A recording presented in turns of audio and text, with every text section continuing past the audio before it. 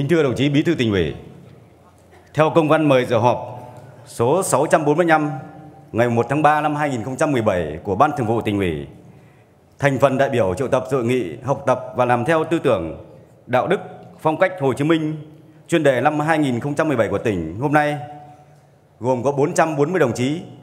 Đến nay, các đại biểu đã có mặt đông đủ tại hội trường. Xin phép đồng chí Bí thư tỉnh ủy và các đồng chí hội nghị được bắt đầu làm việc. Kính thưa đồng chí Bí thư tỉnh ủy, thưa toàn thể hội nghị, thực hiện chỉ thị số 05 ngày 15 tháng 5 năm 2016 của Bộ Chính trị về đẩy mạnh học tập và làm theo tư tưởng, đạo đức, phong cách Hồ Chí Minh, kế hoạch số 30 ngày 15 tháng 8 năm 2016, kế hoạch số 41 ngày 26 tháng 12 năm 2016 của Ban Thường vụ tỉnh ủy. Về tuyên truyền thực hiện chỉ thị số 05 của Bộ Chính trị và nhân rộng điển hình học tập làm theo tư tưởng đạo đức phong cách Hồ Chí Minh từ nay đến hết hết năm 2020 và kế hoạch số 46 ngày 24 tháng 2 năm 2017 của Ban Thường vụ tỉnh ủy về tổ chức cuộc thi kể chuyện về học tập và làm theo tư tưởng đạo đức phong cách Hồ Chí Minh năm 2017.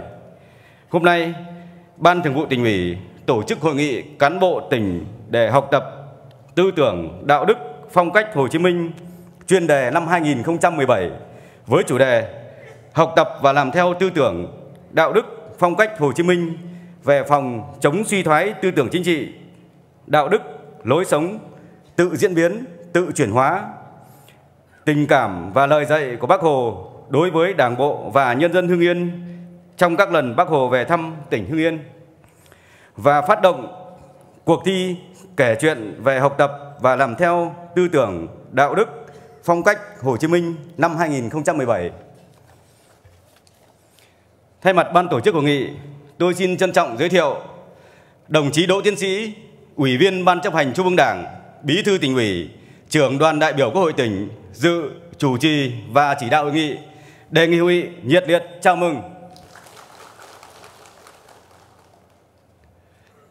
Xin trân trọng giới thiệu đồng chí Nguyễn Văn Phóng, Phó Bí thư tỉnh ủy, Chủ tịch Ủy ban nhân tỉnh đề nghị hội nghị nhiệt liệt chào mừng. Xin được trân trọng giới thiệu giáo sư tiến sĩ Hoàng Chí Bảo, chuyên gia cao cấp Học viện Chính trị Quốc gia Hồ Chí Minh về dự và trực tiếp truyền đạt tại hội nghị nội dung chuyên đề học tập và làm theo tư tưởng, đạo đức, phong cách Hồ Chí Minh năm 2017. Đề nghị hội nghị nhiệt liệt chào mừng.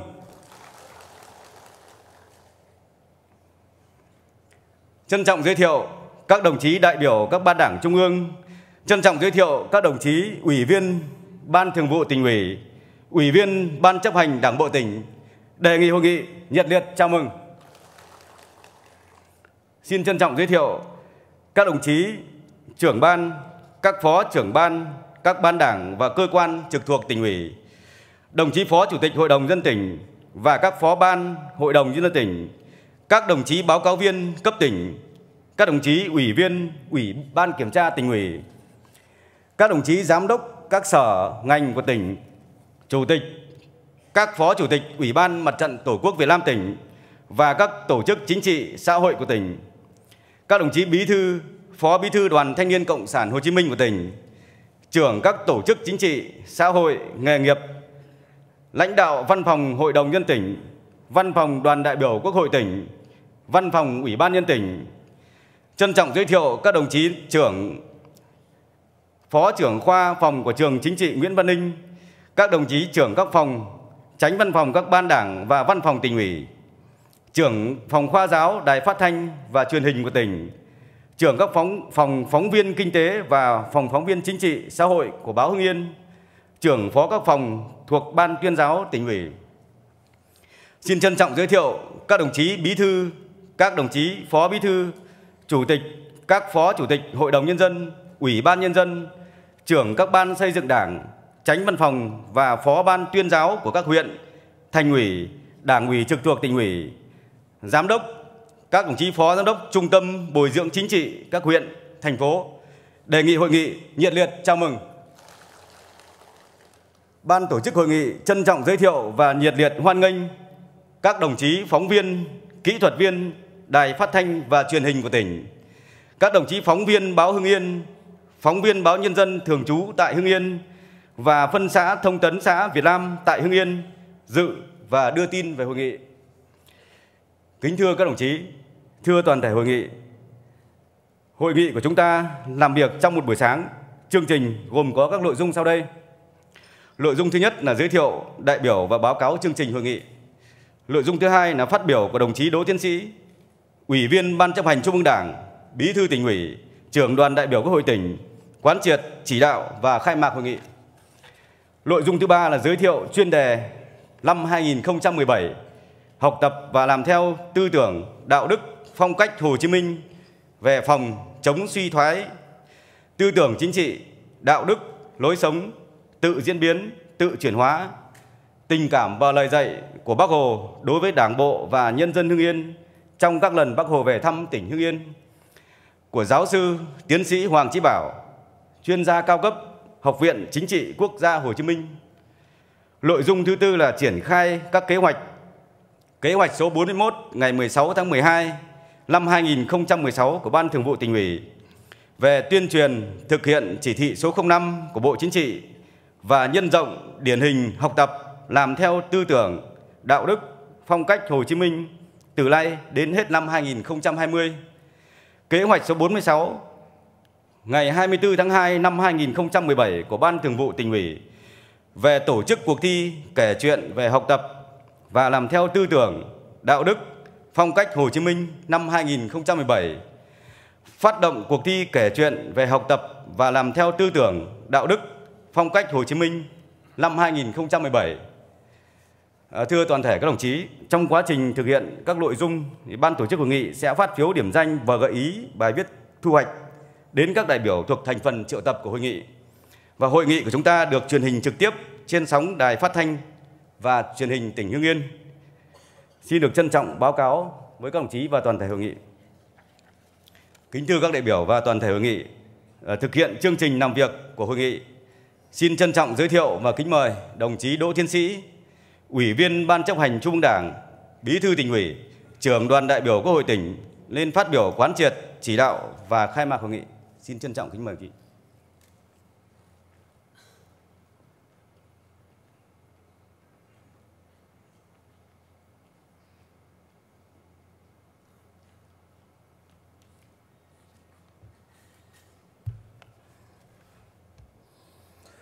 Thưa các đồng chí đại biểu khách quý Trung ương, thưa giáo sư tiến sĩ Hoàng Chí Bảo, chuyên gia cao cấp Học viện Chính trị Quốc gia Hồ Chí Minh, thưa toàn thể các đồng chí và nhân dân, thực hiện chỉ thị số 05 ngày 15 tháng 5 năm 2016 của Bộ Chính trị về đẩy mạnh học tập và làm theo tư tưởng đạo đức phong cách Hồ Chí Minh – Căn cứ hướng dẫn của Ban tuyên giáo Trung ương, hôm nay Ban Thường vụ tỉnh ủy tổ chức hội nghị cán bộ tỉnh để học tập chuyên đề năm 2017 với chủ đề Học tập và làm theo tư tưởng đạo đức phong cách Hồ Chí Minh về phòng chống suy thoái tư tưởng chính trị đạo đức lối sống, tự diễn biến, tự chuyển hóa, tình cảm và lời dạy của bác đối với Đảng bộ và nhân dân Hưng Yên đồng thời phát động cuộc thi kể chuyện về học tập và làm theo tư tưởng đạo đức phong cách Hồ Chí Minh năm 2017.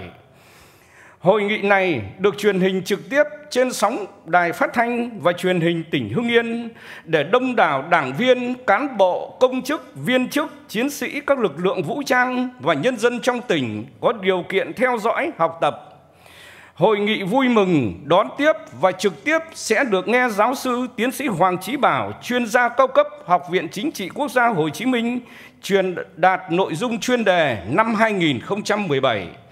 Xin nhiệt liệt chào mừng giáo sư tiến sĩ Hoàng Chí Bảo cùng các đồng chí đại biểu các ban đảng trung ương. Xin chúc giáo sư cùng toàn thể các đồng chí dự hội nghị mạnh khỏe, gia đình, hạnh phúc. Thưa toàn thể các đồng chí và nhân dân, trước lúc đi xa, trong di trúc thiêng liêng, Bác Hồ, người đã dành cho Đảng ta, cho đội ngũ cán bộ, đảng viên của Đảng ta những lời tâm huyết. Đảng ta là một đảng cầm quyền, mỗi đảng viên và cán bộ phải thật sự thấm nhuần đạo đức cách mạng, thật sự cần kiệm, liêm chính, trí công vô tư, phải giữ gìn đảng ta thật trong sạch. Thấm nhuần lời dạy của bác, các thế hệ cán bộ, đảng viên của đảng ta đã không ngừng rèn luyện, tu dưỡng đạo đức cách mạng, tôi luyện bản lĩnh qua các thực tiễn đấu tranh vô cùng khó khăn, gian khổ, không quản hy sinh xương máu để xây dựng đảng ta từng bước trưởng thành, lãnh đạo và cùng nhân dân ta giành độc lập tự do cho Tổ quốc, thống nhất non sông. Sau hơn 30 năm thực hiện đường lối đổi mới, đất nước đã đạt được những thành tựu vô cùng quan trọng, tạo thế và lực sức mạnh tổng hợp lớn hơn nhiều so với trước đây. Tuy nhiên, như Chủ tịch Hồ Chí Minh từng chỉ rõ, trong thế giới cái gì cũng biến hóa, tư tưởng con người cũng biến hóa. Nếu không cẩn thận thì một đảng cầm quyền rất dễ gặp hai nguy cơ. Một là sai lầm về đường lối, hai là sự suy thoái biến chất của đội ngũ cán bộ đảng viên. Trong thực tế, bên cạnh tuyệt đại đa số cán bộ đảng viên trưởng thành cùng sự nghiệp cách mạng của Đảng cũng còn có người xa vào chủ nghĩa cá nhân, suy thoái về tư tưởng chính trị, đạo đức, lối sống quan liêu, xa dân, tham nhũng, lãng phí. Cá biệt có trường hợp rơi vào tự diễn biến, tự chuyển hóa, làm giảm lòng tin và sự lãnh đạo của Đảng trong một bộ phận cán bộ, đảng viên và nhân dân. Tùy vào điều kiện, yêu cầu nhiệm vụ của từng giai đoạn cách mạng mà các nghị quyết của Trung ương mỗi thời kỳ đã có những chỉ đạo trọng tâm khác nhau. Song các nghị quyết của Trung ương đều xác định và hướng vào nhiệm vụ quan trọng của công tác xây dựng Đảng là đổi mới, chỉnh đốn Đảng mà trọng tâm là xây dựng đội ngũ cán bộ, đảng viên về tư tưởng chính trị và đạo đức cách mạng. Tại hội nghị Ban chấp hành Trung ương lần thứ tư khóa 12, Trung ương đã ban hành nghị quyết về tăng cường xây dựng chỉnh đốn đảng, ngăn chặn, đẩy lùi sự suy thoái về tư tưởng chính trị, đạo đức lối sống, những diễn biến tự diễn biến, tự chuyển hóa trong nội bộ. Nghị quyết vừa cụ thể hóa thực hiện 10 nhiệm vụ giải pháp về xây dựng đảng mà nghị quyết đại hội 12 đề ra, vừa tiếp tục thực hiện nghị quyết Trung ương 4 khóa 11 trong điều kiện mới. Nhiệm vụ hàng đầu để triển khai nhóm giải pháp về công tác chính trị tư tưởng tự phê bình và phê bình là thực hiện nghiêm túc có hiệu quả việc học tập và làm theo tư tưởng đạo đức phong cách Hồ Chí Minh theo chỉ thị số 05 ngày 15 tháng 5 năm 2016 của Bộ Chính trị. Điều đó chứng tỏ quyết tâm chính trị rất cao, sự nỗ lực rất lớn và tư tưởng nhất quán của Đảng về tầm quan trọng đặc biệt của công tác xây dựng chỉnh đốn đảng chống suy thoái tự diễn biến tự chuyển hóa đồng thời thể hiện tầm tư duy và thái độ kiên quyết kiên trì thực hiện của đảng trước yêu cầu về nâng cao năng lực lãnh đạo sức chiến đấu trong tình hình mới nhằm củng cố niềm tin của nhân dân đối với đảng kính thưa các đồng chí và toàn thể nhân dân lúc sinh thời chủ tịch hồ chí minh bác hồ đã dành những tình cảm đặc biệt cho Hưng Yên. Bác đã về thăm Hưng Yên, quê ngoại của người đến 10 lần. Lần nào về Hưng Yên, bác đều có lời căn dặn đối với cán bộ, đảng viên và nhân dân trong tỉnh, nhất là vấn đề đoàn kết, phát huy truyền thống cách mạng, tập trung làm tốt thủy lợi, đẩy mạnh sản xuất, thực hành tiết kiệm, thực hành nếp sống mới, giữ gìn thuần phong mỹ tục, xây dựng quê hương Hưng Yên thành tỉnh vẻ vang gương mẫu của miền Bắc.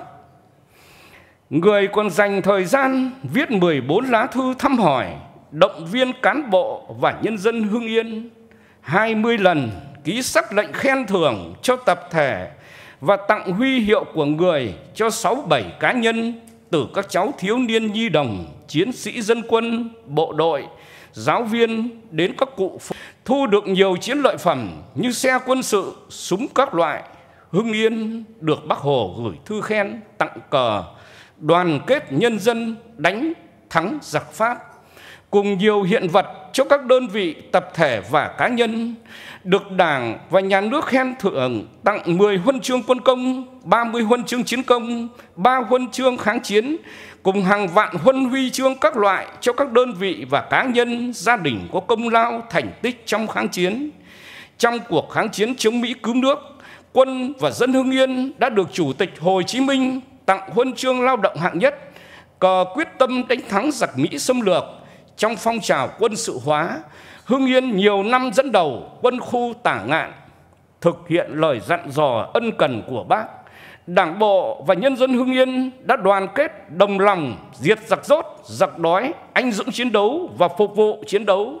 Với những thành tích tiêu biểu, nhiều địa phương, đơn vị cá nhân được Đảng, Nhà nước tặng huân chương, huy chương, được phong tặng danh hiệu cao quý anh hùng lực lượng vũ trang, danh hiệu bà mẹ Việt Nam anh hùng từ năm 1954 đến năm 1969 Chủ tịch Hồ Chí Minh đã 18 lần tặng cờ bằng khen ký sắc lệnh tặng huân chương lao động cùng nhiều tặng phẩm khác dành cho các tập thể của Hưng Yên.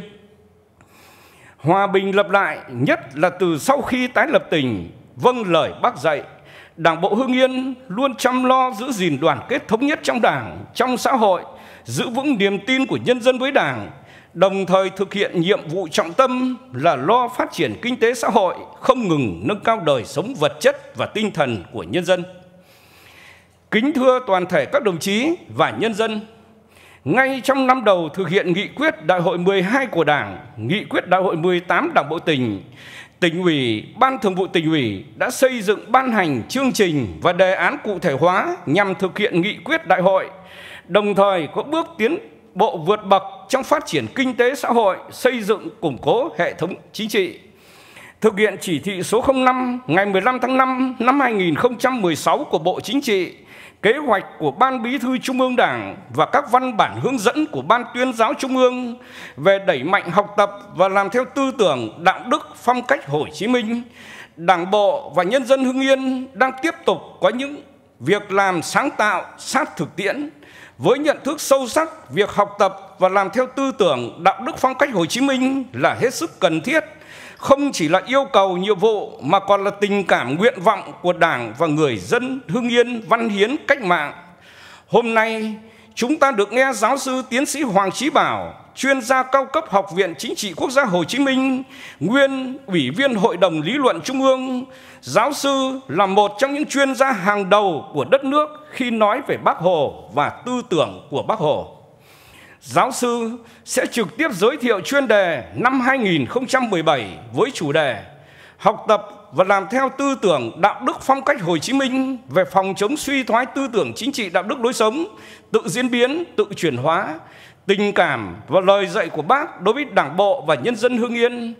Trân trọng cảm ơn tình cảm của giáo sư đã dành cho Hưng Yên khi nhận lời giới thiệu chuyên đề này. Tại hội nghị ngày hôm nay thực hiện kế hoạch số 46 ngày 24 tháng 2 năm 2017 của Ban Thường vụ tỉnh ủy, tỉnh ủy sẽ phát động cuộc thi kể chuyện về học tập và làm theo tư tưởng đạo đức phong cách Hồ Chí Minh năm 2017. Đây là cuộc thi có ý nghĩa và tầm quan trọng bởi qua cuộc thi này, tỉnh ủy mong muốn tạo được sự chuyển biến mạnh mẽ hơn và tuyên truyền sâu rộng hơn về ý thức tu dưỡng rèn luyện phẩm chất của cán bộ, đảng viên, công chức, viên chức, đoàn viên, thanh niên, học sinh, góp phần quan trọng đẩy lùi sự suy thoái về tư tưởng chính trị, đạo đức, lối sống, tệ tham nhũng, lãng phí và các tệ nạn xã hội góp phần xây dựng đảng bộ tỉnh trong sạch vững mạnh về chính trị, tư tưởng, tổ chức và đạo đức xây dựng đội ngũ cán bộ đủ năng lực phẩm chất ngang tầm nhiệm vụ nhằm thực hiện thắng lợi nghị quyết đại hội 12 của Đảng, nghị quyết đại hội 18 Đảng bộ tỉnh. Với ý nghĩa và tầm quan trọng của hội nghị, tôi đề nghị các đại biểu thực hiện thật tốt nội quy của hội nghị, tập trung cao, lắng nghe để lĩnh hội sâu sắc toàn diện nội dung chuyên đề về học tập theo tư tưởng đạo đức phong cách Hồ Chí Minh là hội nghị truyền hình trực tiếp và sẽ được in đĩa tuyên truyền và được phát nhiều lần trên sóng đài phát thanh và truyền hình của tỉnh. Rất kính mong được đông đảo nhân dân và các đồng chí quan tâm theo dõi. Với tinh thần và ý nghĩa quan trọng đó, tôi xin khai mạc hội nghị, xin trân trọng cảm ơn và chúc hội nghị thành công tốt đẹp.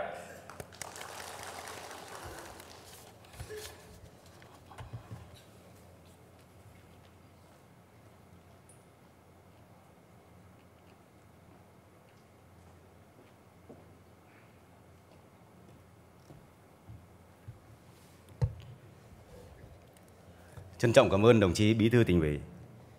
Tiếp theo chương trình làm việc của hội nghị, xin trân trọng giới thiệu và kính mời giáo sư tiến sĩ Hoàng Chí Bảo, chuyên gia cao cấp Học viện Chính trị Quốc gia Hồ Chí Minh lên giới thiệu chuyên đề năm 2017 học tập và làm theo tư tưởng, đạo đức, phong cách Hồ Chí Minh về phòng chống suy thoái tư tưởng chính trị, đạo đức, lối sống, tự diễn biến, tự chuyển hóa, tình cảm và lời dạy của bác đối với Đảng bộ và nhân dân Hưng Yên. Xin trân trọng kính mời giáo sư tiến sĩ.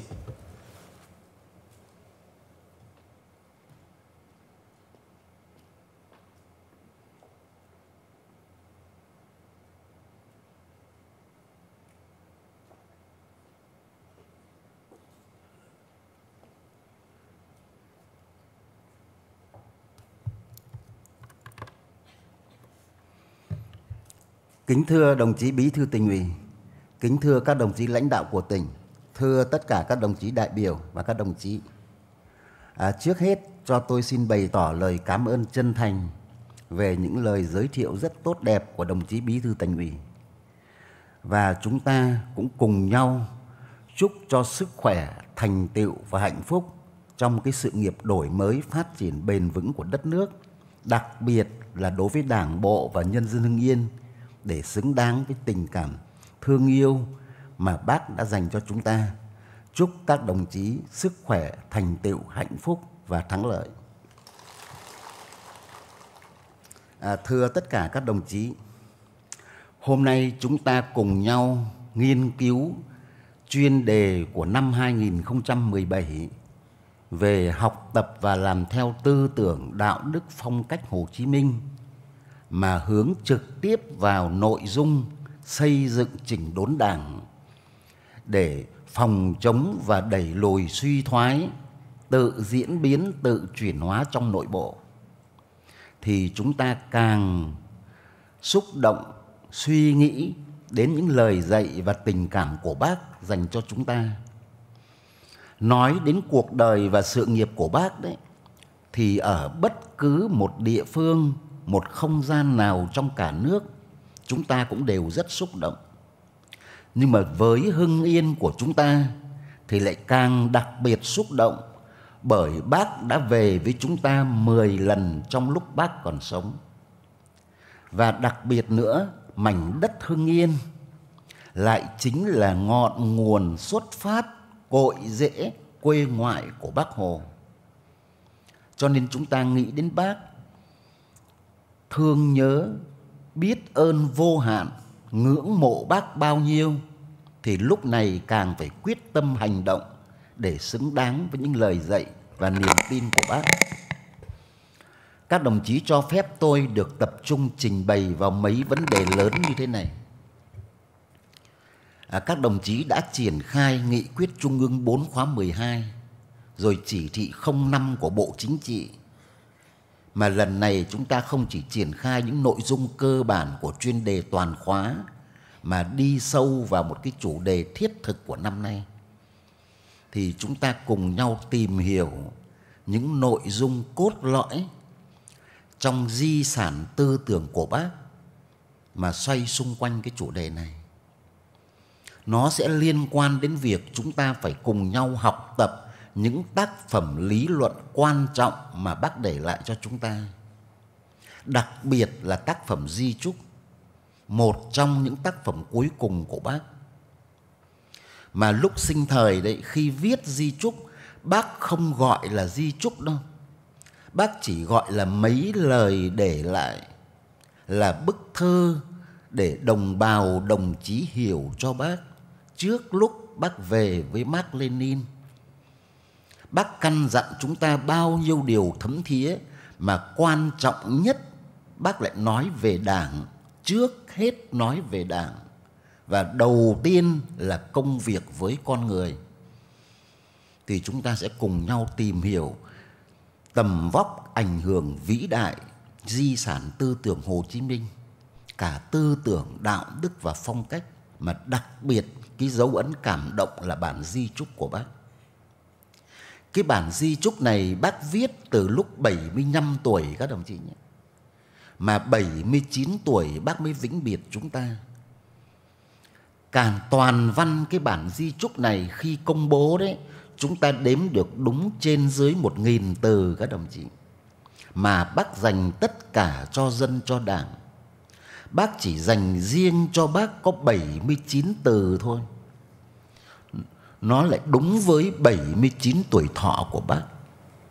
Ta sẽ nhận thấy ở đây tất cả những sự nhạy cảm linh thiêng, cả cái chiều sâu trong thế giới tâm hồn, tâm linh của bác, gắn cuộc đời mình với dân, với đảng đấy các đồng chí. Thì điểm thứ hai, chúng ta sẽ cùng nhau nói về những tình cảm của bác với chúng ta và tình cảm của nhân dân chúng ta với bác nhất là những giây phút cuối cùng trước lúc đi xa, bác vĩnh biệt chúng ta như thế nào? Trên cơ sở những cái điều như thế, chúng ta sẽ cùng nhau tìm hiểu vào những cái sự kiện và những tác phẩm liên quan đến cuộc đời của người. Những cái thông tin mà chúng ta qua nghiên cứu nhiều năm nay, ta càng hiểu thêm về bác có điều kiện, xin các đồng chí dành thời gian đọc đi đọc lại bản di chúc các đồng chí nhé. Các đồng chí còn trẻ, nhất là các đồng chí nào công tác trong ngành giáo dục này, các nhà giáo, thì càng phải thuộc lòng cái bản di chúc này. Nhất là các bạn thanh niên. Đấy. ban tuyên giáo tỉnh ủy của chúng ta và các đồng chí lãnh đạo của tỉnh đặc biệt quan tâm đến công tác tư tưởng cho nên đã soạn một cái tài liệu rất công phu về tình cảm của bác với nhân dân Hưng Yên, với Đảng bộ Hưng Yên và tình cảm của chúng ta với bác thì các đồng chí cũng có thể coi đây là một tài liệu tham khảo quý. Đặc biệt là từ những năm 2000 các đồng chí cách đây đã gần 20 năm rồi. Cái cuốn sách rất quý này không chỉ của Hưng Yên đâu mà của cả nước đấy các đồng chí nhé. Bác Hồ với Hưng Yên và Hưng Yên với Bác Hồ, nhà xuất bản chính trị quốc gia đã ấn hành thì các đồng chí càng phải nghiên cứu kỹ hơn vì nó chính là gắn liền với cái sự kiện trong cái địa phương và trong cuộc sống trong tình cảm của chúng ta. Đặc biệt nữa là năm nay năm 2017 khi chúng ta triển khai cái chuyên đề quan trọng này thì xin các đồng chí nhớ ngay đến những sự kiện liên quan trực tiếp đến bác. Năm nay ta sẽ kỷ niệm 90 năm ngày bác viết tác phẩm Đường Cách Mệnh các đồng chí nhé. Bác viết Đường Cách Mệnh từ lúc bác mới 37 tuổi. Ba năm trước khi Đảng ta ra đời, mà nhờ có Đường Cách Mệnh mới dẫn đến cương lĩnh đầu tiên của Đảng ta dẫn đến sự kiện thành lập Đảng Cộng sản Việt Nam do chính Bác Hồ sáng lập và rèn luyện. Đảng ta đã có 87 năm lịch sử quang vinh thì đường cách mệnh năm nay sẽ kỷ niệm 90 năm ngày ra đời.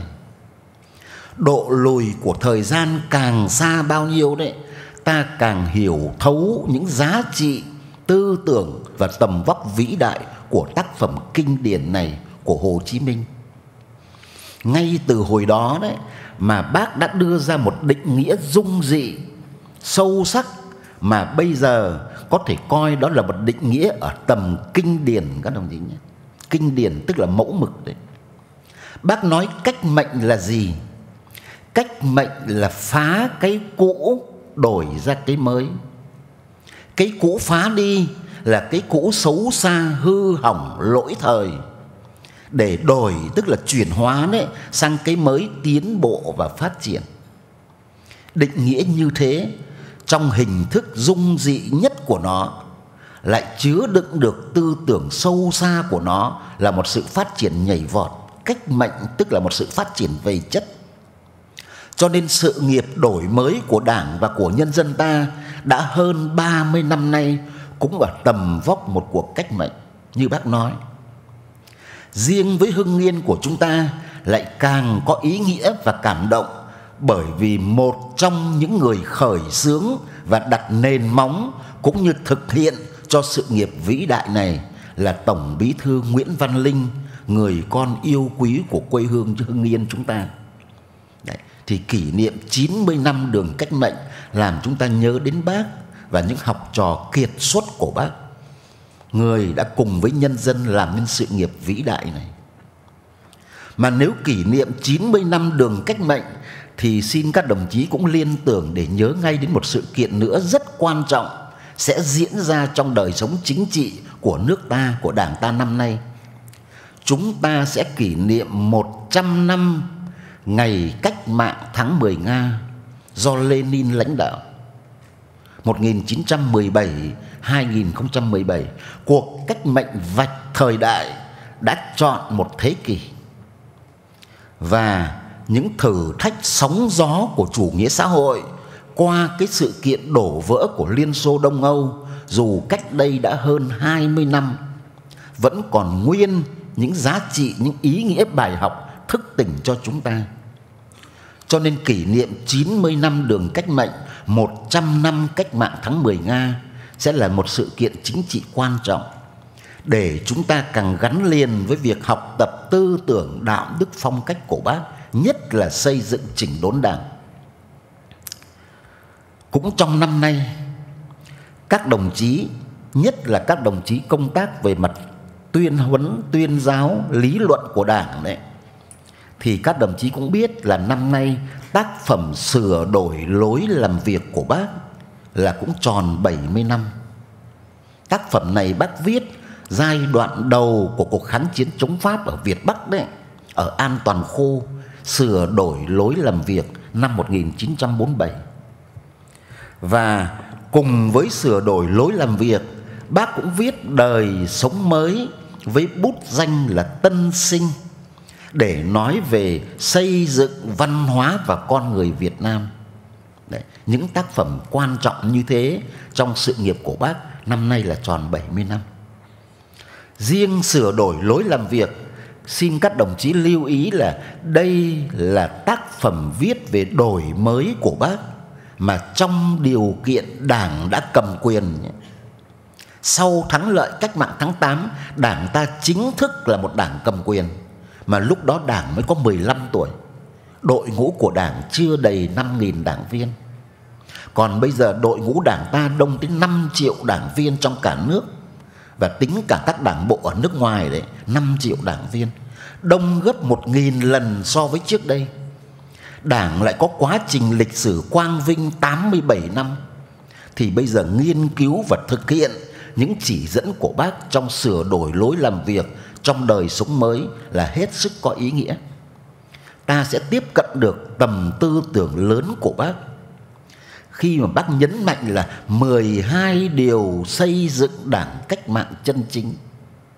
Bác nhấn mạnh lãnh đạo của đảng phải lãnh đạo trên trình độ khoa học, lãnh đạo một cách dân chủ và lãnh đạo tốt nhất là bằng sự gương mẫu.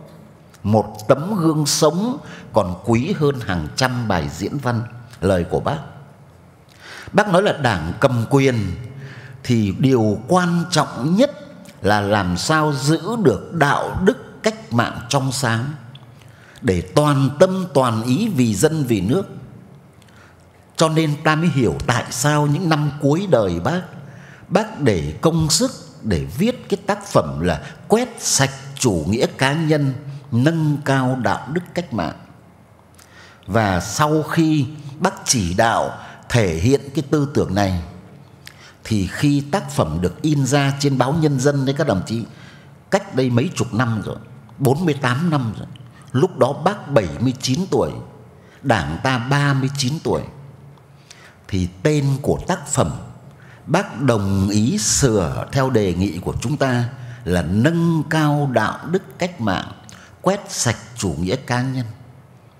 Chứ còn trong ý tưởng sâu xa của bác đấy Bác nhấn mạnh là quét sạch chủ nghĩa cá nhân để nâng cao đạo đức cách mạng, xây gắn liền với chống, chống đi liền với xây.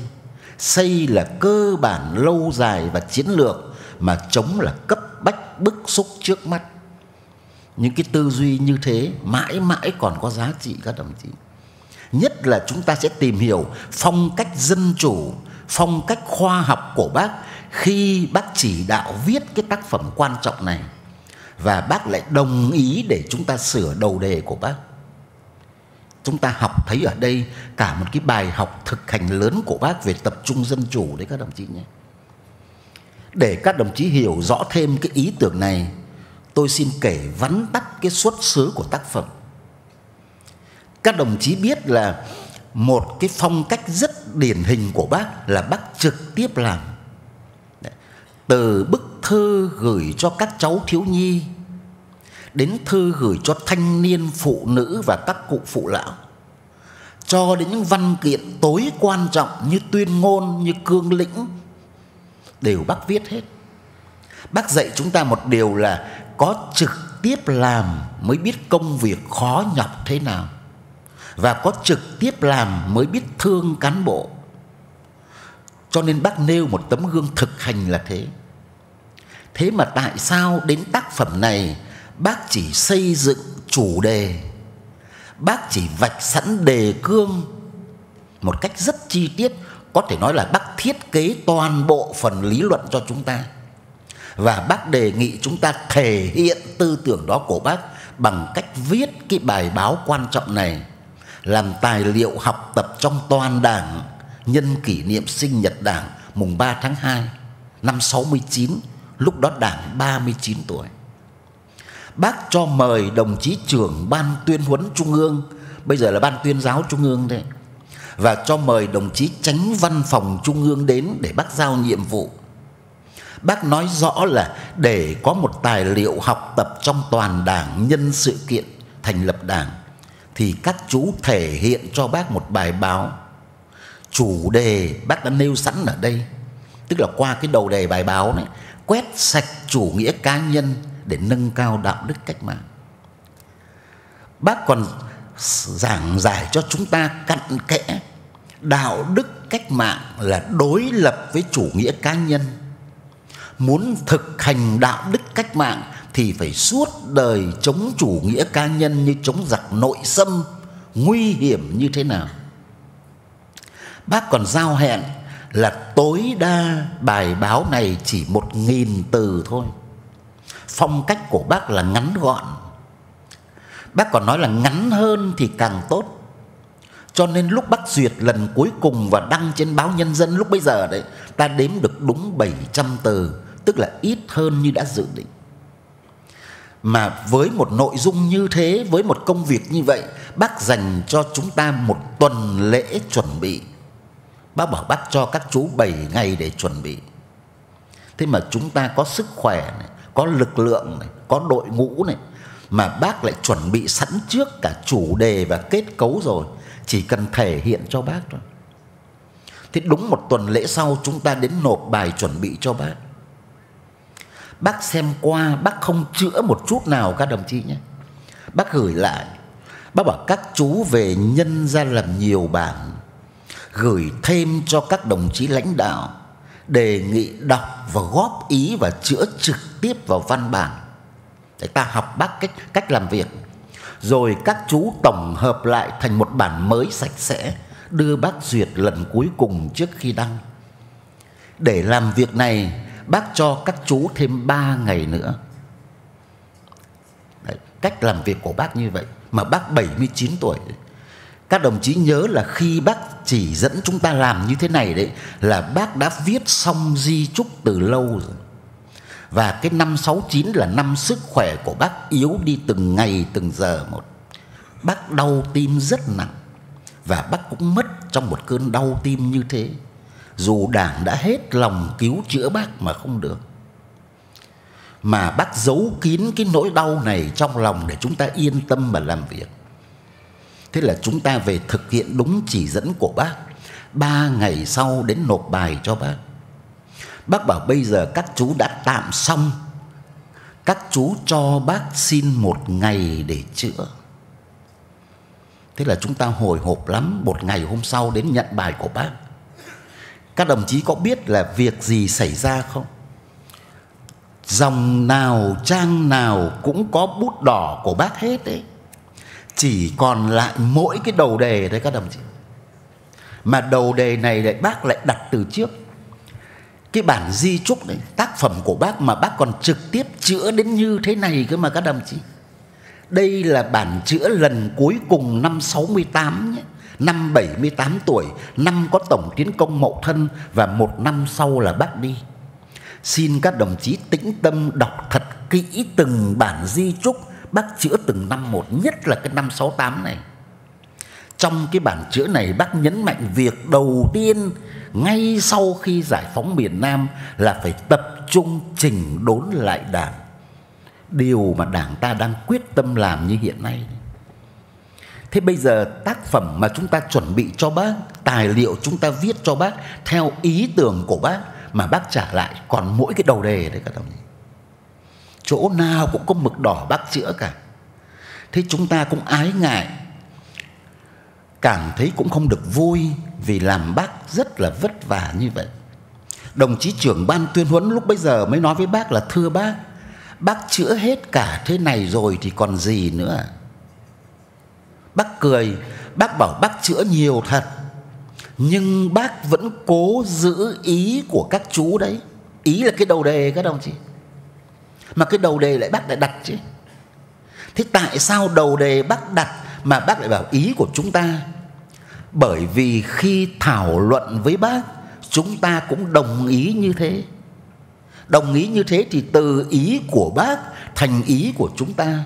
Bác giữ lại cái đầu đề này là giữ lại ý cho chúng ta đấy. Nên hiểu chỗ này như thế nào?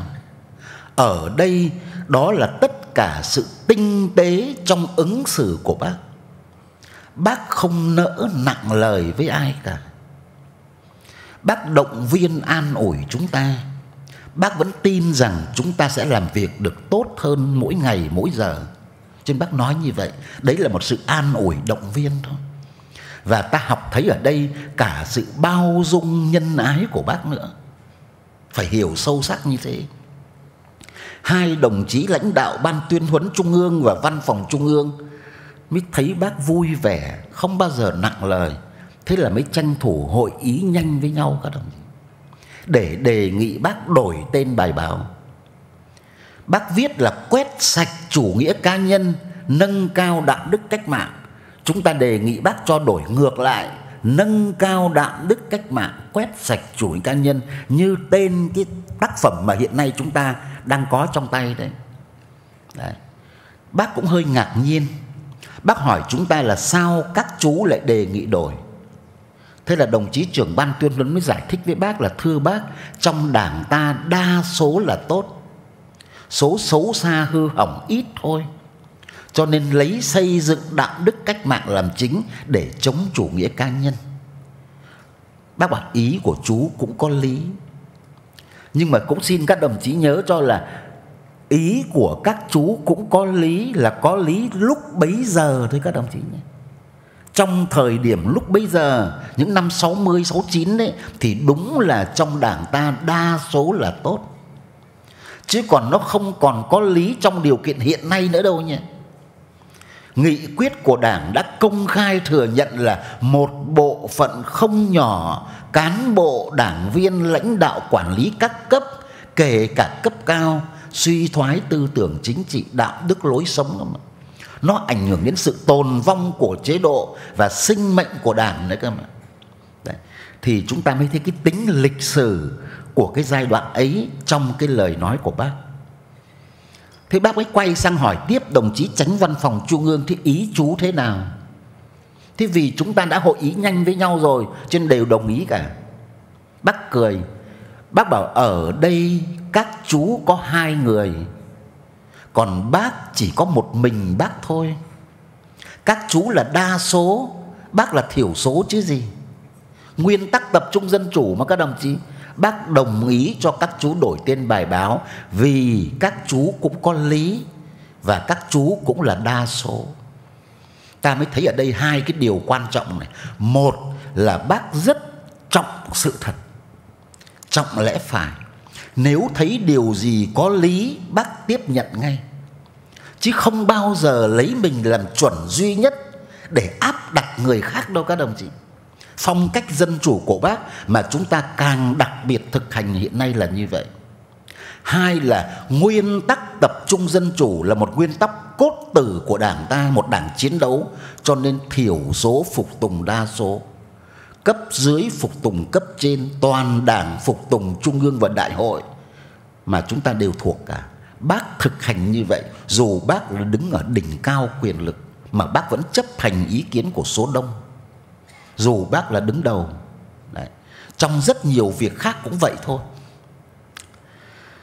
Hơn thế nữa, khi bác hỏi chúng ta một câu mà chúng ta chưa kịp trả lời thì bác đại dục chúng ta đi về. Hai đồng chí được bác hỏi thế này này, xin phép bác về để làm việc với tổng biên tập báo nhân dân mà, để đăng cái tài liệu quan trọng này cho nó kịp sinh nhật đảng. Bác bảo, khoan đã để bác hỏi các chú một câu đã rồi hãy về. Cái câu hỏi này là rất có ý đây các đồng chí này.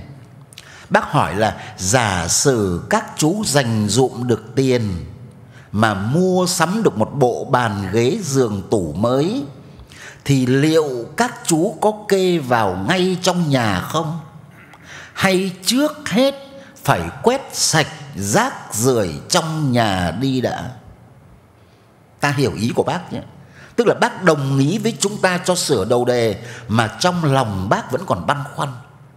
Ý bác vẫn muốn bảo lưu cái ý kiến của chính bác đấy.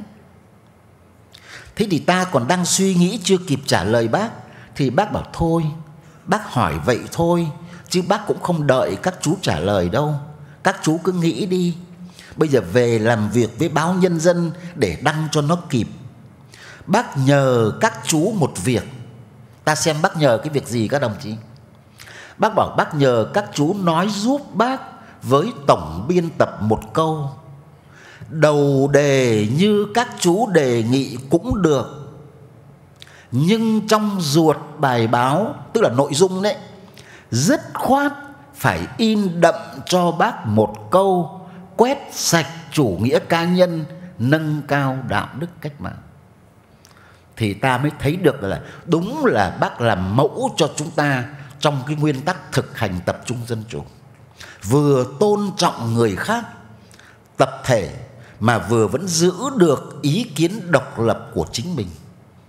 Cái hồn cốt, cái lõi của vấn đề là phải đánh bại giặc nội xâm, quét sạch chủ nghĩa cá nhân như một thứ rác rưởi thì mới có thể xây dựng được đạo đức cách mạng ý tưởng sâu xa của bác là như vậy. Và đây là một trong những nỗ lực cuối cùng của bác trên phương diện lý luận này, mà lại tập trung vào vấn đề đảng.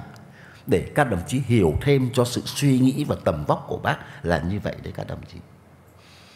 Tôi nói như thế để rồi chúng ta cũng liên tưởng đến một sự kiện này này. Đất nước chúng ta, trong đó có đất và người hưng yên yêu quý của chúng ta đã đổi mới hơn 30 năm nay.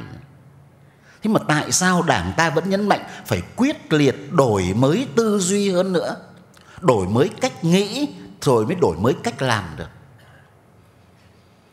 Các đồng chí biết là bác về Hưng Yên những 10 lần cả chứ. Đặc biệt là cái năm năm tám ấy các đồng chí. Hạn hán lũ lụt như vậy. Bác lo lắng vô cùng chứ. Bác chia sẻ với nhân dân chúng ta, Từng bữa ăn giấc ngủ chứ. Bác lo lắng mọi điều. Có lần mà bác đi qua một mảnh đất khô cằn thế này Hạn hán nứt nẻ hết. Hạn nứt nẻ hết cả đồng ruộng. Bác hỏi chúng ta là tổ quốc là gì? Ta còn đang suy nghĩ. Rồi ta mới trả lời bác, Thưa bác, tổ quốc là đất nước. Bác bảo, đúng, Tổ quốc là đất nước. Đất chúng ta có rồi, Mà nước thì chúng ta đang thiếu. Nước theo cái nghĩa trực tiếp với các đồng chí nhé Hạn hán rồi lũ lụt như thế. Chứ tại sao bác dồn sức cùng với đảng bộ nhân dân Hưng Yên để đánh thắng được thiên tai lũ lụt, để lo đời sống cho dân, vất vả mấy tháng để hạnh phúc cả đời cơ mà. Bác dạy chúng ta như vậy. Tại sao trong tất cả những bức thư của bác mà đầu đề thì lại rất thiết thực và cảm động thư gửi cán bộ và đồng bào những tỉnh có đê có đê hưng yên của chúng ta là thế bác nói chuyện với đồng bào và với cán bộ của chúng ta là gì? Về tôi về đây trước hết là để thăm đồng bào và sau đó là để thăm đê cơ mà. Đấy. thì những điều như thế, để chúng ta suy nghĩ một điều này là phải rất thiết thực.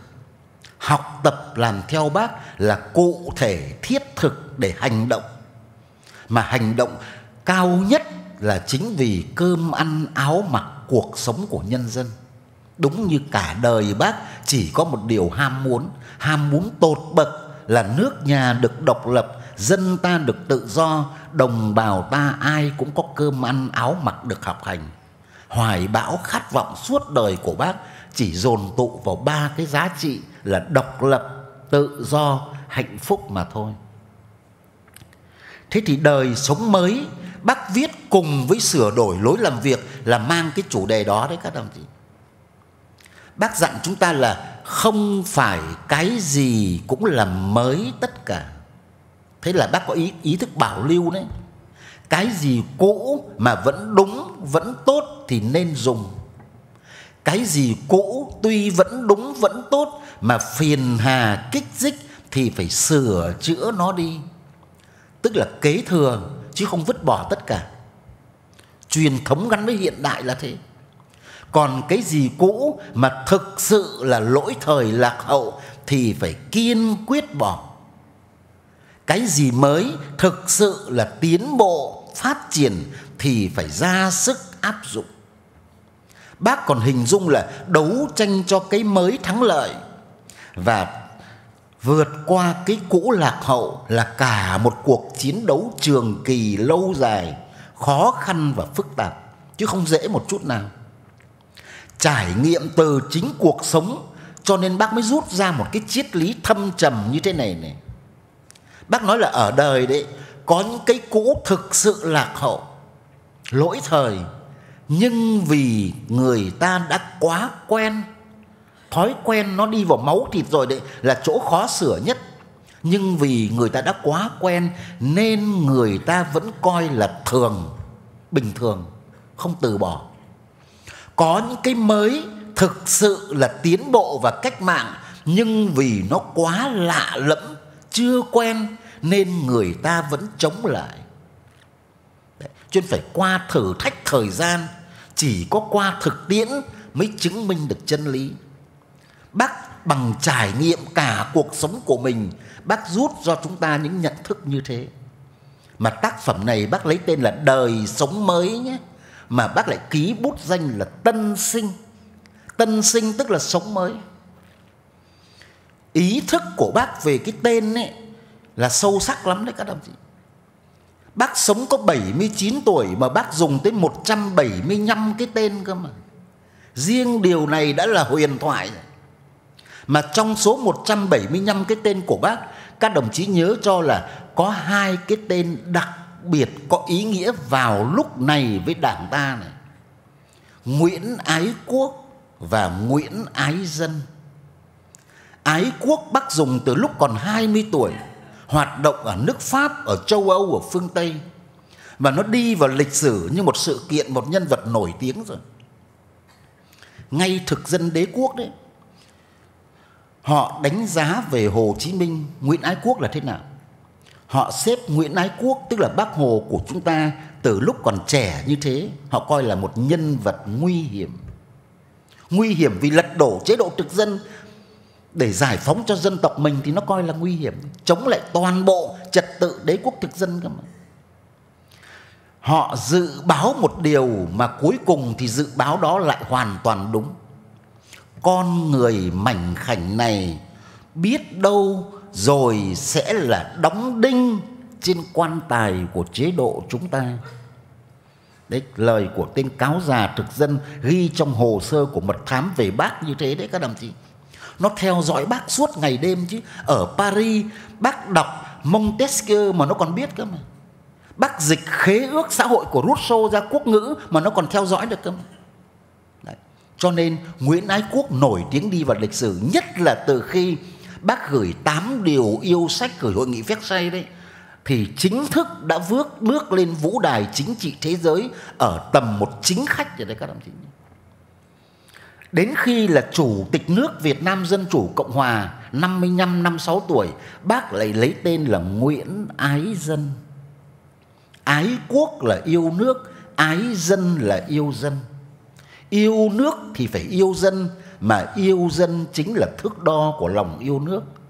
Bây giờ toàn bộ nỗ lực của đảng ta, của nhân dân chúng ta cũng chỉ vì dân, vì nước mà thôi. Thì đấy chính là triết lý sâu thẳm của bác mà chúng ta học được cả trên bình diện tư tưởng, đạo đức và phong cách để hướng vào cái nỗ lực xây dựng chỉnh đốn đảng hiện nay. Chưa kể một lý do này nữa này.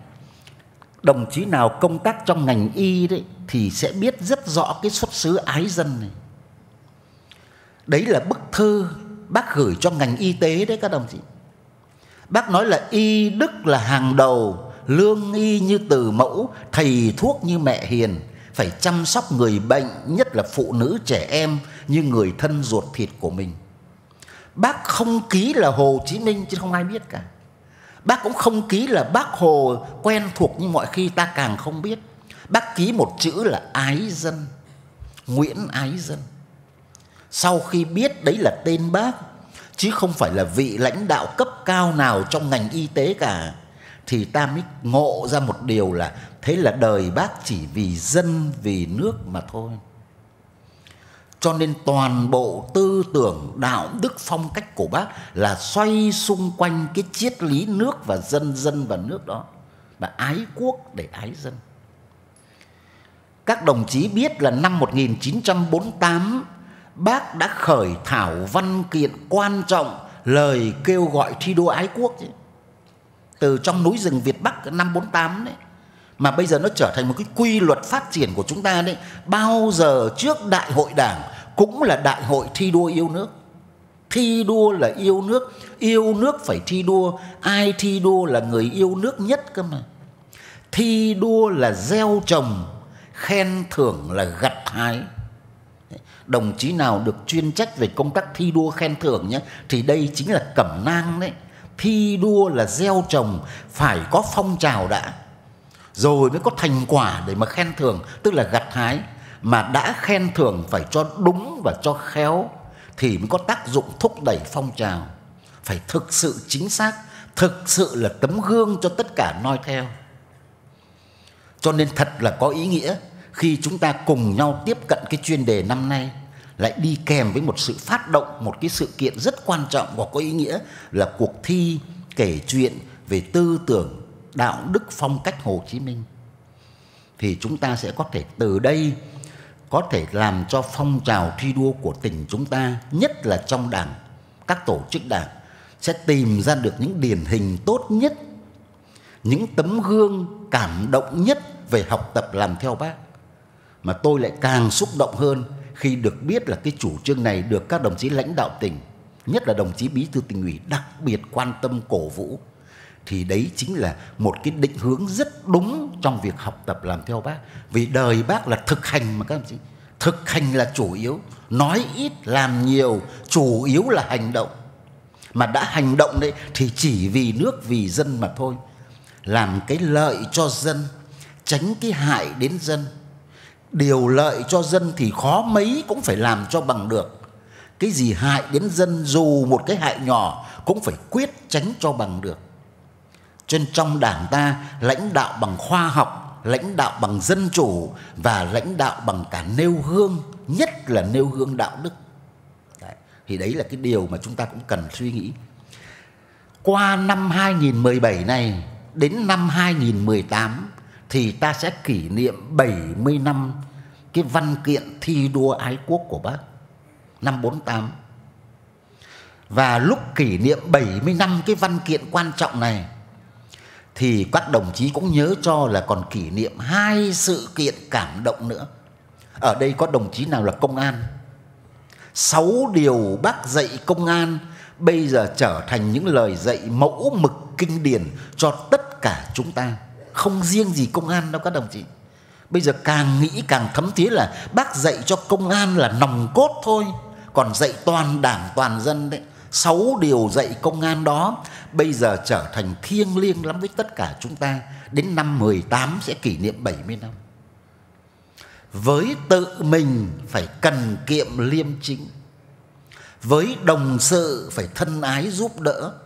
Với chính phủ phải tuyệt đối trung thành với nhân dân phải kính trọng lễ phép với công việc phải tận tụy và với kẻ địch phải cương quyết khôn khéo xin các đồng chí thuộc lòng sáu điều dạy đó nhé. Và nó toát lên một cái triết lý là công an nhân dân vì nước quên thân, vì dân phục vụ cơ mà. Thế là không riêng công an mà tất cả chúng ta đấy, phải thực hiện cho được cái điều ấy của bác. Chưa đủ, đến năm 2018 sắp tới, các đồng chí sẽ còn kỷ niệm 70 năm bác phong hàm đại tướng cho đồng chí Võ Nguyên Giáp. Bác phong năm 48 mà. Bác phong có một lần lên thẳng đại tướng. Lúc có 37 tuổi. Từ chỉ huy du kích lên thẳng đại tướng các đồng chí. Đến lúc đại tướng về với bác 103 tuổi, cũng chỉ vẫn là đại tướng vì không còn lon nào cao hơn nữa. Ở đây có cả tầm nhìn chiến lược và có cả phong cách của bác đấy. Mà các đồng chí nhớ cho là 37 tuổi đồng chí Võ Nguyên Giáp là ngang hàm đại tướng. Nhưng mà trước đó lúc 34 tuổi đã được bác bố trí làm bộ trưởng bộ nội vụ. Tức là làm dân sự trước, làm quân sự sau. Chính trị trọng hơn quân sự. Bộ trưởng nội vụ là để thay mặt bác là chủ tịch mà ký những sắc lệnh đầu tiên của chính thể Dân Chủ Cộng Hòa Võ Nguyên Giáp đấy các đồng chí. Văn võ song toàn cái mà. Để 37 tuổi là đại tướng Bộ trưởng Quốc phòng Tổng chỉ huy quân đội quốc gia và toàn quyền trên trận địa Điện Biên Phủ. Bác Tiễn đi có một câu thôi. Tướng quân tại ngoại, toàn quyền quyết định. Thắng thì đánh, chưa chắc thắng chưa đánh chỉ được báo về với trung ương với bác một câu thôi, đã thắng trận. Thế thôi. Cho nên đại tướng ra mặt trận 11 đêm liền thức trắng, đầu chít khăn trong lót toàn lá ngải cứu được các ông chị căng thẳng như muốn vỡ ra chứ. Ông nói là thay đổi cách đánh ở điện biên là một trong những quyết định khó khăn nhất trong cuộc đời làm tướng của tôi cơ mà. Chúng ta nhớ bác bao nhiêu, ta càng nhớ đại tướng bấy nhiêu. Học trò kiệt xuất của bác đấy. Thế cho nên là cái cuộc phong tướng này đấy chúng ta sẽ kỷ niệm 70 năm vào năm 2018 các đồng chí. Và thế giới họ rất ngạc nhiên chứ. Phương Tây lúc bây giờ bởi vì bác có phong phải một một tướng đâu. Bác phong một lúc chín tướng. Ta về an toàn khu Việt Bắc ở Thái Nguyên, ta thấy còn nguyên cái đồi phong tướng đấy. Bác chủ trì lễ thụ phong đại tướng cho ông Giáp ở đấy đấy phương Tây nó đặt những câu hỏi chất vấn bác thế này nhỉ. Xin chủ tịch vui lòng cho biết nguyên tắc nào mà chủ tịch phong tướng cho ông Giáp? Ý là nó chê chúng ta là du kích mà các đồng chí. Làm gì có hải lục không quân trong rừng núi như thế, lựu đạn còn bằng gang. Bác biết chứ, bác ở nước ngoài 30 năm bác không lạ gì. Những cái trò tư sản đó. Bác trả lời ung dung, chủ động mà đầy bản lĩnh, mà lại mang cả cái vẻ hồn nhiên của bác nữa. Bác bảo nguyên tắc của tôi dĩ nhiên là có và rất dễ áp dụng. Thắng cấp nào tôi phong cấp đó. Có thế thôi. Thế là khiêm tốn con gì nữa. Đời võ nguyên giáp đấy, đánh thắng 11 tướng Pháp. bốn tướng Mỹ mà không một ngày nào qua trường võ bị đâu. Dường như có một thiên tài quân sự bẩm sinh cơ mà. Và lại gặp được bác lọt vào mắt xanh của bác mới gặp lần đầu ở Côn Minh, khi còn rất trẻ mà bác đã nghĩ ngay, con người này rồi suốt đời sẽ phải cầm quân đây. Thì ta thấy bác như thế nào? Tầm nhìn như thế nào? Dự phóng của bác như thế nào? Đấy. Các đồng chí cũng nhớ cho, nhất là đồng chí nào là dạy học này. Đại tướng của chúng ta vốn là một trí thức. Ông là giáo sư sử học. Mà đại tướng đẹp lắm các đồng chí thời trẻ đẹp lắm các đồng chí. Về già vẫn rất đẹp, lúc mất cũng vẫn đẹp. Đến mức mà khi phạm văn đồng dẫn võ nguyên giáp sang côn minh gặp bác, mà bác ôm lấy cơ mà. Bác bảo, trời, chú đẹp như con gái vậy. Thế mà các đồng chí, đại tướng của chúng ta này. Trên bắc mới phong là họ văn văn võ song toàn là thế. Bác còn nói thêm thế này này Võ Nguyên Giáp phải phong vài lần đại tướng mới xứng đáng. Tôi chỉ phong một lần thì phải phong cao nhất. các ngài thừa biết chúng tôi đang làm chiến tranh du kích, cho nên cách phong tướng của tôi cũng là phong tiểu du kích không có nề hà gì, các ông chị đấy, phong cách của bác đấy, bản lĩnh của bác đấy, các ông chị đấy. mà bác đưa ra một lời giải thích mà nó phải tâm phục khẩu phục nhé võ nguyên giáp đánh thắng đại tướng thì dĩ nhiên võ nguyên giáp phải là đại tướng. Có thế thôi. Đấy, đấy là một cái lẽ phải rất thông thường mà. Đấy.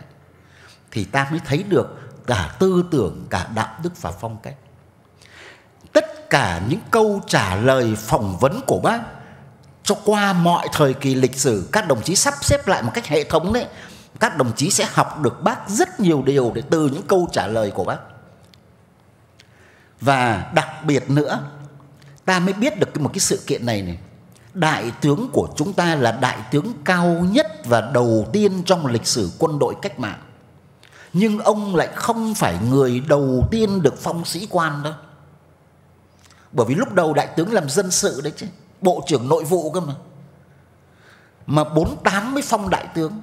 Trước đó 2 năm 1946 bác đã phải đi Pháp với tư cách là nguyên thủ quốc gia, sang Pháp với tư cách là thượng khách của chính phủ Pháp nhưng mà thật ra đó là một cuộc đấu trí, đấu lực căng thẳng để kéo dài thời gian hòa bình khi mà nền hòa bình mỏng manh đang sắp tan vỡ, để mà tiếp tục gây dựng chế độ, để có đủ sức mạnh khi mà chiến tranh nổ ra, buộc phải chấp nhận thì đủ sức đánh thắng. Cái cuộc đi Pháp của bác kéo dài đến 5 tháng liền. Có thể nói là một sự kiện hiếm thấy trong các cái chuyến thăm của nguyên thủ quốc gia sang nước khác. Bác đi như thế. Bác đi như vậy trong khi mà nước nhà trăm công nghìn việc, đúng không? Ngàn cân treo sợi tóc.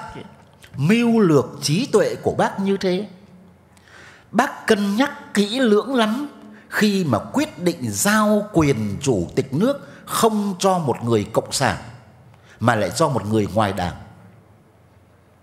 cụ huỳnh thúc kháng chúng ta biết cả chị nhân sĩ trí thức nhé, có đảng viên đó bác cân nhắc lắm đấy các đồng chí nhé.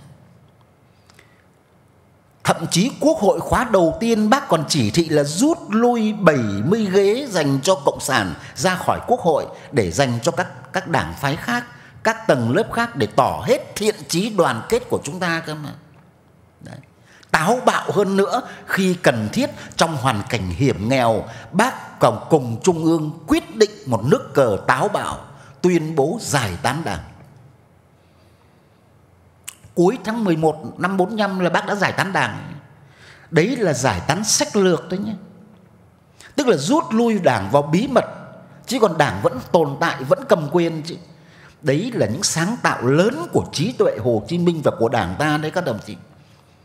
Tôi trở lại cái sáu lời bác dạy công an không có một lời nào về Đảng cả là thế đấy. Không phải là không nói đến Đảng đâu, mà trong hoàn cảnh Đảng đã rút vào bí mật thì không thể nói đến Đảng được. Nhất là lại công bố trên báo chí là đã giải tán Đảng về mặt sách lược thì cái câu là với chính phủ phải tuyệt đối trung thành, bác dạy công an đấy thì chúng ta phải hiểu là đảng đã hóa thân vào nhà nước đã hóa thân vào chính quyền lúc bây giờ. Chính phủ, tức là chính quyền hành pháp, đảng trong hoàn cảnh đó đã nằm ngay trong nhà nước chứ không phải là chỉ có trung đại, trung thành với chính phủ mà không có đảng đâu. Đảng nằm trong đó, trong hoàn cảnh lịch sử lúc bây giờ như vậy. Thế để dạy quân đội thì lại là chung với đảng, hiếu với dân. Vì lúc đó đảng đã ra công khai trở lại sau đại hội hai năm 51 rồi. Nó khác như thế trên các đồng chí cố gắng này, nghiên cứu từng luận điểm, từng tác phẩm của bác phải đặt trong hoàn cảnh lịch sử, trong các mối quan hệ để mới thấy được sự cân nhắc đầy mưu lược trí tuệ của bác như thế nào. Đảng mới, lãnh đạo cách mạng thành công mới cầm quyền. Nhân dân có thể chưa biết nhiều về đảng lắm đâu. Nhưng mà một người như cụ huỳnh thúc kháng, trí tuệ lớn, nhân cách cao thượng thì nói một lời sẽ được lòng tất cả nhân dân. Bác cần những người như thế, trong hoàn cảnh như thế, cho nên bác giao quyền chủ tịch nước cho cụ huỳnh. Đấy. Thế mà tiễn bác đi, cụ huỳnh hỏi bác một câu như thế này, câu hỏi rất đỗi chân thành mà cũng lo lắng chứ. Được bác tin dùng như vậy là rất xúc động, nhưng mà lo lắng lắm. Bây giờ nước nhà trăm công nghìn việc, thế này quốc gia đại sự cụ lại đi vắng dài ngày ở nhà tôi biết làm sao. Xin cụ cho tôi một lời khuyên. Cụ huỳnh đấy bác trả lời thế nào? Dĩ bất biến, ứng vạn biến. Nguyên tắc thì giữ vững, biện pháp sách lược thiên biến vạn hóa, mềm dẻo cho thích hợp với hoàn cảnh, với thời thế. Tôi vì việc quốc gia đại sự phải đi vắng dài ngày từ nay gánh nặng đặt lên vai cụ và anh em ở nhà. Chỉ xin cụ nhớ cho một câu, dĩ bất biến, ứng vạn biến. Ta học được bác bao nhiêu điều trong cái điều đó. Cụ huỳnh cảm động quá. Trong bữa cơm thân mật tiễn bác đi, mà đọc tặng bác hai câu thơ nhé. Lúc bây giờ bác 56 tuổi 56 tuổi vẫn chưa già. Cụ ông thì có cụ bà thì không. Tức là ý là dục bác lấy vợ đi. Phải có phu nhân. Thế không? Ngay cả thời kỳ ở nước ngoài, các bạn bè quốc tế rất là yêu quý bác, cũng dục bác lấy vợ cơ mà. Phải lấy vợ đi, có gia đình đi để mà yên tâm hoạt động lâu dài. Bác nói thế nào các ông chí? Bác bảo nếu các anh ủng hộ Việt Nam độc lập thì tôi sẽ lấy vợ. Bác lại ra điều kiện thế. Thế mà bây giờ sang Pháp nguyên thủ quốc gia mà không thấy có phu nhân đi cùng. Họ hỏi, thế Việt Nam độc lập rồi sao vẫn chưa lấy vợ? Bảo, đã độc lập hoàn toàn đâu mà lấy vợ. Vì mùng 2 tháng 9 đọc tuyên ngôn độc lập 23 tháng 9 Nam Bộ đã kháng chiến rồi cơ mà. Chứ chưa độc lập hoàn toàn chứ chưa lấy vợ. Thật ra là bác hy sinh hết chứ. Thế riêng cụ Huỳnh thì bác trả lời rất tình cảm thế này này. Bác hiểu ý của cụ mà. Cụ ông thì có, cụ bà thì không. Bác trả lời là bao giờ kháng chiến thành công Thì tôi xin vâng lời cụ. Nhưng có bao giờ bác có gia đình riêng đâu. Bác hy sinh hết vì dân, vì nước, vì chúng ta thôi. Thế mà ở Paris Trăm công nghìn việc căng thẳng như vậy Bác vẫn gửi thư về cho cụ Huỳnh. Bức thư bằng thơ Có thể nói là rất đỗi tình người. Cụ Huỳnh nhớ lắm cụ Huỳnh ơi. Nghĩ chẳng ra thơ để trả lời. Giang sơn đất nước cùng nhau gánh, Độc lập xong rồi lấy vợ thôi. Thì ta mới càng thấy bác là một con người Sinh động hiện thực, Chứ đừng có nghĩ bác là thần thánh các đồng chí nhé. Một thời cái lỗi của chúng ta là cứ thần thánh hóa bác, làm cho bác mất đi cả cái vẻ chân thực sinh động rất quan trọng ở cuộc đời này, mà cũng làm khổ bác chứ bác không có tự do cá nhân, không có cuộc sống riêng như chúng ta, cũng chỉ vì chúng ta yêu bác mà không đúng cách, không phải lối mà thôi. Đấy. thế cho nên là cái đồng chí lái xe mà phục vụ bác ấy, cứ thiết tha dục bác lấy vợ. Thương bác quá, bác bảo các chú cứ làm việc tốt đi là an ủi bác rồi, là động viên bác rồi là bác vui rồi. Còn bác hy sinh cho đồng bào, cho dân, bác hy sinh cứ làm việc thật tốt là an ủi bác. Đấy là lúc bác bình thường bác vui. Đời bác cũng có lúc yêu tôi chứ như con người như chúng ta vậy thôi. Bác lại nói một câu rất là thấm thía thế này để các đồng chí. Chú ạ à, cả nước gọi bác là bác thì bác biết lấy ai bây giờ? Ta thấy không? Đúng bác là một con người chứ. Đấy.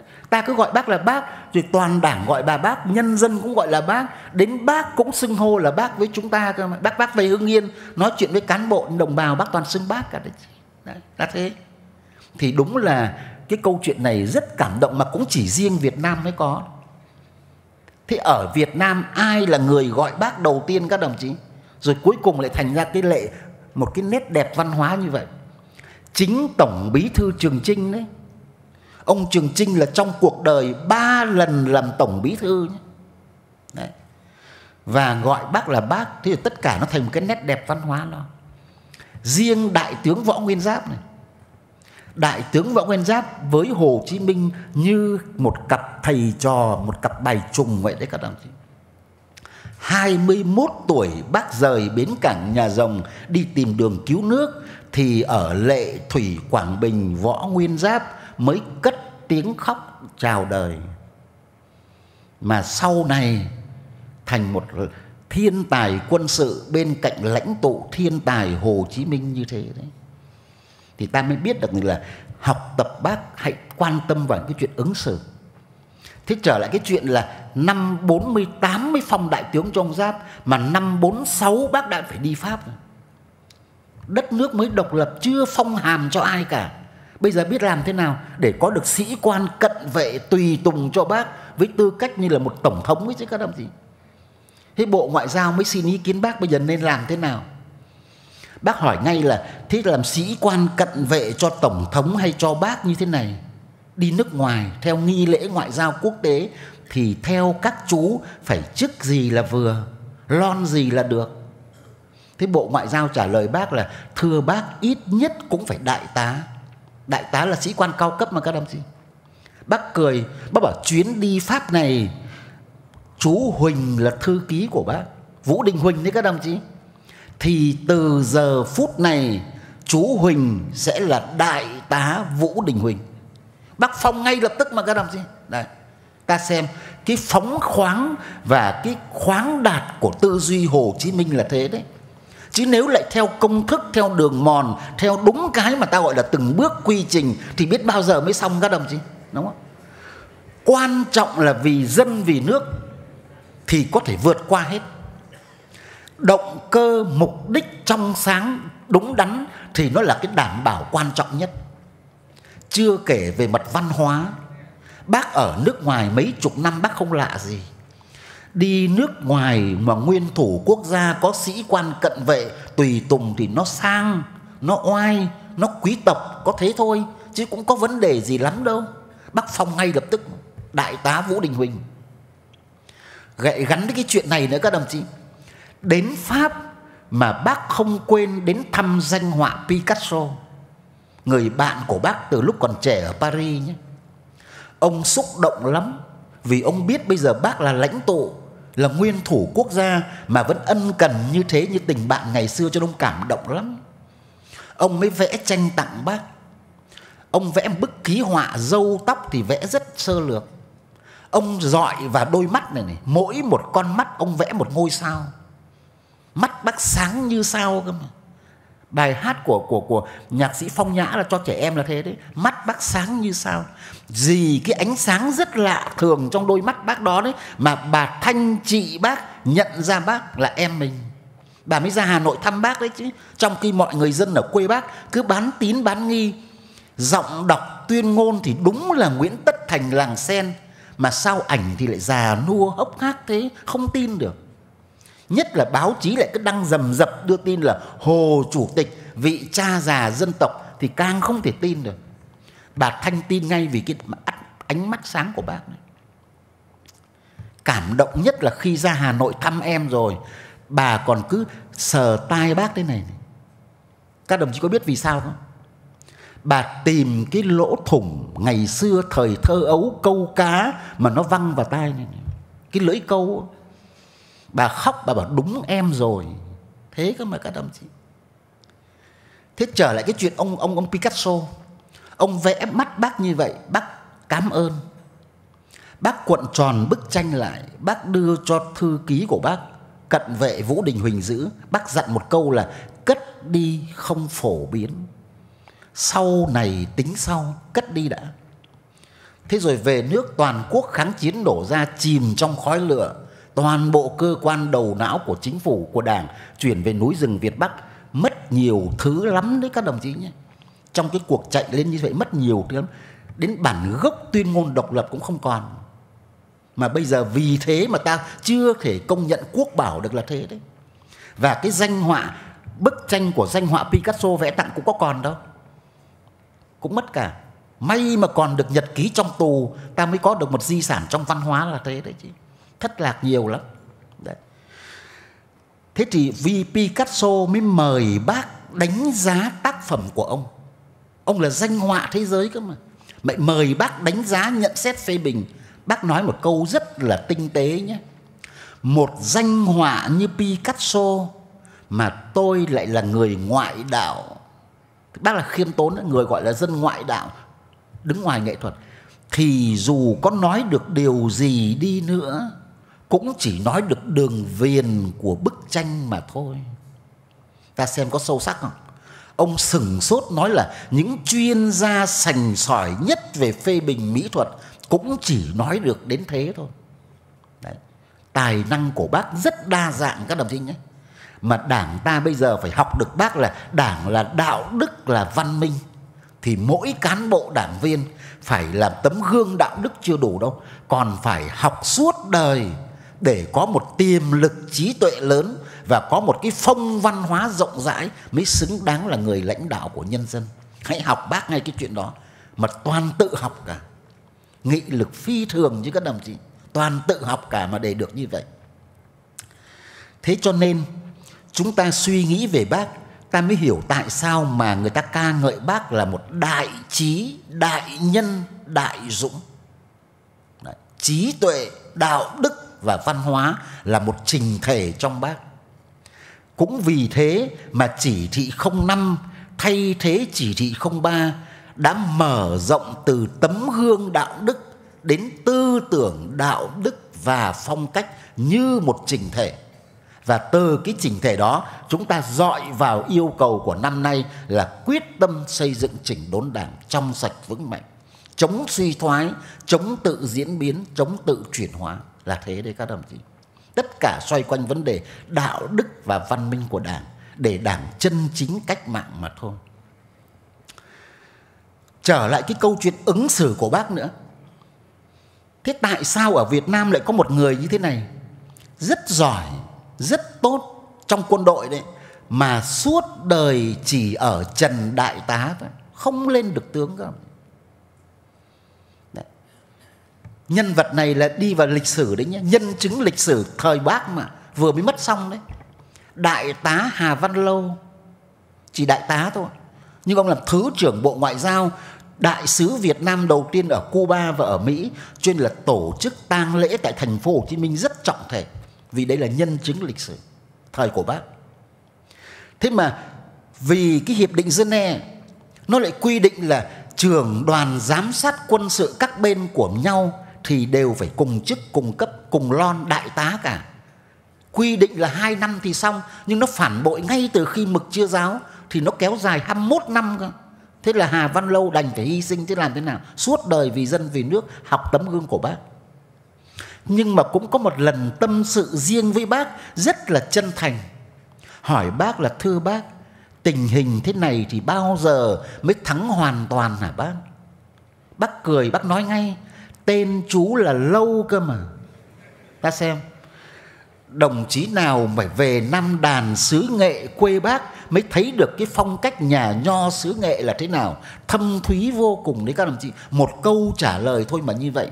Tên chú là lâu thì làm sao mà nhanh được, mà chóng được? Đấy. bác nói vui thế thôi. Chứ phải hiểu kỹ điều này này. Bác giấu kín nỗi đau trong lòng bác.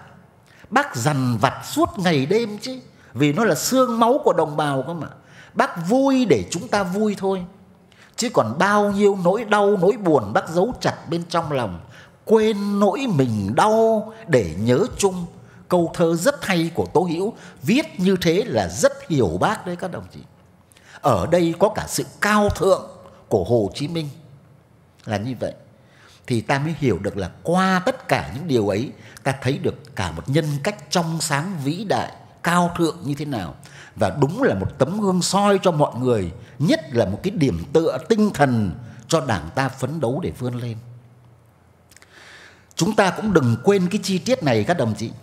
Xin các đồng chí đọc kỹ di chúc các đồng chí phải soi vào từng dòng một cơ. Các đồng chí sẽ phát hiện ra nét bút của bác run thế nào, tay bác thế nào. Không thẳng hàng trong từng dòng viết vì khi bắt đầu viết di trúc là bác đã lâm bệnh hiểm nghèo, chảy máu tận bên trong đáy mắt. Bệnh của các vĩ nhân đấy lo nghĩ những việc lớn nhất trên đời này, cả dân tộc và cả quốc tế, nó tổn thương ngay vào thần kinh thị giác của bác, chảy máu bên trong đáy mắt. Thủ tướng phạm văn đồng của chúng ta, các đồng chí có xem ảnh bao giờ không? Những năm cuối đời, thủ tướng toàn đeo kính đen cũng giống như bác đấy. Mà chữa được mắt cho bác, giữ được ánh sáng trong đôi mắt bác là cả một kỳ tích đấy các đồng chí. Vậy mà đến lúc lâm trung nằm trên giường bệnh, bác cầm tay thủ tướng, bác có nhớ rõ đâu, bác cũng có nhìn rõ đâu. Bác cứ hỏi, chú tô đâu? Chú tô đâu? Tô là bí danh của thủ tướng, người bác thương nhất đấy các đồng chí. Là thế đấy thế thì khi mà lâm bệnh hiểm nghèo như thế này, bác lại bắt đầu vào viết di chúc chưa kể một chi tiết rất con người và rất đời thường nữa là bắt đầu viết di chúc cũng là bắt đầu bỏ thuốc lá. Không hút nữa. Bác bỏ được đúng hơn 4 năm thì bác đi. Bác bỏ thuốc lá bằng cả nghị lực, ý chí đấy.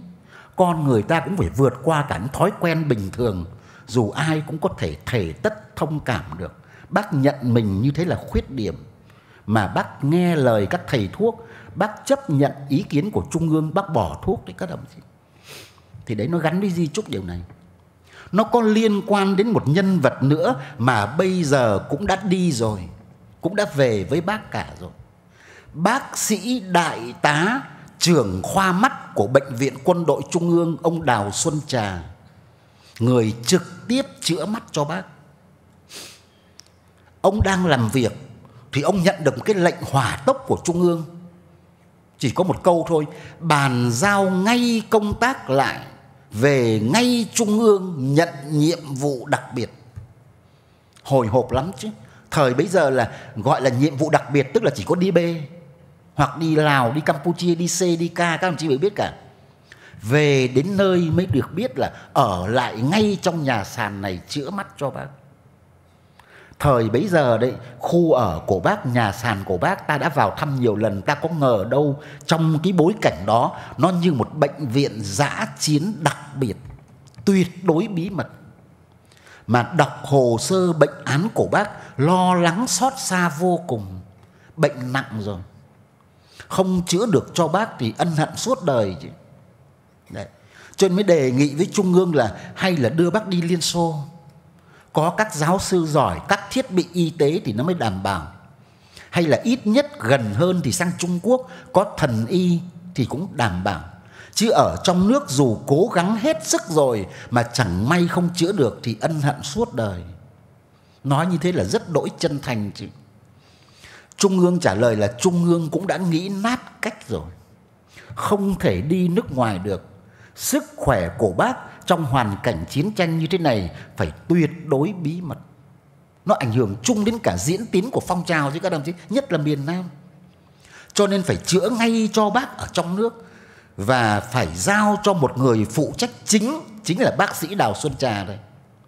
Còn trung ương sẽ hỗ trợ thêm rất nhiều bằng cách là cử bác sĩ bộ trưởng bộ y tế Phạm Ngọc Thạch hỗ trợ đồng thời đưa giáo sư Nguyễn Trọng Nhân là chuyên gia hàng đầu về mắt hỗ trợ thêm nhưng vẫn phải có người chịu trách nhiệm chính chức trung ương là ông Đào Xuân Trà. Đấy, câu chuyện là như vậy các đồng chí. Thế mà đọc bệnh án của bác hồi hộp xúc động xót xa còn đang nghĩ vẩn vơ về bác thế này thì bỗng nhiên lại thấy bác từ nhà sàn đi đến đã căng sẵn một cái cái cái dù như thế này nơi chữa bệnh cho bác mà hồi hộp quá, bác đi ung dung thanh thản, khoác cái áo kaki bạc màu, đôi dép cao su, tay cầm cái cuốn sổ và bao kính. Bác nói câu này có cảm động. Từ hôm nay, bác là bệnh nhân của chú. Chú là thầy thuốc của bác. Bác sẽ tuân thủ tuyệt đối mệnh lệnh của chú từ lúc này. Ta xem bác mới nhé. Đấy. thế là xúc động quá mà lại theo thói quen nghề nghiệp. Làm nghề gì cũng có cái bệnh của nghề đó đấy các đồng chí nhé. Thế là mời bác ngồi vào ghế lại buột miệng hỏi bác một câu thế này này. Thưa bác, mắt bác đau thế nào? Câu hỏi rất là nghề nghiệp mà các chí, mắt bác đau thế nào? Bác cười, bác bảo, bác là bệnh nhân, chú là bác sĩ. Bác đến để chú chữa cho bác, mà chú lại hỏi bác, mắt bác đau thế nào? Ta xem ta nhiều khi trong cuộc đời ta nói những câu mà ta cứ tưởng là đúng mà khi nghe bác nói lại lại hóa ra sai đấy các đồng chí đấy thế là lúng túng quá không kịp trả chưa trả lời bác thì bác rất thương chúng ta, bác quan sát rất nhanh, thấy bối rối là bác rất thương. Bác không muốn để chúng ta buồn, bác hỏi một câu rất vui nhé. Bác bảo thế bây giờ bác đố chú vậy. Đố chú biết là bác đau mắt nào. Thế vừa đọc bệnh án xong bây giờ bác hỏi đột ngột thế, chả nhẽ lại quay ra xem lại nó không tiện, đúng không? Thì cũng nói cho nó qua đi, có đúng đâu. Bác cười, bác bảo thế mà người ta bảo với bác chú giỏi lắm cơ mà. Mà sao hôm nay chú có vẻ lăng băm thế? Đấy. Bác rất vui nhé, lúc nào cũng làm cho chúng ta vui, chứ lòng bác thì như lửa đốt chứ. Đấy. Thế là mời bác ngồi vào ghế, bác xoay người rất nhẹ nhàng đúng như chỉ dẫn của thầy thuốc khám cho bác. Vừa khám bác vừa hỏi này, bác hỏi những câu rất đỗi con người nhé. Chú có vợ con chưa? Bảo thưa bác cháu đã có gia đình có vợ con rồi. Bác hỏi ngay này, thế chú có sợ vợ không? Bác không có vợ, có con, không có gia đình mà bác hỏi như thế đấy các ông nhé. Bác biết hết mọi chuyện mà chúng ta vẫn cứ tán tỉnh trong cuộc đời, bác biết hết đấy các ông nhé. Đấy.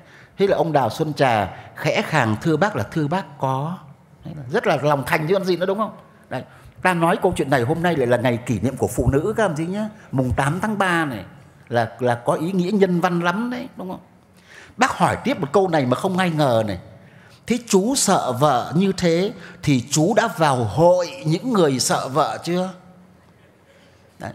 Bác rất vui các đồng chí hóm hình như thế. Con người như vậy. Vĩ đại bao nhiêu thì trong cuộc sống đời thường lại giản dị bấy nhiêu, gần gũi bấy nhiêu, không có một khoảng cách. Hãy học bác cái điều này này.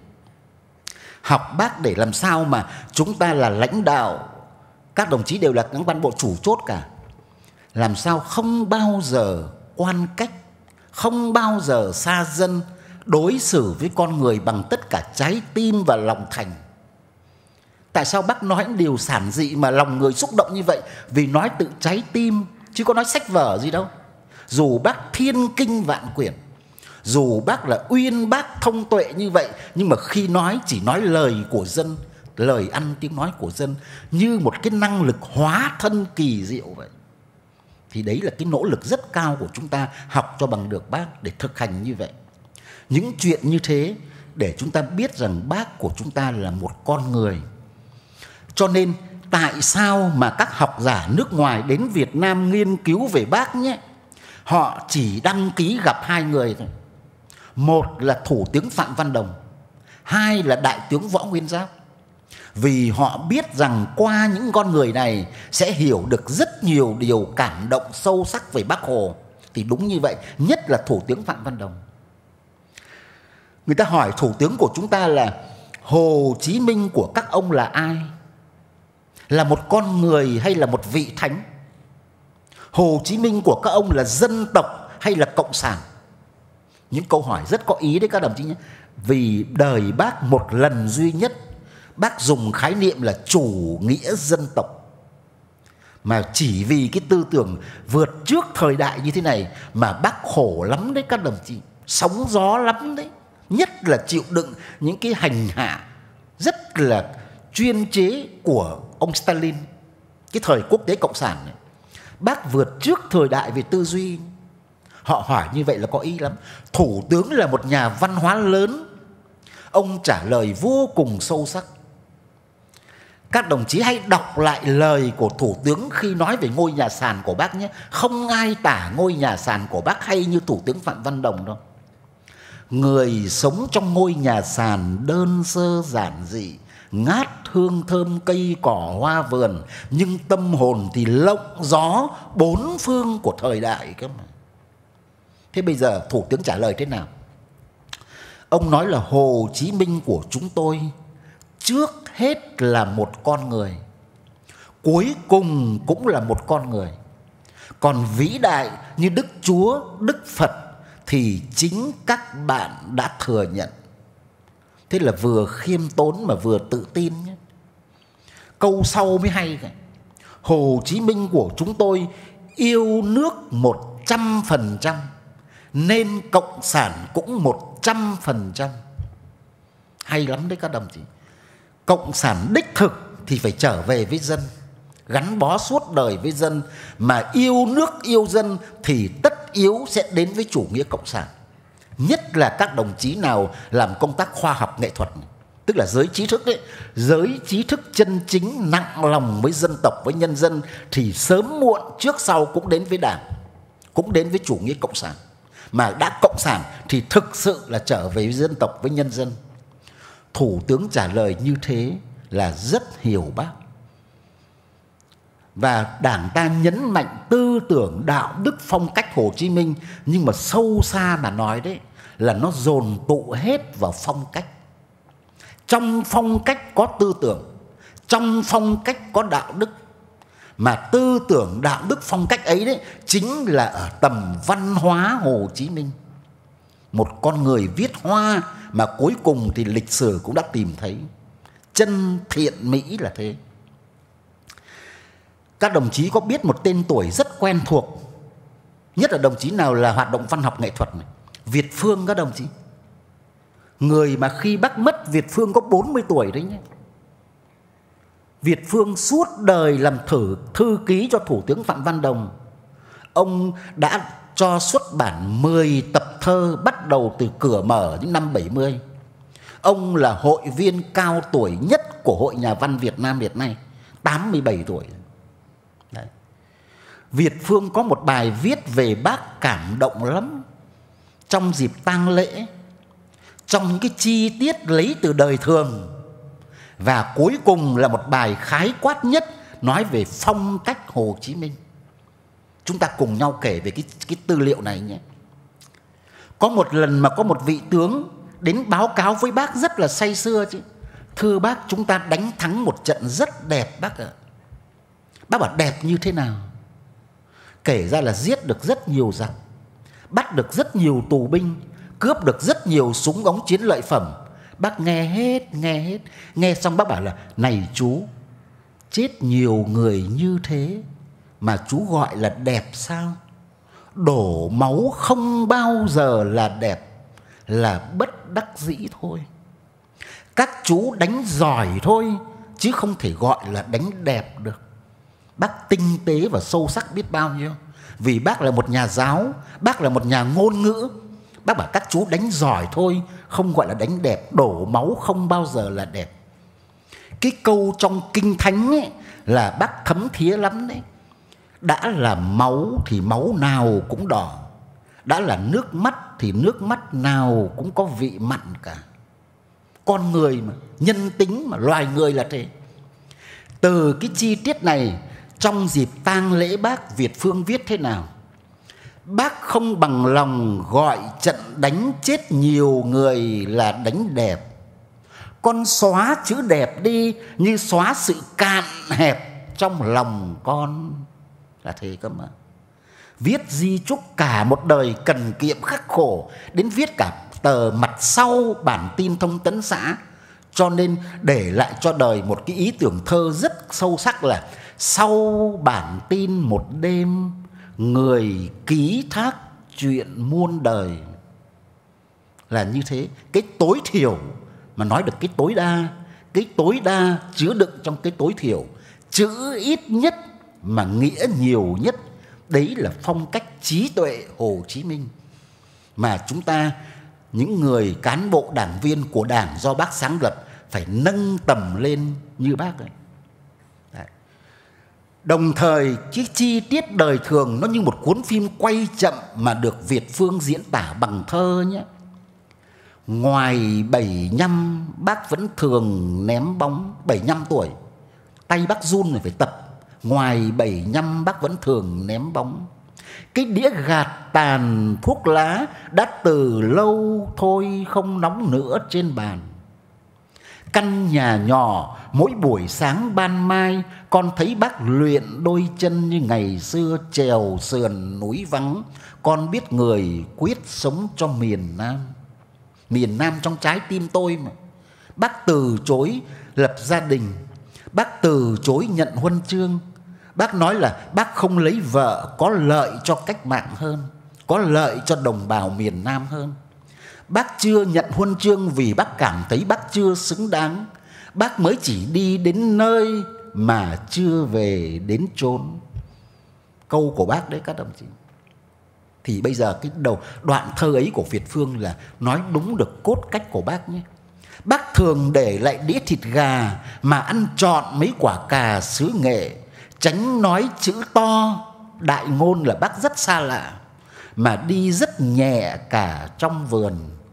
Trái tim lớn, đau nỗi đau của con người ở chân trời góc bể, đến gần người con thở dễ dàng hơn là như vậy.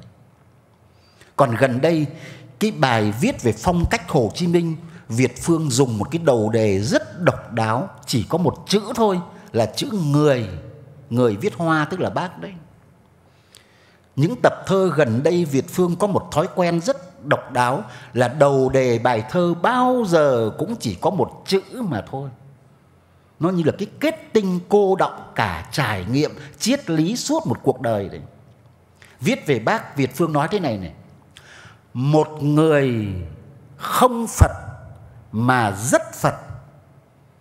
Đức Phật đấy các ông chí, một người không Phật mà rất Phật. Không tắm Hoàng Hà, tắm sông Lam. Một người rất mát mà ngoài mát, tức là không biệt phái, không giáo điều, ôm chùm hết mọi tri thức.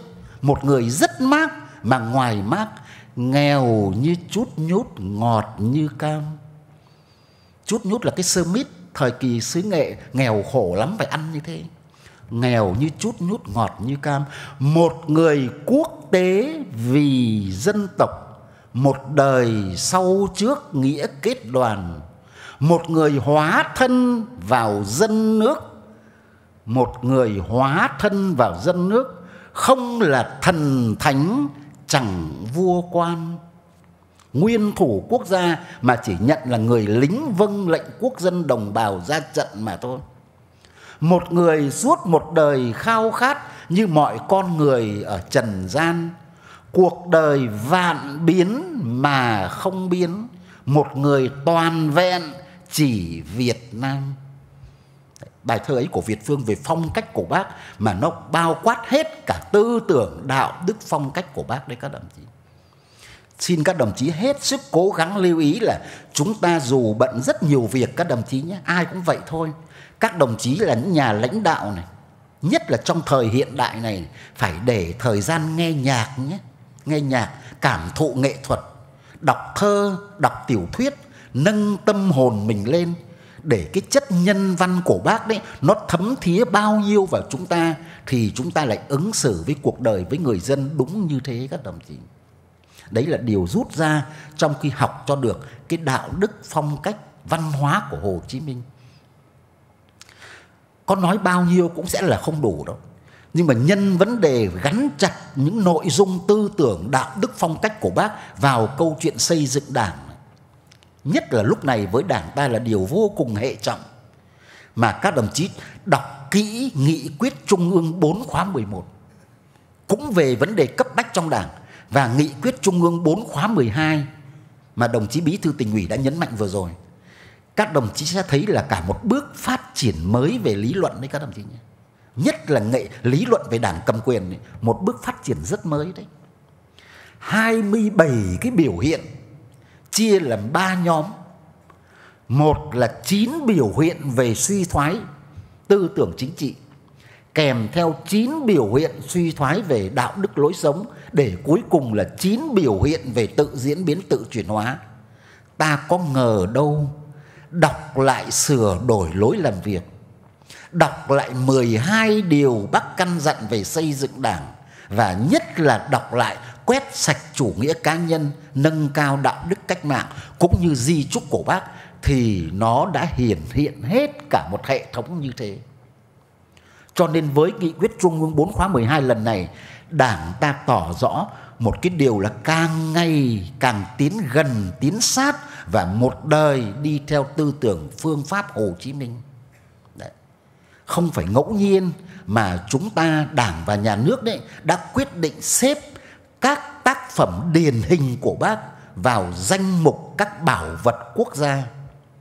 Chỉ tiếc là trong các bảo vật đó chưa xếp được tuyên ngôn độc lập. Còn phải đi tìm. Mà nếu, mà chắc chắn là không tìm được. Nhưng bây giờ phải luận chứng khoa học để chứng minh có sức thuyết phục rằng bác chính là tác giả gốc của tuyên ngôn độc lập thì mới đưa vào quốc bảo theo đúng tiêu chí của quốc tế đấy các đồng chí. Dù ta rất muốn chứ. Ở đây ta sẽ tìm thấy cả huyền thoại lẫn giai thoại Hồ Chí Minh đấy các đồng chí. Có một lần mà bác gọi ông Vũ Kỳ ra, lúc bác sống năm cuối đời, bác dằn vặt về hai điều. Một là trong nhà nước thì tham nhũng, bác gọi là tham ô lãng phí. Trong đảng bác dằn vặt nhất là chuyện mất đoàn kết. Mất đoàn kết nó có thể gây nên tổn hại lớn cho cả sự nghiệp.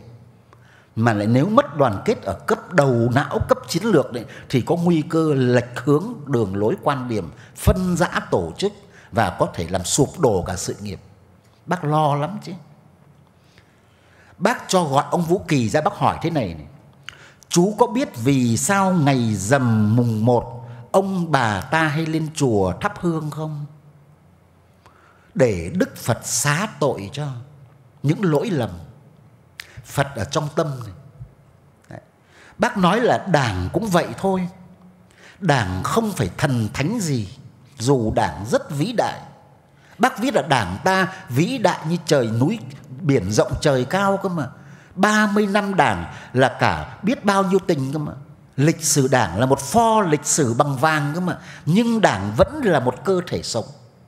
Có đúng, có sai, có tốt, có xấu. Đó là chuyện bình thường. Nó bảo trong đảng, ý kiến khác nhau cũng là chuyện bình thường.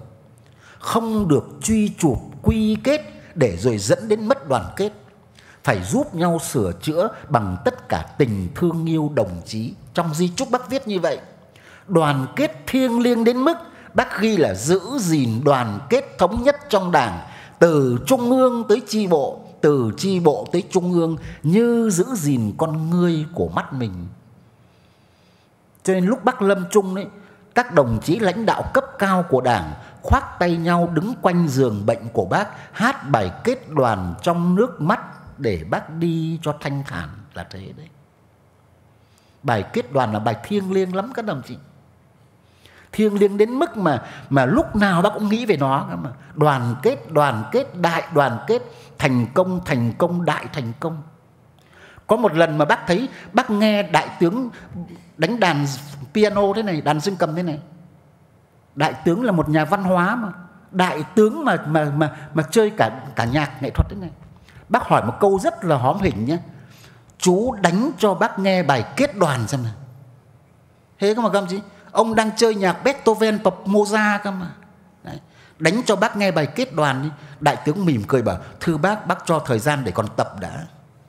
Còn tập đã chứ. Đấy. Thế bây giờ ta trở lại câu chuyện bác hỏi ông Vũ Kỳ. Bác bảo bây giờ, trước tình hình như thế này, mất đoàn kết mà không sửa chữa thì ảnh hưởng lớn đến cách mạng, đến nhân dân nhưng đóng cửa lại, phê bình nhau hết ngày này sang ngày khác, thì nó căng thẳng lắm. Mà chắc gì đã có kết quả? Các đồng chí nhớ lại cái sự kiện ta thực hiện trung ương 4 thì mới thấm thía cái điều bác bác bác nói nhé. Bác bảo cho nên phải làm cách khác, chú ạ. Tức là thay đổi hình thức, chứ còn mục đích và nội dung là vẫn là như thế. Chú dặn nhà bếp nhớ làm bánh ngọt cho bác. Làm vào thứ bảy tuần cuối tháng. Ta tạm gọi đấy là cái cơ chế của bác nhé, thứ bảy tuần cuối tháng. Bác còn dặn là làm hai loại. Một loại để ăn ngay, một loại để các chú đem về làm quà cho các cô, các cháu. Bác chú đáo đến thế mà. Bác sẽ mời tất cả các chú lại đây ngồi nói chuyện với bác, ăn bánh uống nước với bác các chú đây là toàn lãnh đạo cấp cao cả này, chủ chốt cả. Có điều gì không phải với nhau, nói ngay trước mặt bác đây. Khác nhau là chuyện bình thường do nhận thức, do cách hiểu biết, không sao cả. Cho nên không được để những chuyện khác nhau ấy nó thành mất đoàn kết. Quy chụp lẫn nhau, làm tổn thương đến tình cảm mà có hại cho sự nghiệp bác chỉ dẫn thấm thía đến như thế đấy, các đồng chí nhé. Thế còn trước cái hiện tượng mà có chức, có quyền rồi thì sinh ra chủ quan tự mãn, không bao giờ tự đánh giá chính mình cho nó đúng. Mà trong này, mấy 27 biểu hiện đó, có biểu hiện đảng ta ghi rất rõ là có khuyết điểm mà không dũng cảm thừa nhận, đúng không? Thế rồi là cái đúng không bảo vệ, cái sai không phê phán mà bàng quan vô cảm mà tất cả cái đó đọc vào Hồ Chí Minh có hết đấy các đồng chí. Mà bác nói thấm thí lắm.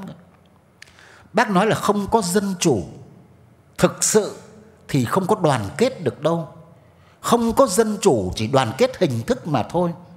Cho nên có gì phải nói thẳng, nói thật hết với nhau. Quan trọng là có tình thương yêu đồng chí lẫn nhau mà bác viết thêm cái câu này vào trong di trúc đấy. Lúc in ra nó cứ mờ đi, cứ nhòe đi, dường như có nước mắt của bác đấy, các đồng chí. Bác khóc. Bác mới dặn thế này này, trong đảng mà không nói, mà ngoài đảng cứ lắm mồm. Ý bác nói thế mà. Tức là không có đủ dũng khí tự phê bình nhau, rồi là bằng mặt mà không bằng lòng này bác bảo tình hình như thế nó làm cho đảng âm âm u u rất nguy hiểm tức là nó không sáng tỏ không minh bạch trong bóng tối. Phải chữa ngay. Bác chữa như thế mới chữa được chứ các đồng chí. Lịch sử nó đã lùi xa rất lâu rồi nhưng cái bài học mà bác chỉ đạo thi hành kỷ luật trong cải cách ruộng đất ấy, đến bây giờ vẫn chưa mất hết giá trị đâu. Vẫn vẫn còn nguyên giá trị cả chứ ai lại là bác đứng ra công khai xin lỗi, nhận lỗi trước toàn thể quốc dân đồng bào vì cái sự kiện đó? Thành tựu rất vĩ đại, nhưng mà tổn thất do sai lầm cũng rất lớn, đau đớn lắm chứ. Bác khóc cơ mà. Bác nói trong bộ chính trị là cần thiết bác cũng từ chức. Tổng bí thư trường trinh nói là không. Vì sự nghiệp của đảng, của dân tộc, bác phải ở lại. Từ chức để tôi thời bấy giờ cao quý như thế đấy các đồng chí nhé. Trong nội bộ lãnh đạo hạt nhân của chúng ta đấy từ chức để tôn. Đặc biệt nữa là tổng bí thư trường trinh từ chức để nhận trách nhiệm cao nhất trong lãnh đạo trung ương về sự kiện này. Chứ sai lầm là sai lầm chung cả chứ. Nhưng mà phải nhận vào một người này, tức là phải có địa chỉ. Khi tổng bí thư trường trinh từ chức thì ai làm tổng bí thư? Bác đấy. Bác kiêm hết đấy chủ tịch đảng kiêm luôn tổng bí thư một thời gian, rồi bác chỉ thị cho mời đồng chí lê duẩn ra để chuẩn bị đại hội 3 và nhận chức tổng bí thư. Lúc bây giờ gọi là bí thư thứ nhất. Hơn thế nữa, trên phương diện chính quyền, bác làm chủ tịch nước và một thời gian bác kiêm luôn cả thủ tướng. Cái thời kỳ sóng gió ban đầu của chính thể dân chủ cộng hòa khi mà bộ trưởng thuộc cái phái khác đấy Nguyễn Tường Tam nó bỏ trốn mang theo bao nhiêu tiền của đi đấy bác kiêm luôn cả bộ trưởng ngoại giao. Còn cái câu chuyện của chúng ta bây giờ nhất thể hóa là vẫn chưa xong đâu các đồng chí nhé. Thì hãy học cái bản lĩnh của bác. Đấy, bác của chúng ta sử dụng như thế. Đặc biệt nữa này tại sao mà bác lại nói về cái chuyện phê bình tu dưỡng phải bắt đầu từ đạo đức? Bác nói là cần kiệm liêm chính cơ mà. Phải đủ cả bốn đức mới là người hoàn toàn. Thiếu một đức thì không thành người. Phải đủ bốn đức mới là người hoàn toàn. Cho nên phải suốt đời rèn luyện đạo đức cách mạng để chống được chủ nghĩa cá nhân là giặc nội xâm. Và cái cuộc chiến này này, nó diễn ra trong từng người, trong mỗi một con người, thì sẽ có không ít sự đau đớn ở trong lòng bác học, bác bảo phải học người xưa. Ông cha ta ngày xưa trọng đạo đức lắm, trọng danh dự, lương tâm và liêm sỉ lắm. Nhất nhật, tam tỉnh, ngô thân cơ mà. Một ngày ba lần tự kiểm điểm. Làm việc tốt, bỏ hạt đỗ đỏ, đỗ trắng vào một cái lọ. Làm một việc không đúng, mờ ám sai, không phải với nhau, bỏ hạt đỗ xám vào một cái lọ khác tự mình xem tốt nhiều hay xấu nhiều mà tự sửa mình đi. Ông cha mình ngày xưa trọng đạo đức đến như thế. Mà suốt đời bác là thực hành đạo đức chứ, thực hành lớn nhất trong những thực hành của bác. Bây giờ bác dạy chúng ta như thế phải đạo đức cách mạng. Ta trở lại nhật ký trong tù. Có những bài thấm thía về đạo đức mà ngày nay vẫn còn nguyên giá trị, nhất là lúc đảng ta đã ghi vào văn kiện xây dựng đảng về đạo đức, về văn hóa. Cái bài nghe tiếng giã gạo các đồng chí. Gạo đem vào giã bao đau đớn. Gạo giã xong rồi trắng tựa bông. Sống ở trên đời người cũng vậy, gian nan rèn luyện ắt thành công cơ mà Đấy. ngủ thì ai cũng như lương thiện, tỉnh dậy xem phân ra kẻ giữ hiền. Hiền giữ phải đâu là tính sẵn, phần nhiều do giáo dục mà nên. Trong đảng phải đặc biệt chú trọng giáo dục đạo đức, thực hành đạo đức theo bác. Nhưng bác lại 24 năm liền làm chủ tịch nước. Bác rất trọng vấn đề cán bộ, bác rất quan tâm đến chính sách dùng người, phép dùng người của bác bác lại có lần khuyên chúng ta là rèn đạo đức thì phải đau đớn như dã gạo. Nhưng dùng người đối đãi với cán bộ nhân viên không được dùng theo lối dã gạo. Thế cả các đồng chí nào phụ trách công tác tổ chức nhân sự này, thì đây đúng là một lời dạy thấm thía nhé. Dùng người này đối đãi với cán bộ, với nhau, không được dùng theo lối dã gạo. Nó chết mất các đồng chí. Cứ nhấc lên đập xuống thế này nó chết chứ còn gì nữa phải có lòng nhân ái, nghiêm mà bao dung. Bác dặn là với tự mình phải nghiêm, với người khác phải bao dung độ lượng, thậm chí độ lượng vĩ đại cơ mà. Sông sâu bể rộng, bao nhiêu nước cũng vừa. Cái đĩa cạn, cái chén nhỏ, chỉ một giọt nước cũng tràn đầy. Chỉ sợ mình không có lòng bao dung nhân ái, chứ không sợ người ta không theo mình. Đấy, một câu hay nhất, điển hình nhất trong những lời dạy của bác về đạo đức, về dùng người đấy. Hay là phải làm cho cái hay, cái tốt, nảy nở như hoa mùa xuân, cái xấu, cái dở thì mất dần đi, rồi tiến tới chỗ mất hẳn. Bác bảo là không dùng theo lối giá gạo, tức là bác phê bình chúng ta về vấn đề cán bộ đấy.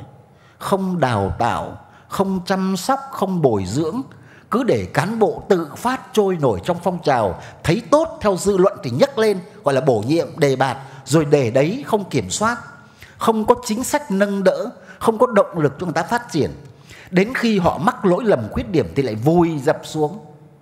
Bác bảo một, cứ nhấc lên đập xuống như vậy ba lần thì hỏng cả một đời cán bộ.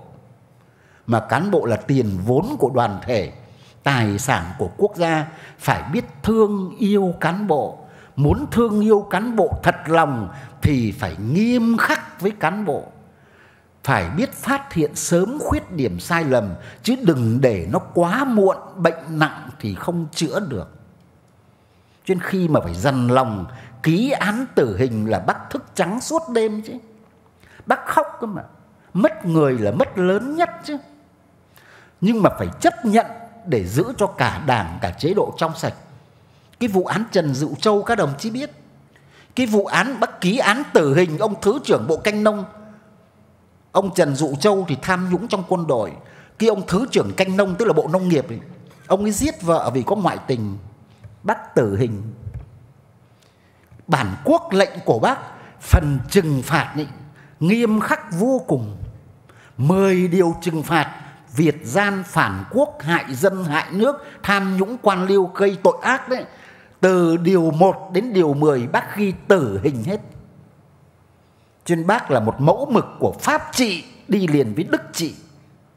Bác dặn là pháp luật bao nhiêu cũng là không đủ. Pháp luật phải có cái bệ đỡ là đạo đức để tự mình răn đe mình. Tự mình phải có luật cho chính mình để đừng mắc vào luật nước, luật dân là thế đấy thì ta mới càng thấm thía rằng là học bác, thực hành theo bác bây giờ, vào lúc này đấy, đúng như cái sự lựa chọn của đảng ta đấy, mấu chốt vấn đề là đảng có trong sạch vững mạnh không? Có lấy lại niềm tin của nhân dân đã bị mất mát vì đảng suy thoái không? Để đảng với dân là một, thì cách mạng sẽ thành công. Trên lúc này, không phải ngẫu nhiên mà đảng ta lại đưa công tác dân vận vào trong nội dung xây dựng đảng đoàn kết dân chủ đồng thuận trách nhiệm đi liền với kỷ cương phép nước đấy là những điều chúng ta cần lưu ý bây giờ có lẽ xin mời các ông chúng ta nghỉ ngắn một chút các đồng chí Dạ vâng, ta nghỉ ngắn một chút các đồng chí nhé. Tôi tôi xin lỗi vì cũng quên không xem đồng hồ mà. Các đồng chí nghỉ một tí.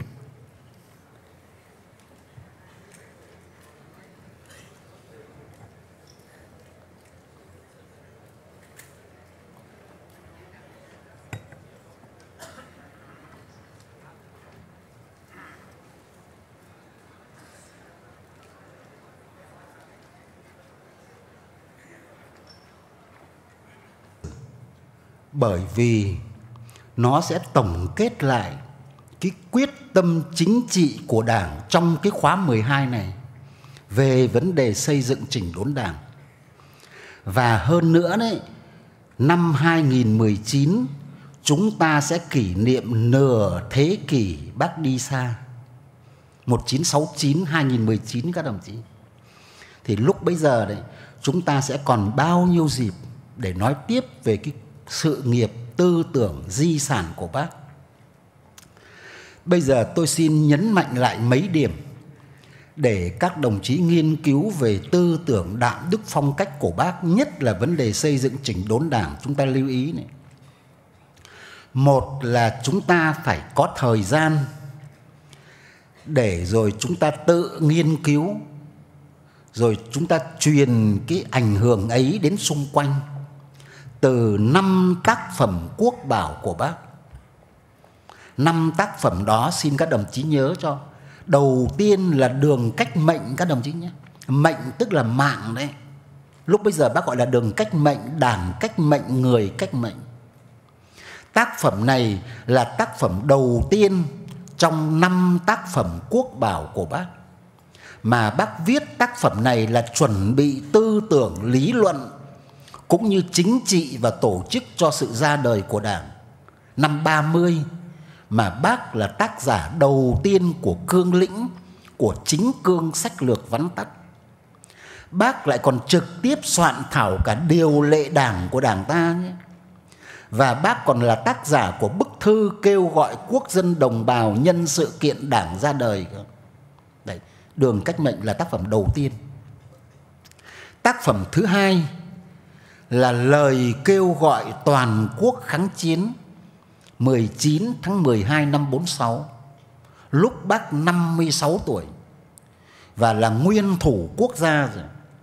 Trong cái hoàn cảnh nước sôi lửa bỏng đó đấy, mà trước cái tình trạng là thực dân Pháp nó liên tục gửi tối hậu thư cho cho chính phủ ta, cho bác, gần như buộc chúng ta đầu hàng, nộp lại cả quân đội, cảnh sát để nó nó giải giáp rồi cả công sở của chính quyền cho nó giải giáp trong cái hoàn cảnh đó, bác triệu tập khẩn cấp hội nghị thường vụ trung ương, dù đảng đã giải tán giải tán sách lược thôi, để thông qua cho bác cái lời kêu gọi toàn quốc kháng chiến mà bác soạn thảo trước.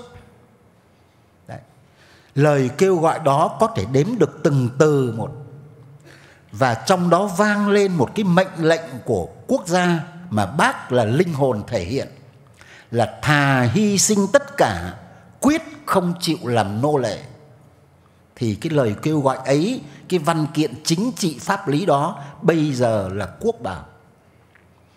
Tác phẩm thứ ba là quốc bảo cũng là một lời kêu gọi, mà cách đó 20 năm, ngày 17 tháng 7 năm 1966 lúc mà bác 76 tuổi.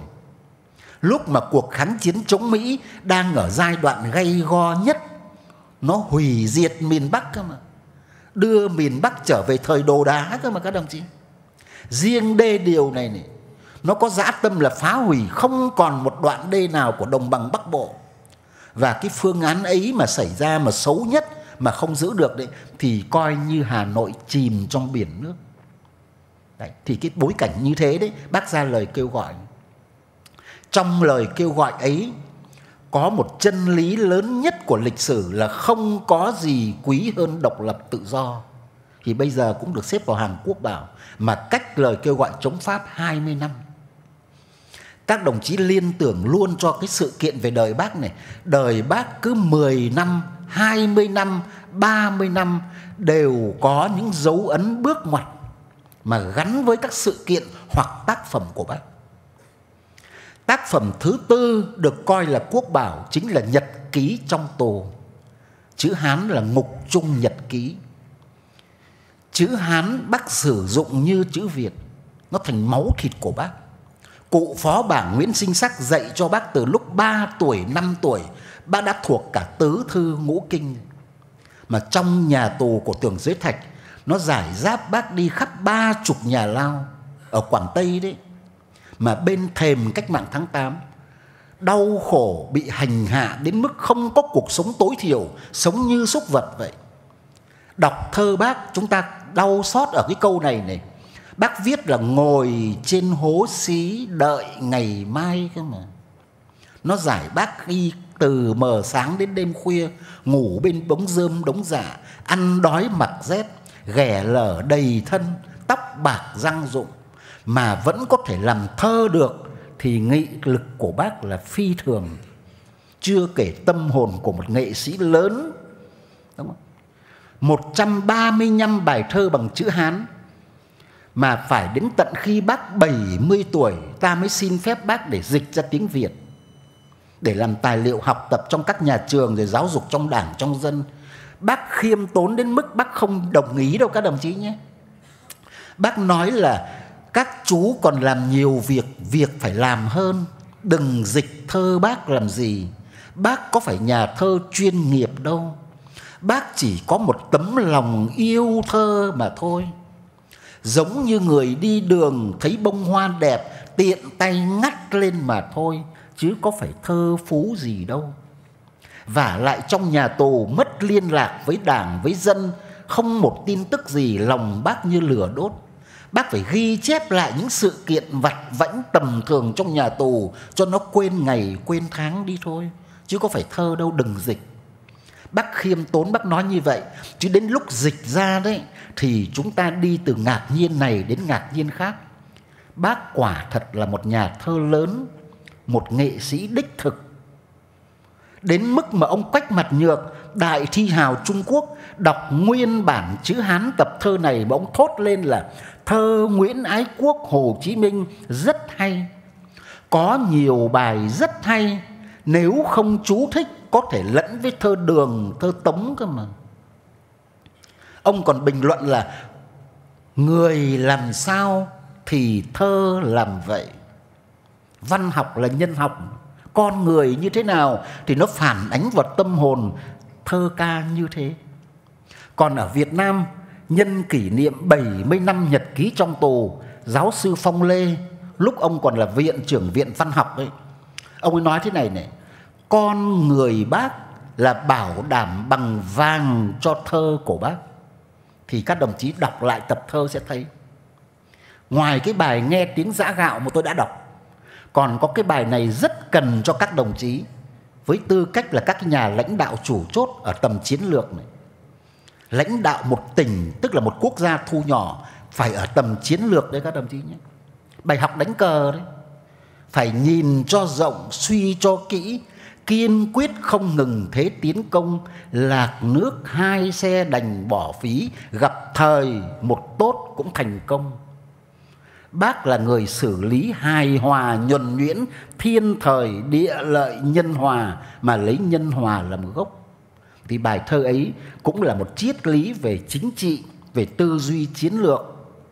Đồng chí nào còn trẻ nằm trong quy hoạch đào tạo đấy, mà sau này đi học cái hệ thống lý luận mới đấy, thì bắt buộc phải học kỹ lưỡng cái môn học là tư duy lãnh đạo quản lý.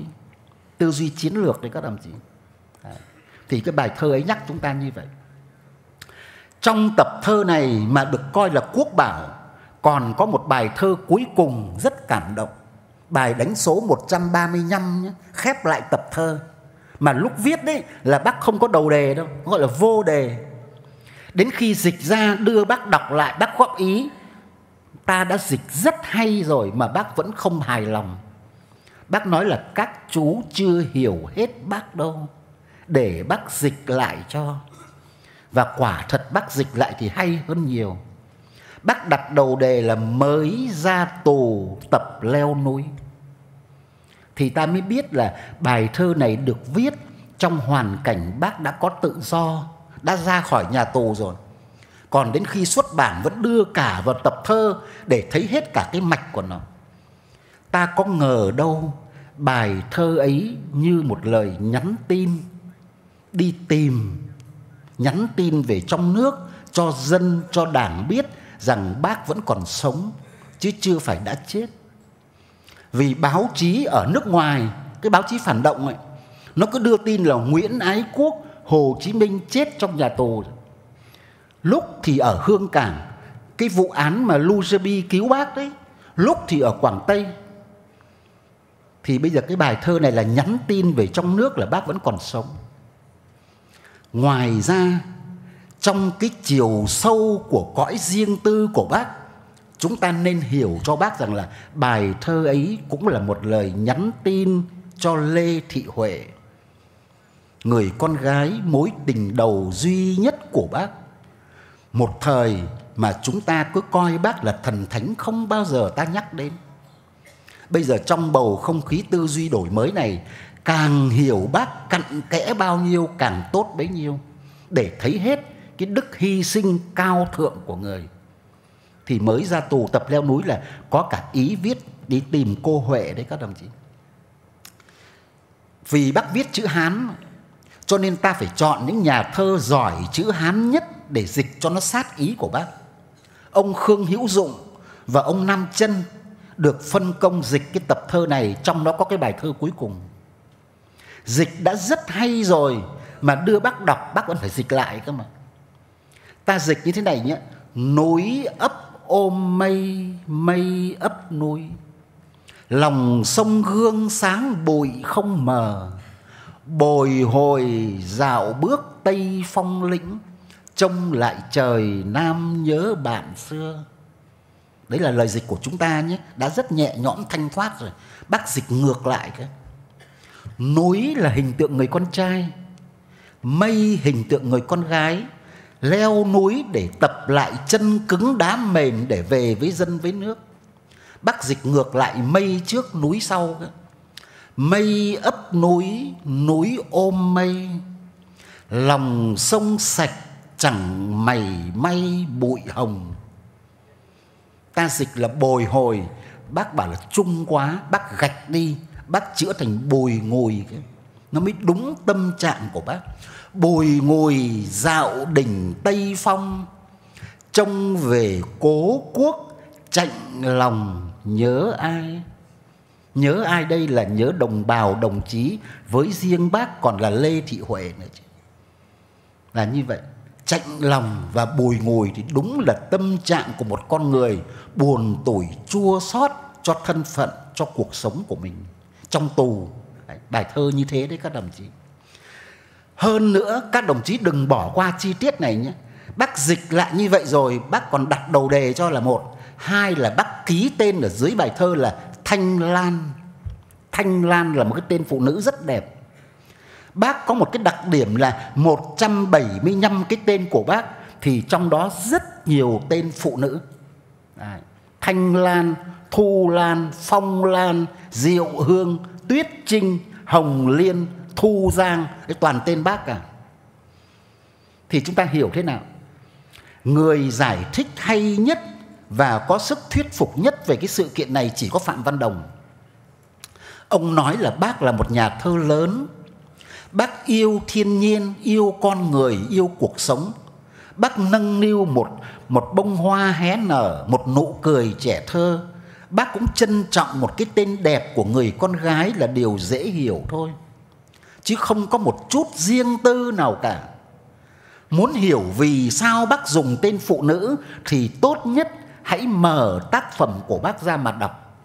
Xem bác dùng tên phụ nữ vào lúc nào, ở đâu, vào việc gì thì rõ hết. Hóa ra là bác viết những tác phẩm lên án đế quốc thực dân, làm nhục phụ nữ bác đứng ra bênh vực phẩm giá phụ nữ thì bác đứng ở địa vị người phụ nữ, ký tên phụ nữ. Mà một người như bác đấy phải dùng tên đẹp. Các đồng chí, bác có một thói quen là đến thăm bộ đội chiến sĩ, tiếp xúc với chúng ta, bác hỏi tên đấy nhé, hỏi tên, hỏi tuổi. Mà tên xấu thì bác sửa cho thành tên đẹp, các đồng chí. Bác là như vậy chứ. Ngày xưa ông bà mình khổ lắm cho nên mới sinh con đẻ cái, Cứ nghĩ là đặt tên đẹp thì khó nuôi, Ma nó bắt. Cho nên toàn đặt tên xấu để cho nó dễ nuôi các đồng chí Trời sinh voi, trời sinh cỏ mà. Toàn gà vịt, ngăn, ngỗng cả đấy. Bác sửa hết đấy các đồng chí. Ai lại có một đồng chí bộ đội Gặp bác cảm động lắm. Người thì to béo đẫy đà, Bác hỏi chú tên gì? Thì bảo tên cháu xấu lắm, cháu không dám kể với bác đâu. Bác bảo cứ kể cho bác nghe nào, rồi bác chữa cho bố mẹ đặt cho thế nào thì dùng như thế. Bác cho thêm một cái tên nữa. Ông ấy tên là thểu các đồng chí thất thểu mà, để cho năm đói kém bác bảo từ hôm nay chú tên là thảo nhé. Thảo là một cái tên đẹp. Lại một cái cô gái rất là hồn hậu, dung dị, nhưng mà có cái tên rất lạ tai. Cô tên là bươi các đồng chí nguyễn thị bươi mà xấu hổ cũng không dám kể với bác. Bác bảo có gì đâu, từ hôm nay tên cháu là một loài hoa rất thơm. Bác chỉ cần cho một dấu hỏi nữa thôi mà, các chị tên là cô là cô bưởi đấy. Là như thế. Thế để nói rằng bác dùng tên đẹp đấy, nó thuộc về cái cốt cách nghệ sĩ của bác thôi. Chứ không có một chút riêng tư nào cả. Đến tận phút chót của cuộc đời vẫn cô đơn cơ mà. Các đồng chí nhớ là anh bác không vợ, không con. Chị bác không chồng, không con bác cũng một thân một mình đến phút chót các đồng chí. Ta hỏi bác là quê quán của bác. Bởi vì ta còn biết cả quê bác, quê ngoại bác ở nghệ, ở hưng yên chúng ta này. Hỏi bác quê quán mà. Bác nói về quê nội. Bác bảo quê mình ở nam đàn, làng sen đấy. Nhưng mẹ mình lại mất ở huế. Bố mình lại nằm lại ở cao lãnh. Cho nên quê mình là trải dài khắp cả nước là thế đấy các đồng chí.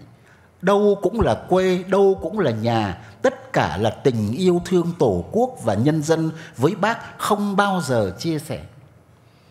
Bác còn một lần nói là từ trước đến giờ tức là cái thời điểm năm 45 đấy tôi đã là người của đồng bào. Thì từ giờ về sau tôi mãi mãi là người của đồng bào.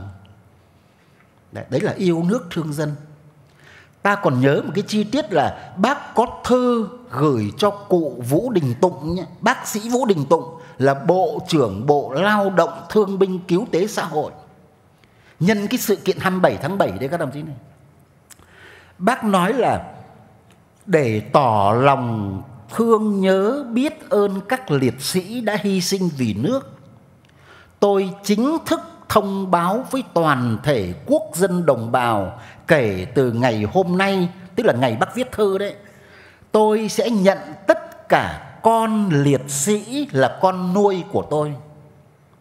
Bác gửi cho tất cả ủy ban làng xã đến huyện tỉnh, đến trung ương là nhận được thông báo này, phải làm ngay tờ trình, gửi cho cấp trên cấp trên xem lại, đúng thì đóng dấu và ký tên vào, gửi ngay về văn phòng cho tôi ở Hà Nội tôi sẽ nhận tất cả con liệt sĩ là con nuôi của tôi.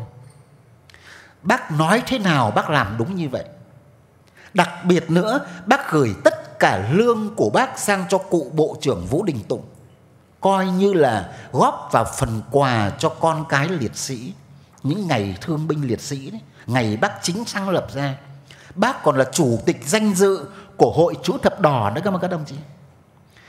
Thì tất cả những sự kiện ấy đều nhắc chúng ta một điều là bác thương dân, thương nước đến tận cùng nhật ký trong tù có cái bài ấy là bài để nói về nỗi lòng của bác thôi.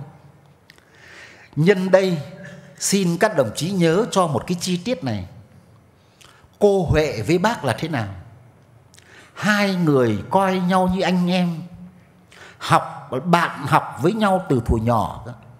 Hai người học cùng một thầy thầy ấy lại là bố của bác cụ phó bảng nguyễn sinh sắc. Cho nó mới nảy nở một cái tình cảm thân thiết như vậy. Mối tình vừa mới chớm nở, bác đã hy sinh.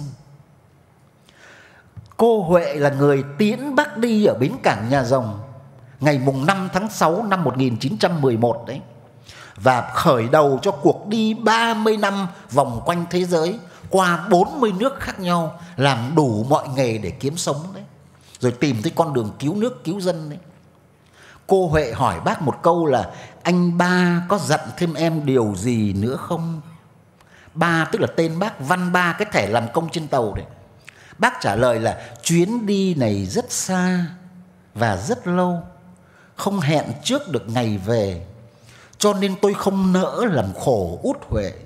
Tôi chỉ cầu mong út Huệ được bình yên, mạnh khỏe rồi có hạnh phúc mà thôi. Cô Huệ khóc nhiều lắm. Cô Huệ lại cầm tay bác mà nói một câu, làm sao nó vận vào số phận của cả hai người đúng đến vậy các đồng chí. Cô lại nói thế này nhé. Nếu còn sống mà trở về thì hãy cố mà tìm nhau. Thế mà suốt cả 30 năm không có tin tức gì. Cuối đời bác vẫn hỏi tin cô Huệ. Đau đớn nhất là chuyện cô Huệ nghe tin bác mất mà cô quyết định đi tu. Mà không phải nghe tin bác mất năm 69 đâu. Nghe từ trước. Từ khi nó tung tin là bác mất trong nhà tù cơ. Cô Huệ đau đớn quá, nghĩ rằng cuộc đời với cô thế là vô nghĩa, và cô xuống tóc đi tu, nương nhờ cửa Phật các đồng chí. Những chuyện đó đến hôm nay ta mới nói với nhau cặn kẽ được. Đặc biệt nữa này là khi còi tàu dục dã như thế, bác tạm xa cô Huệ, bác đặt vào trong lòng bàn tay cô Huệ một cái gói nhỏ, một cái miếng lụa đỏ, đồng màu hồng nhỏ bé, mở ra là một chiếc lược chải tóc. Bác nói là chiếc lược này mẹ đã từng chải tóc khi còn sống. Bây giờ anh đi xa, anh trao lại nó cho em. Cô Huệ đã từng trải tóc bằng chiếc lược đó qua năm tháng. Đến khi quyết định xuống tóc, cô cầm chiếc lược mà rưng rưng nước mắt. Thì ta đủ hiểu trên đời này có cái mối tình nào mà thánh thiện đến như thế đâu. Ta cứ nghĩ rằng là đã là thánh thần thì không có chuyện trai gái vợ chồng nó mất thiêng đi nhưng ta không kể mà thật ra có cái gì đâu các chị chỉ có trong tim bác thôi chứ có có lấy nhau trong cuộc đời đâu là như vậy và cô Huệ là người kém bác 3 tuổi, nhưng lại mất sau bác những 11 năm. Bác mất năm 69 mà đến tận năm 1980 giải phóng miền Nam được 5 năm rồi cô mới mất. Mà ta không để tâm nghiên cứu, bây giờ ta rất khó khăn về tư liệu. Tại sao như vậy? Vì đến giờ phút này ta chưa tìm thấy mộ của cô ở đâu cả trong khi ngay cả những năm cuối đời bác vẫn hỏi tin cô huệ thì ta mới thấy đấy là một món nợ tâm linh của chúng ta với bác đấy các đồng chí. Tiếp cô huệ đó là nhà văn sơn tùng. Ông là thương binh hạng 1 trên 4 nhé. Ông lặn lội vào tận Sài Gòn sau giải phóng, ông chắp mối các địa chỉ lại vì ông đã được gặp bà Thanh và ông cả Khiêm. Chuyên là có một quan hệ rất thân thiết, ông lại cùng quê nghệ tĩnh với bác, ông chỉ ở khác, bác là ở huyện Diễn Châu thôi, bác ở Nam Đàn. Nhà văn Sơn Tùng năm nay 91 tuổi rồi. Anh hùng lao động trong thời kỳ đổi mới. Và ông đã nằm hôn mê trên giường bệnh 6 7 năm nay, không đi chưa đi được. Và tác phẩm bông huệ trắng đành để dở dang trồng chất bản thảo mà thôi chứ ông muốn tâm nguyện viết về cái mối tình này, tác phẩm cuối cùng này, thì gặp được cô huệ, cô lại không tiếp. Nói thế nào cô cũng không tiếp. Đến lúc phải đưa ảnh chụp với bác ở chiến khu việt bắc ra, vì đi theo bác làm phóng viên mặt trận, cô mới khóc và cô mới kể. Cô mới tiếp và cô mới kể. Cô kể ra ta mới biết là chính cô là người đưa bà Thanh chị bác vào tận cao lãnh, đồng tháp để chịu tang cha. Mà vào muộn quá, tang lễ xong rồi bà con làm hết tang cho cụ. Cụ mất trong một hoàn cảnh đau đớn, không một người thân bên cạnh. Mẹ bác bà Hoàng Thị Loan thì mất sớm rồi. Bác thì ở Hương Cảng Trung Quốc thành lập đảng. Ông cả khiêm ốm, bà Thanh ở lại quê chăm nom bà ngoại mà cụ ở tít tận cao lãnh đồng tháp. Thế cho nên dân làng coi cụ như ân nhân, làm tang cho cụ. Lúc cô Huệ vào chỉ còn kịp đưa bà Thanh đi tìm mộ bác ngồi thắp hương mà khóc. Khóc thay cho cả hai em trai mình là bác Hồ và ông cả Khiêm mà thôi. Đấy, câu chuyện là như vậy. Cô Huệ có dặn nhà văn Sơn Tùng một câu là tôi cấm ông nói gì về tôi trên báo chí chừng nào tôi còn sống chuyên phải thề với cô, phải hứa với cô và chỉ sau khi cô mất mới bắt đầu khởi sự viết bút xem xanh là thế đấy, mà chúng ta đã đọc cả. Nhưng mà trong câu chuyện, cô huệ hỏi một câu như thế này này. Thì các ông ở với cụ hồ có bao giờ nghe thấy cụ nhắc đến tôi không? Đã đi tu rồi đấy các đồng chí nhé. Dẫu lìa ngó ý còn vương tơ lòng. Chuyện kiều của nguyễn du đấy. Hỏi như vậy là rất đỗi con người đấy nhà văn thì lại dè dặt quá, bởi vì khó nhọc lắm mới được cô tiếp. Bây giờ nói thế nào để chỉ sợ cô phật ý thôi? Chứ nói cũng rất là chung chung thôi. Nói là thưa o, bác hồ thương o nhiều lắm. Lúc nào bác cũng đặt tay lên ngực nói miền nam trong trái tim tôi. Trong miền, trong trái tim bác có cả miền nam và có cả o trong đó. Nói như thế là đúng quá chứ còn gì đâu nhưng mà cũng chỉ là một tượng trưng thôi cô huệ có đồng ý đâu. Cô huệ hỏi tiếp một câu mới đúng là tâm trạng của cô nhé. Không, cụ hồ có hỏi riêng gì về tôi không cơ? Thế cơ mà các đồng chí. Thì nhà văn mới phải đành kể cho cô huệ nghe và ta mới biết được cái chi tiết này này. Bác hỏi ông ung văn khiêm. Hỏi ông bùi công trừng.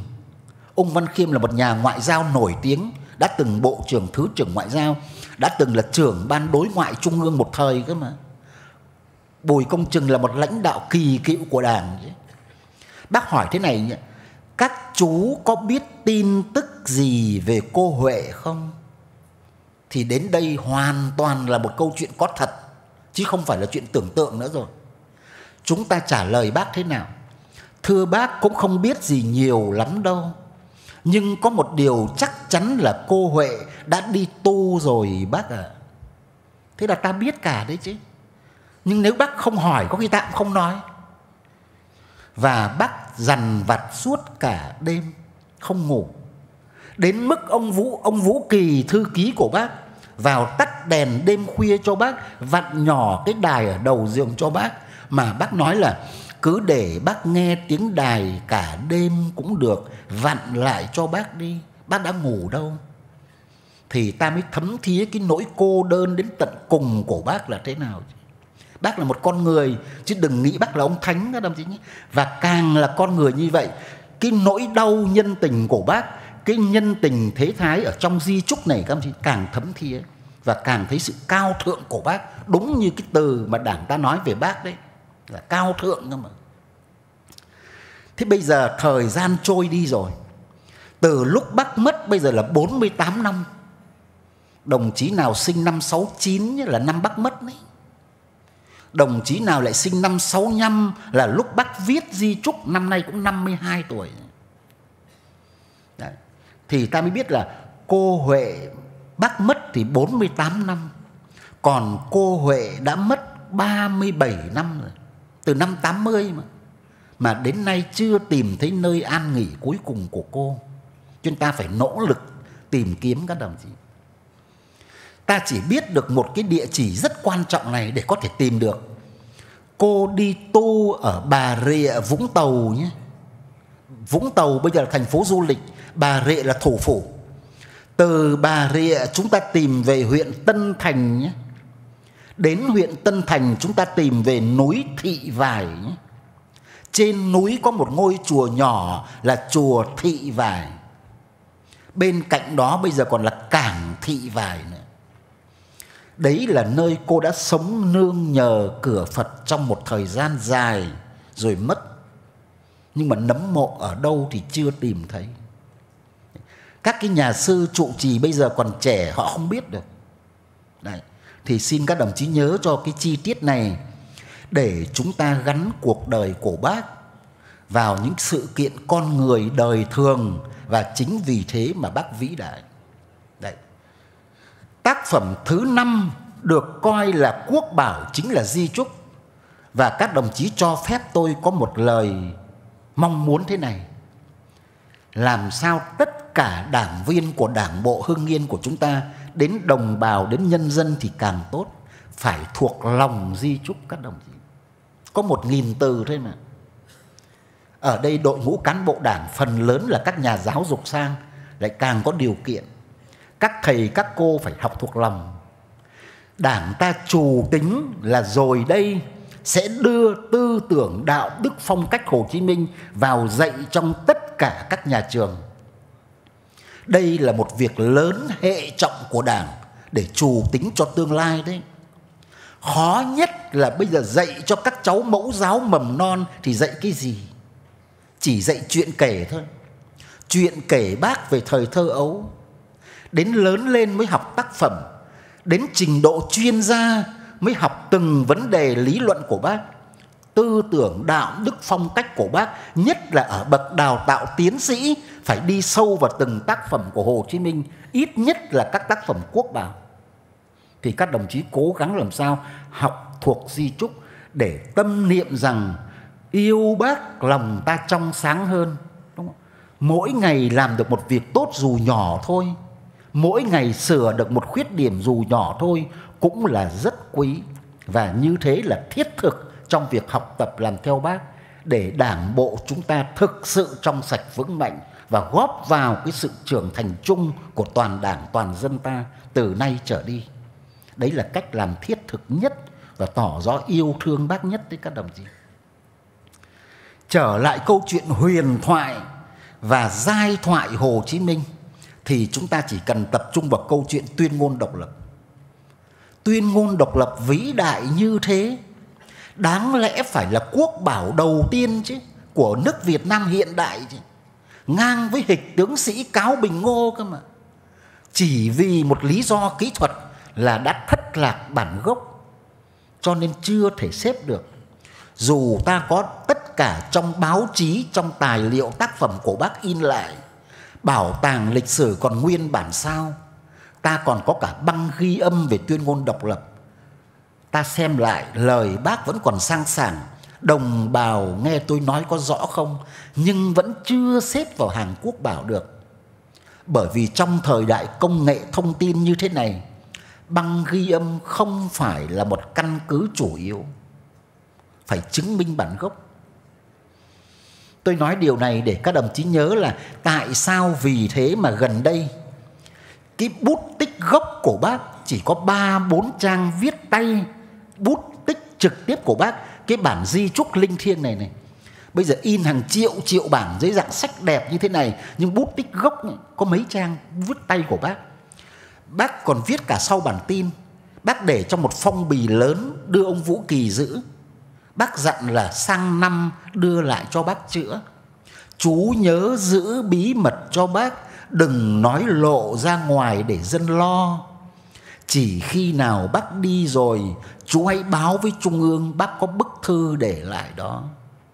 Thì cái bản gốc đó, Bây giờ để bảo quản vô cùng cẩn thận trong một cái két sắt khổng lồ, để ở cục lưu trữ phong văn phòng trung ương đảng, chỉ những ai có trách nhiệm nghiên cứu thì mới được tiếp cận bản gốc, mà phải qua một quy trình rất chặt chẽ của trung ương như thế để giữ một cái bảo vật quốc gia thiêng liêng đấy các đồng chí. Đấy. Thế bây giờ trở lại tuyên ngôn độc lập. Trong rất nhiều cuộc hội thảo khoa học, bàn thảo để quyết định đưa hay không đưa vào quốc bảo, ta cứ chứng minh rằng có lời bác trong băng ghi âm là là bằng chứng tốt nhất rồi còn gì nữa. Dù không bản bút tích gốc nhưng vẫn có thể công nhận được. Nhưng thưa các đồng chí, không được đâu. Nó có câu chuyện như thế này này, mà đây là giai thoại nhé, đây là giai thoại vĩ nhân thì bao giờ cũng có rất nhiều giai thoại từ một cái chuyện gốc có thể có rất nhiều dị bản khác nhau bác cũng thế thôi Đấy. cái băng ghi âm nó ai ghi các đồng chí hóa ra không phải chúng ta ghi đâu chính phủ lâm thời từ Tân Trào Việt Bắc về làm gì có điều kiện. Ngày mùng 2 tháng 9 ra mắt quốc dân đồng bào, cái bục gỗ để bác đứng đọc tuyên ngôn còn đóng rất vội vàng sơ sài cơ mà. Kéo cờ còn kéo thủ công thế này các đồng chí này. Bác chọn hai phụ nữ kéo cờ nhé. Bà Lê Thi, bây giờ sau này là giáo sư triết học, viện trưởng viện triết học Việt Nam đấy. Cho nên phụ nữ các đồng chí tự hào lắm là thế. Bà là con gái của học giả Dương Quảng Hàm đấy chứ Dương Thị Như Thoa mà Người thứ hai là bà Loan Sau này là phu nhân của đại tướng Hoàng Văn Thái đấy chứ Bác đích thân chọn phụ nữ kéo cờ Để khai sinh chế độ Đủ hiểu bác tinh tế đến như thế nào Nhắc lại điều này vào dịp mùng 8 tháng 3 này, đấy là một niềm hạnh phúc lớn cho phụ nữ đấy các đồng chí. Thế thì chúng ta chưa ghi âm được đâu. Ai ghi âm các đồng chí? Hóa ra là nhà báo nước ngoài còn có mặt rất nhiều ở Hà Nội họ ghi. Pháp thua, Nhật thua, cách mạng thành công ta có chính thể mới nhưng mà người nước ngoài còn đông lắm. Nhất là nhà báo, nó ghi cả đấy chứ. Chúng ta chỉ cần muốn là truyền qua làn sóng điện để cả nước nghe được giọng của bác mà cũng không làm được cơ mà. Chỉ có Hà Nội nghe được, một số tỉnh gần nghe được. Sài Gòn có nghe được đâu.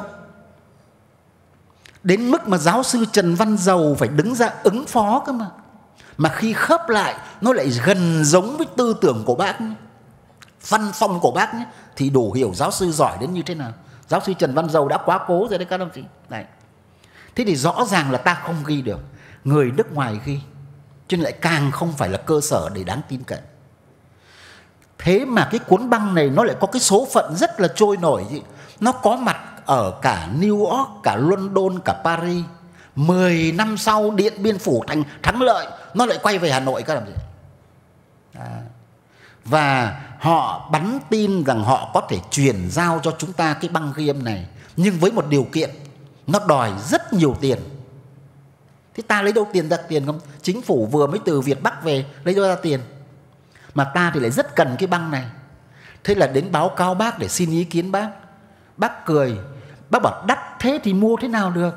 Bây giờ các chú về chuẩn bị máy móc lại đi, bác đọc lại cho. Ta xem. Đây là giai thoại đấy các đồng chí nhé. Nó là một giai thoại, nó đăng trên tạp chí quốc tế rồi. Giáo sư Trần Quốc Vượng của chúng ta đấy có cả một hồi ký về vấn đề này. Các đồng chí đọc cái tập nhớ cõi thì biết đấy. Đấy, đấy là tham khảo thôi, là giai thoại chứ không phải là tài liệu khoa học, phải được thẩm định lại. Nhưng ít nhất từ cái giai thoại này này nó cho ta liên tưởng đến một điều rất gần với Hồ Chí Minh phong cách của bác giản dị hồn nhiên và rất tiết kiệm rất tiết kiệm tiết kiệm từng đồng tiền bát gạo của dân cơ mà cho nên bác bảo, đắt quá không mua được, để bác đọc lại cho. Thì có khi cũng đúng đấy các đồng chí. Đấy. Thì đấy là một chuyện để chúng ta nghiên cứu được các đồng chí nhé.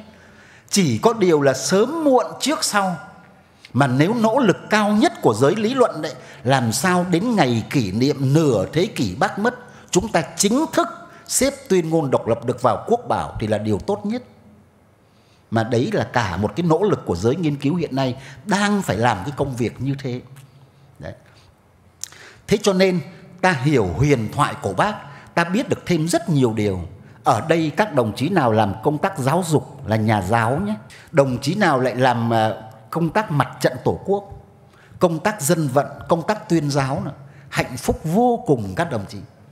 Vì chúng ta được dịp thể hiện phong cách của bác, tư tưởng đạo đức của bác.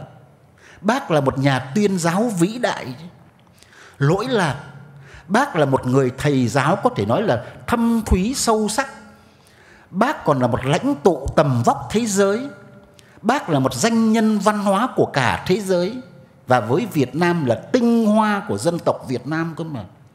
Hồ Chí Minh đẹp nhất tên người cơ mà. Người sống mãi trong lòng dân và trong trái tim nhân loại cơ mà. Thì tôi kể các ông chí nghe mấy cái chi tiết này. Ngày sinh của bác là một huyền thoại. Tất cả trong nước và thế giới đều thừa nhận 19 tháng 5 là ngày sinh của bác. Và bây giờ nó đi vào lịch sử cố định như vậy, nó thiêng liêng.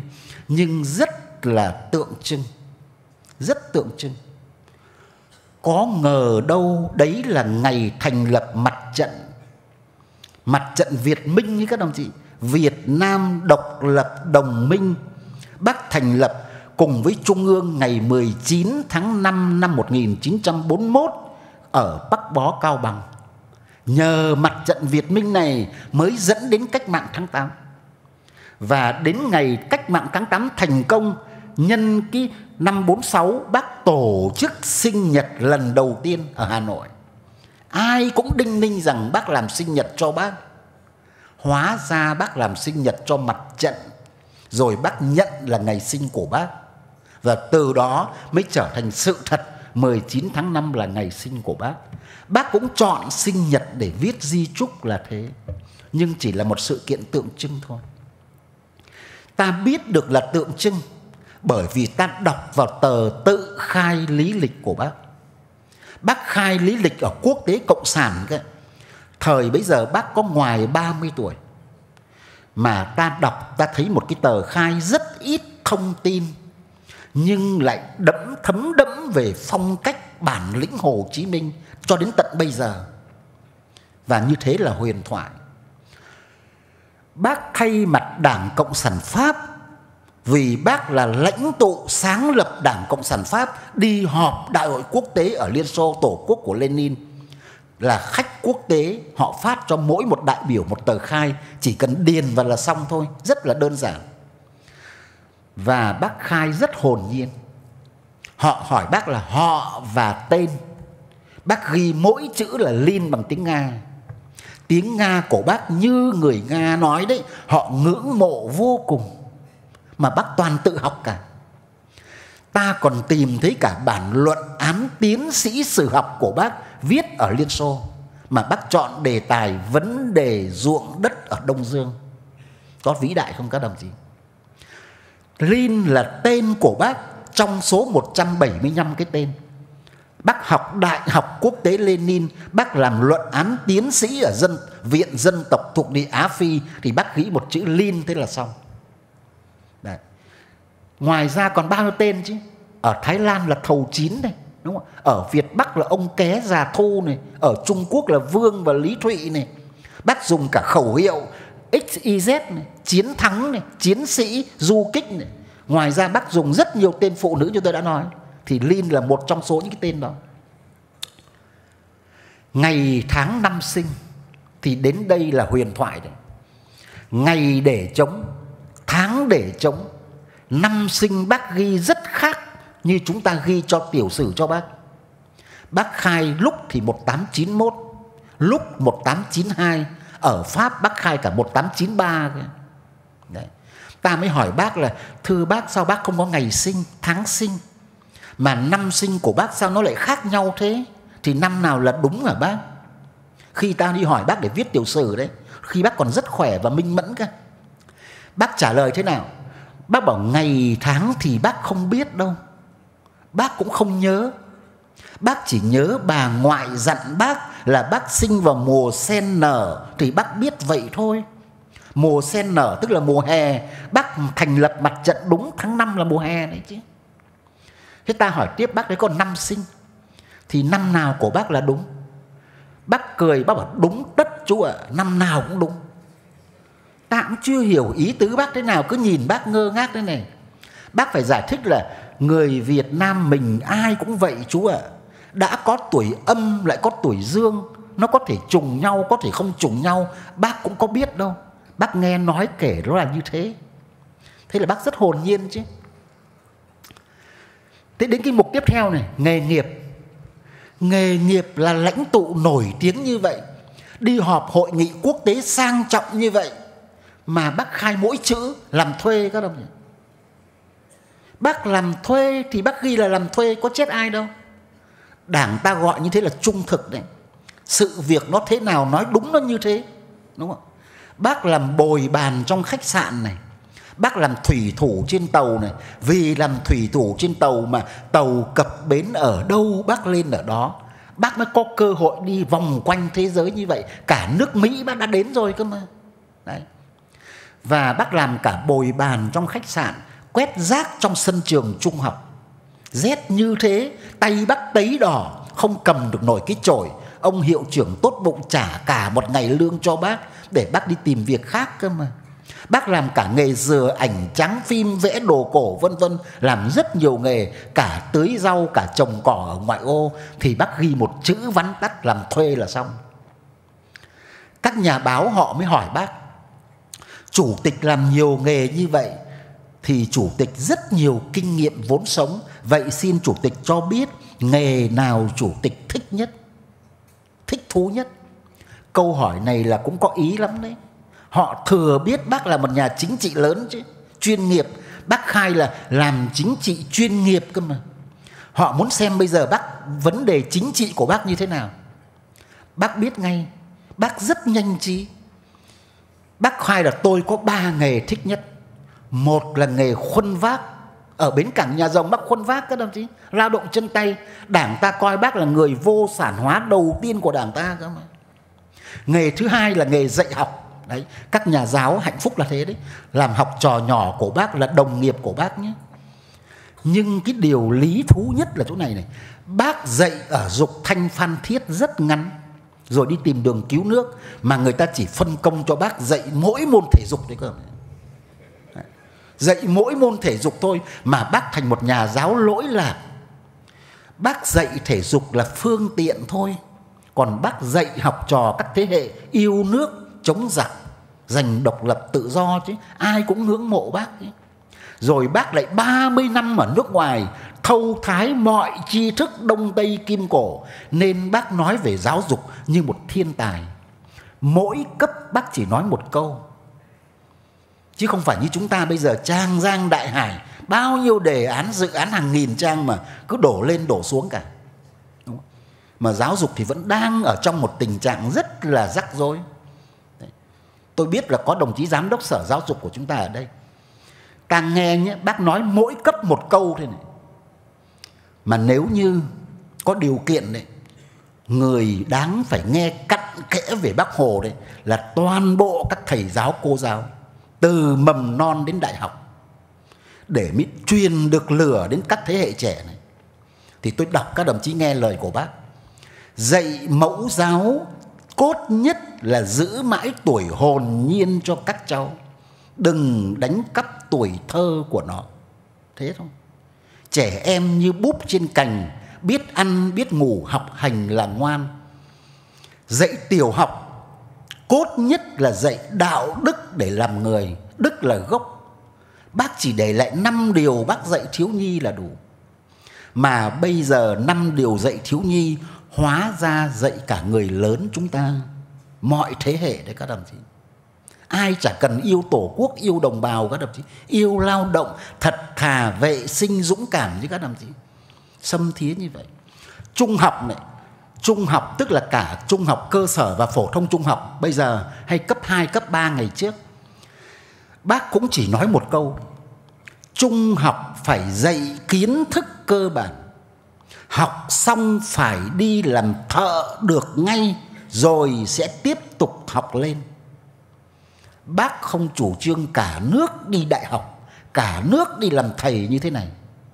Phải làm thợ cơ rồi sẽ học lên đường đời là một chiếc thang không có nấc chót, học tập là một quyển vở không có trang cuối cùng. Đấy, đây là chỗ thấm thía nhất. Cái tái cấu trúc giáo dục đấy sẽ phức tạp và đau đớn không kém gì tái cấu trúc kinh tế đâu. Do chúng ta sai quá nhiều và sai quá lâu rồi. Bây giờ sửa chữa điều này không dễ một chút nào. Phải thay đổi nhận thức của toàn xã hội mà phải kỳ vọng rất nhiều vào đội ngũ các nhà giáo các nhà trường nhất là trường sư phạm. Là nơi đào tạo ra các ông thầy. Giáo dục một người đàn ông được một người thôi. Giáo dục một người đàn bà được cả một gia đình. Giáo dục một người thầy được cả một thế hệ. Các bạn nhớ lời của đại thi hào tagore nhé, về cái câu ấy. Bác nói về giáo dục như thế. Đến đại học bác cũng chỉ nói một câu thôi đại học là đào tạo chuyên gia, nên phải dạy cho phong cách nghiên cứu phải hiện đại lắm mới nói được như vậy mà có được cái hiện đại này nhờ người thâu thái tri thức đông tây kim cổ suốt 30 năm cho nên chúng ta có thể mượn câu của đại văn hào Pháp Victor Hugo. Ông nói về các vĩ nhân của thời đại, ướm vào với bác Hồ đúng vô cùng, các đồng chí. Ông nói thế nào? Trước một trí tuệ uyên bác thì tôi cúi đầu bái phục. Trước một nhân cách cao cả thì tôi quỳ gối tôn thờ. Bác của chúng ta là một trí tuệ uyên bác và một nhân cách cao cả cao thượng các đồng chí đọc kỹ cái điếu văn của Trung ương trong lễ truy điệu bác thì sẽ thấy dân tộc ta, nhân dân ta, non sông đất nước ta đã sinh ra người và chính người làm dạng giữa dân tộc ta, nhân dân ta và non sông đất nước ta cơ mà. Đấy. thì đấy là điều chúng ta nói về bác hồ. Cả huyền thoại lẫn giai thoại. Để chỉ muốn khắc sâu một điều là bác là một con người càng giản dị càng vĩ đại. Vĩ đại thực sự nên giản dị và tất cả cái điều đó lấp lánh trong phong cách của bác. Là nơi thăng hoa được cả trí tuệ tư tưởng và cả đạo đức cách mạng của bác. Chúng ta không quên một cái điều này nữa này. Có lần mà bác ngồi dự giờ giảng bài của tổng bí thư lê duẩn đấy nhé. Bác là chủ tịch đảng, tổng bí thư lê duẩn là một nhà lý luận nổi tiếng chứ, nhất là thời cách mạng giải phóng miền nam. Ông giảng trực tiếp cho đội ngũ cán bộ cấp chiến lược. Bác là chủ tịch đảng, bác ngồi nghe tổng bí thư giảng bài. Thế mà tổng bí thư lại chọn cái chủ đề đại đoàn kết để giảng. Mà đấy là cái chủ đề máu thịt của bác ấy.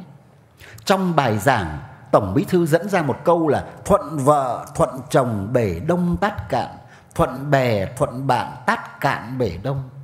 Bác đứng lên ngay. Bác bảo bác có mỗi một mình bác thôi. Bác biết thuận với ai ở đây bây giờ? Thì một lần nữa để các đồng chí thấm thía rằng là bác là một con người và bác nói ngay, vậy bác sẽ làm việc bằng hai người các chú ạ. À. một người nó lẻ loi cô đơn lắm. Bác dạy chúng ta là học bác điều gì thì tùy các cháu. Nhưng đừng học bác hai điều. Một là bác hút thuốc lá ai cũng thương bác, coi đó là một thói quen của bác để thông cảm cho bác, nhưng bác cũng bỏ vì bác coi đó là một khuyết điểm. Hai nữa là các cháu đừng học bác chuyện bác không lấy vợ. Nó trái lẽ tự nhiên lắm. Phải có đôi. Đấy. Ta xem, bác thấm thía chất nhân tình như vậy. Nhân hôm nay là ngày kỷ niệm của phụ nữ các đồng chí cố gắng tìm hiểu những chỉ dẫn của bác về phụ nữ nhé. Phụ nữ là một nửa dân tộc, một nửa đất nước này. Không giải phóng phụ nữ, không bình đẳng nam nữ, không có phụ nữ giành lấy quyền bình đẳng thì mới chỉ có một nửa chủ nghĩa xã hội mà thôi. Đấy. bác viết trong di trúc là chị em phải chủ động vươn lên giành lấy quyền bình đẳng cho tiến bộ và bình đẳng giới của phụ nữ. Đây là một cuộc cách mạng bình quyền. Các cấp ủy đảng từ địa phương đến trung ương phải chăm lo sự phát triển của phụ nữ, kể cả đưa chị em vào hoạt động chính trị, tức là tham chính đấy các đồng chí. Mà đảng ta đã có rất nhiều cố gắng trong việc bố trí đào tạo cán bộ nữ như thế này. Đấy là một cái điều rất đáng khích lệ và làm đúng được như bác. Nhưng phải học nữa cơ, thấm thía nữa Ta có ngờ đâu là ngày 30 tháng 12 cuối năm năm 1968 mấy tháng sau thì bác đi. Bác còn tiếp đoàn đại biểu chủ chốt của tỉnh Thanh Hóa do bí thư tỉnh ủy dẫn đầu, ra thăm trung ương và làm việc với bác được bác tiếp. Mà bác kỳ vọng Thanh Hóa phải tỉnh thành tỉnh kiểu mẫu cơ mà, từ trong kháng chiến. Hưng Yên của chúng ta, bác cũng mong thành một tỉnh gương mẫu điển hình cho đồng bằng Bắc Bộ nhé. Phù cử, bác nói là phải một huyện kiểu mẫu cơ mà. Đấy. Thì bác hỏi Thanh Hóa một câu thế này có thấm vía không? Ở Thanh Hóa đã hết tệ nấu rượu lậu chưa? Nấu rượu lậu các đồng gì? Bác nói đến thế này nhé. Bác nói mà có lẽ là bản lĩnh như thế nào bác mới nói được như thế chứ. Bác nói là đảng ta là một đảng cách mạng chứ không phải một đảng nấu rượu lậu đâu các chú ạ. À. Bác nói với Thanh Hóa đấy. Bác hỏi tiếp này, Thanh Hóa đã hết chuyện đánh đập vợ con chưa? Bác biết hết cả. Bác bảo đánh đập phụ nữ vợ con là dã man lắm. Phải bỏ ngay đi. Sao mà lúc yêu nhau thì anh anh em em, lúc điên tiết lại thụi người ta bác nói hết đấy, các đồng chí nhé. Và có một lần bác đọc báo Thái Bình.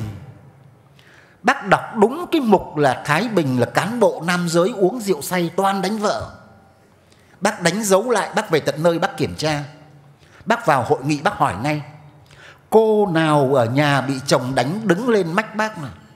Không có cô nào dám đứng lên cả, cũng xấu hổ các đồng chí, đúng không bác hỏi phụ nam giới, bác hỏi các chú vậy thế chú nào chót uống rượu say đánh vợ nè, đánh con nè, đứng lên xin lỗi bác và các cô đi nào. Cũng chả có chú nào đứng lên.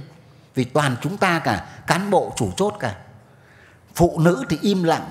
Nam giới cứ dì dầm ở phía dưới kiểu thanh minh ấy. có đánh đầu bác, cũng là đánh dọa dọa qua qua thôi mà. Thế là cũng thừa nhận còn gì nữa. Tưởng bác không nghe được ai ngờ bác nghe rõ mồn một hết. Bác đến tận nơi, bác đưa cái tờ báo cho chúng ta xem. Bảo đây, báo của tỉnh chú đây nhé. Chú đọc đi. Đánh vợ, đánh con thâm tím cả mặt mày thế này mà chú bảo là dọa sao? Đánh vợ, đánh con là dã man. Vợ chồng không chỉ là tình nghĩa vợ chồng mà còn là công dân với công dân. Các chú còn phạm pháp nữa đấy. Ta xem, các đồng chí nữ được bác bảo vệ an ủi đến như thế cơ mà. Nên phải xứng đáng với bác và một cái chuyện rất riêng tư của phụ nữ, bác cũng nói ra, bằng tất cả tình thương của người cha nhé. Bác về thăm nhà máy dệt, mà nhà máy dệt tức là toàn phụ nữ cả. Giám đốc là phụ nữ, bí thư đảng ủy phụ nữ, chủ tịch công đoàn cũng là phụ nữ. Bác khen thành tích sản xuất giỏi, nhưng bác chê hai điểm. Một là nhà máy không có vườn hoa, không có vệ sinh lắm chưa chăm chú tốt cái chuyện văn hóa tinh thần. Thứ hai mới đáng ngạc nhiên này. Bác không có vợ, có con, không có gia đình riêng. Bác thấu hiểu cuộc đời lắm chứ. Bác bảo nhà máy toàn lao động nữ, mà sao ít nhà vệ sinh, nhà tắm đến vậy? Hàng tháng của chị em thì làm thế nào? Bác biết hết đấy các đồng chí. Thế rồi bác vào thăm các phân xưởng. Bác bảo các cháu gái là cuốn tóc ngay lên tóc của cháu dài thế này vào máy thì làm thế nào? Cuốn tóc lên để tránh tai nạn lao động. Bác đón các cháu gái miền Nam dũng sĩ diệt Mỹ ra thăm miền Bắc, thực chất là ra chữa bệnh. Bởi vì sống vất vả, gian nan lắm, nó đảo lộn hết cả cái sinh lý trong con người này, sức khỏe bệnh tật. Nhìn các cháu xanh sao vàng vọt, bác khóc cơ mà. Mà cùng tiếp khách với bác là bộ trưởng bộ y tế phạm ngọc thạch bác hỏi một câu thế này mà ai cũng ứa nước mắt hàng tháng các cháu thấy kinh có đều không? Bác nói là kinh nguyệt là hiện tượng kỳ diệu của tạo hóa dành cho phụ nữ. Nhờ thế mới tán, tái sản sinh được nòi giống. Cho nên các cháu phải chịu khó giữ gìn sức khỏe để còn làm vợ, làm mẹ. Và chú, bác chỉ bộ trưởng phạm ngọc thạch bàn ngay với lãnh đạo bộ y tế nghiên cứu sản xuất thuốc cho chị em. Ta xem, bác lo toan trăm công nghìn việc mà không việc gì bác bỏ sót. Những điều như vậy để chúng ta thấm thí một điều là bác đi nửa gần nửa thế kỷ nay mà không bao giờ chúng ta cảm thấy bác đi xa cả. Đấy có kể bao nhiêu về bác cũng vẫn là không đủ. Và chúng ta càng cảm thấy bác một tấm lòng bao dung nhân ái thiết tha chứ ai lại bác đến giờ đi công tác đến nơi rồi, cứ mang quà biếu bác. Mà cái quà lần này nó lại rất đặc biệt, cả một con nai rừng của sơn la, nông trường mộc châu gửi về biếu bác. Bác mừng lắm, bác bảo đem vào công viên bách thảo nuôi cho bác, để các cháu thiếu nhi vào công viên chơi vui hơn, ngoan hơn, học hành giỏi giang hơn. Cái đồng chí cán bộ mang con nai về lại bảo bác thế này chứ, thịt đi bác ạ à. ăn với gỏi sung ngon lắm, nai tơ mà tưởng bác đồng ý, ai ngờ bác nhăn hết cả mặt lại. Chán và má bác đỏ dừ hết, bác bỏ ra ra ngoài hành lang. Lúc bấy giờ thấy là ta biết là bác giận lắm đấy. Bác tinh tế bao nhiêu thì ta cứ thô thiển bấy nhiêu làm bác buồn bác giận. Bác ra ngoài hành lang bác không nói, để ta biết rằng bác kiềm chế, không nặng lời. Sau này bác viết là phê bình công việc, chứ không xúc phạm con người là thế đấy các đồng chí. Chúng ta phải ghi lòng tạc giả. Ứng xử này này, phê bình công việc thôi, không xúc phạm con người. Ai cũng là một nhân cách. Cái việc mà bác cho cá ăn ở trong ao ao cá bác hồ bây giờ thành một nét đẹp văn hóa như nhân ra cả nước này. Bác cứ vỗ tay gọi cá về, nó về rất đông. Cái con cá to nhất thì nó lại không về các đồng chí bác hỏi ông vũ kỳ là mấy ngày bác đi công tác vắng chẳng biết ở nhà có chú nào câu cá của bác không? Đấy, vĩ đại từ những chuyện đời thường đấy đấy các đồng chí. Thế bảo bác là thưa bác không đâu ao bác nó rộng chắc nó chưa về thôi bác đừng buồn. Hôm sau chỉ vỗ tay thế này thôi con cá nó đã về rồi con cá lớn nhất đi to nhất đi. Câu này bác nói với thanh niên lên này. Bác dặn các chú rồi phải chăm chút nó như người vậy các chú cứ mải mê công việc bỏ quên nó nó mới lang bang như thế đấy.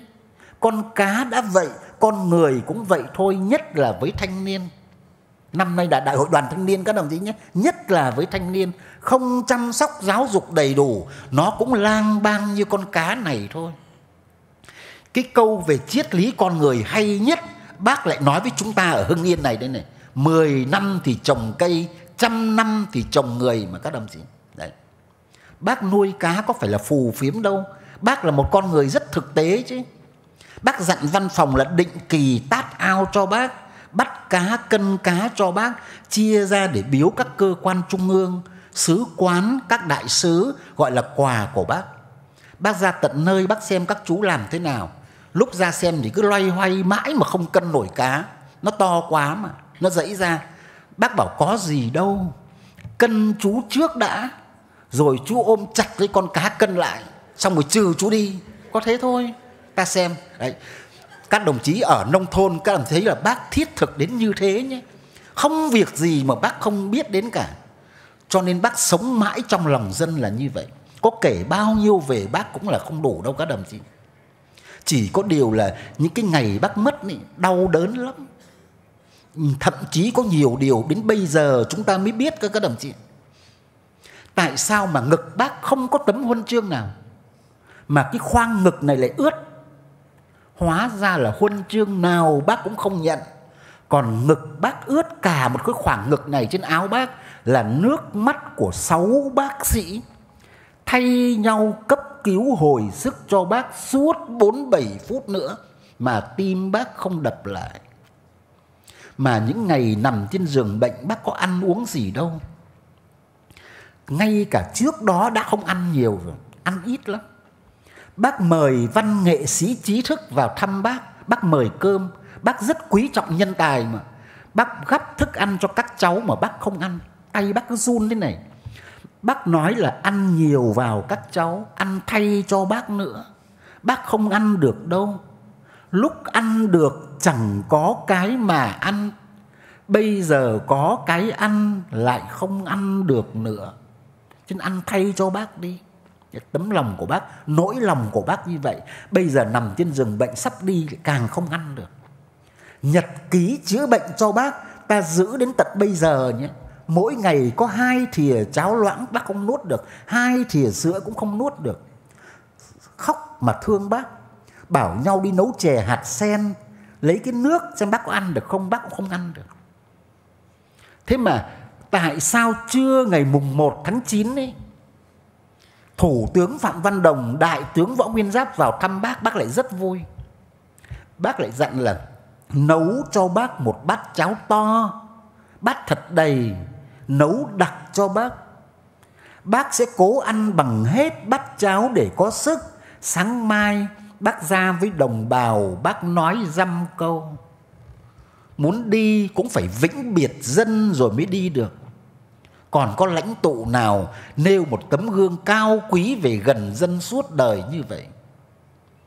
Hai bên diềm gối của bác cũng ướt là nước mắt từ hai con mắt bác nhỏ xuống nhất là khi Tổng Bí thư Lê Duẩn đến thăm bác, ngỏ ý mời bác rời Hà Nội, đưa bác về vùng đá trông K9 bây giờ đấy các đồng chí, để bác yên tâm dưỡng bệnh. Hà Nội phương án xấu nhất là coi như mất, chìm trong biển nước. Bác khóc, bác bảo bác không đi đâu cả, để bác ở đây thôi. Bác không thể bỏ dân mà đi được. Đưa bác đi các chú chỉ đưa được một mình bác thôi còn dân các chú tính sao đấy là điều chúng ta biết được trong giây phút cuối cùng của bác mỗi lời đều đi vào lịch sử hết đấy cái cô y tá mà bác dặn là tiêm thuốc trợ lực thêm cho bác để bác có sức, sáng mai bác ra với đồng bào dăm phút thôi. Cô y tá đó lúc đó là 21 tuổi, vừa tốt nghiệp trường y quân đội ra được phục vụ bác, được cử về phục vụ bác. Bây giờ đã là một bà lão rồi, vì bà, bác mất đã gần nửa thế kỷ nay rồi. Là người mà cắt móng tay cho bác đấy, xoa tay cho bác để tay bác nóng lại, vì tay bác cứ lạnh đi vuốt tay thẳng từng ngón cho bác ra, vì nó cứ co quắp lại. Chợt nhìn vào móng tay của bác thấy đã dài rồi. Bác nằm trên giường bệnh từ 25 tháng 8 đến mùng 2 tháng 9 thì chút hơi thở cuối cùng. Lấy kéo cắt móng tay cho bác vừa cắt vừa khóc. Cứ dòng dòng nước mắt chạm cả vào phần da non bên trong của ngón tay này. Bác cảm giác đau, bác rụt tay lại. Mà nhìn vào bác, cái ga mỏng đắp cho bác vẫn phập phồng, hơi thở như thế là tim bác còn đập vẫn còn sống những chiếc móng tay của bác đấy giữ đến tận bây giờ 48 năm rồi các đồng chí. Lấy khăn mặt nước nóng lau mặt cho bác lần cuối chạm vào tròm dâu của bác. Mở khăn mặt ra có ngờ đâu bác gửi lại cho chúng ta con cháu của bác bảy sợi dâu. Keo lại giữ đến tận bây giờ nhé, như một phần sinh thể của bác trao cho chúng ta đấy thế rồi đặc biệt nữa này, thủ tướng phạm văn đồng cầm tay bác mà khóc, nói là thưa bác, vì bác ốm nặng, đồng bào rất lo, đảng cũng rất lo, không dám làm gì lớn cả đâu, dù năm nay năm chẵn, mà bác cứ gọi là hai giáp đấy 24 năm mà. Chỉ có meeting nhỏ thôi, xong rồi chúng tôi vào đây thăm bác. Trong khi bác cứ đinh ninh là ngày mai bác ra mới dân. Thế là bác khóc bác bảo không còn cơ hội cuối cùng nữa có phải không? Và bác không ăn uống được gì, cháo thì chưa kịp nấu, thuốc chưa kịp tiêm, cốc nước dừa bác gọi thì mang vào muộn quá, bác đi mất rồi. Bác không đi ngay hôm mùng 1 đâu, cấp cứu suốt đêm cho bác để hôm sau 9 giờ sáng thì bác đi, mùng 2 tháng 9 9 giờ sáng là giờ viết di trúc, mùng 2 tháng 9 là quốc khánh. Bác nhìn tất cả chúng ta trong phòng một lượt như có ý vĩnh biệt. Bác là dành cái nhìn lâu nhất, âu yếm nhất cho một người, ông vũ kỳ, tiểu đồng của bác, chia ngọt sẻ bùi với bác suốt một phần tư thế kỷ nay. Ông vũ kỳ giàn ruộng nước mắt, vừa khóc vừa gọi bác, chạy từ cuối giường lên đầu giường bác nằm, ông quỳ xuống quỳ xuống để ngang tầm với gối nằm của bác. Bác hôn lên trán vũ kỳ rất lâu rồi tắt thở. Lúc đó cái ga mỏng đắp cho bác yên lặng không còn động đậy nữa là bác đi. Đúng 9 giờ sáng. Rồi cái 47 phút tiếp theo là cấp cứu. Ông Vũ Kỳ đứng lên khóc giàn giụa nước mắt vuốt mắt cho bác để bác đi. Đấy là tất cả những gì chúng ta biết. Mà đau đớn nhất ấy, tang lễ đời tuôn nước mắt trời tuôn mưa. Các đồng chí đọc lại cái thái hưng yên với bác hồ bác hồ với hưng yên nhé. Đất đọc kỹ cái danh sách đoàn đại biểu đảng hưng yên ra hà nội viếng bác, túc trực bên thi hài của bác nhé. Cảm động vô cùng đấy các đồng chí. Nhất là thế hệ trẻ bây giờ phải đọc lại để biết những năm tháng đau đớn đó. Thế mà các đồng chí nhớ là tang lễ bác xong ta lại bùng lên một nỗi đau dữ dội nữa đau vô cùng chứ. Vì đã đến lúc phải chứng kiến việc bác đi rất xa. Thời bấy giờ là cái văn bản này là đóng dấu tối mật, tuyệt mật. Bây giờ mới nói được. Đảng ta và đảng cộng sản liên xô đã thỏa thuận với nhau. Chính phủ ta đã ký với chính phủ liên xô một cái nghị định. Tang lễ xong đưa bác về liên xô thì mới giữ được mới bảo toàn được bác vĩnh hằng. Rồi sau này đất nước hòa bình thống nhất, có lăng cho bác, có chuyên gia, rồi chế tạo được dung dịch bảo quản thi hài bác, đón bác về sau. Hoàn cảnh bấy giờ thì đấy là phương án tối ưu. Nhưng đến lúc phải thực hiện, không ai có thể yên lòng thấy bác bay xa vạn dặm trên bầu trời này. Trên giàn rụa nước mắt đề nghị giữ bác lại cái nỗi đau ấy của chúng ta đấy, nó lại chạm vào trái tim nhân hậu của người Xô Viết. Các đồng chí nào được đào tạo từ Liên Xô thì mới hiểu được người Xô Viết nhân hậu đến như thế nào. Họ để bác lại, họ bay ngay về nước để kịp báo cho trung ương của họ thôi, họ lại bay ngay sang để phục vụ bác cho nó kịp. Và suốt những năm chiến tranh, thi hài bác sáu lần di chuyển để đến bây giờ bác nằm trong lăng yên nghỉ vĩnh hằng. Trên chọn cuộc đời, bác có ngủ yên đâu. Nay bác ngủ, chúng con canh giấc ngủ. Cho nên chúng ta phải xứng đáng với bác. Lòng dặn lòng, yêu bác, lòng ta trong sáng hơn. Tất cả chúng ta như vậy, đặc biệt các đồng chí phụ nữ, trong những cái giờ phút kỷ niệm như thế này, càng nghĩ về bác hơn, với tình cảm của bác. Và tôi cũng là người con của quê hương. Hưng yên này, tôi xin chân thành chúc các đồng chí, chúc đảng bộ nhân dân chúng ta vững mạnh trên con đường xây dựng và phát triển, để chúng ta thực hiện được lý tưởng hoài bão của bác, độc lập tự do hạnh phúc cho nhân dân. Xin trân trọng cảm ơn tất cả các đồng chí.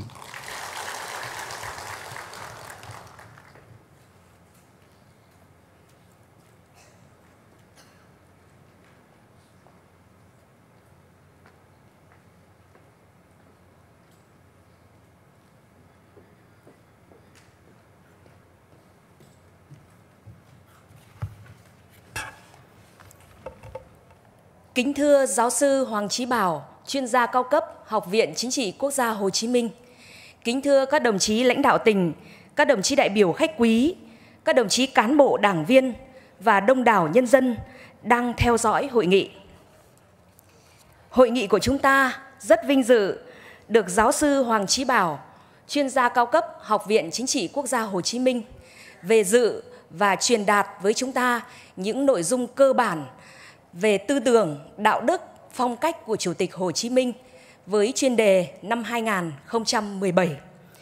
Với trí tuệ uyên thâm, cả cuộc đời nghiên cứu về Chủ tịch Hồ Chí Minh, với tâm huyết, tài năng của mình và những tình cảm với Hưng Yên, quê ngoại của giáo sư ở xã Phụng Công, huyện Văn Giang – Giáo sư đã truyền đạt những nội dung cơ bản về tư tưởng phong cách của Chủ tịch Hồ Chí Minh gắn với những nội dung của Nghị quyết Trung ương 4 khóa 12, giúp cho mỗi đồng chí dự hội nghị, mỗi cán bộ đảng viên và nhân dân trong tỉnh hiểu được sâu sắc và toàn diện hơn nội dung chuyên đề học tập về tư tưởng, đạo đức, phong cách của Chủ tịch Hồ Chí Minh năm 2017, đồng thời thổi bùng lên trong mỗi chúng ta niềm kính yêu, niềm biết ơn to lớn đối với Chủ tịch Hồ Chí Minh – và ý thức quyết tâm sâu sắc để thực hiện tốt hơn nữa chức trách nhiệm vụ của bản thân.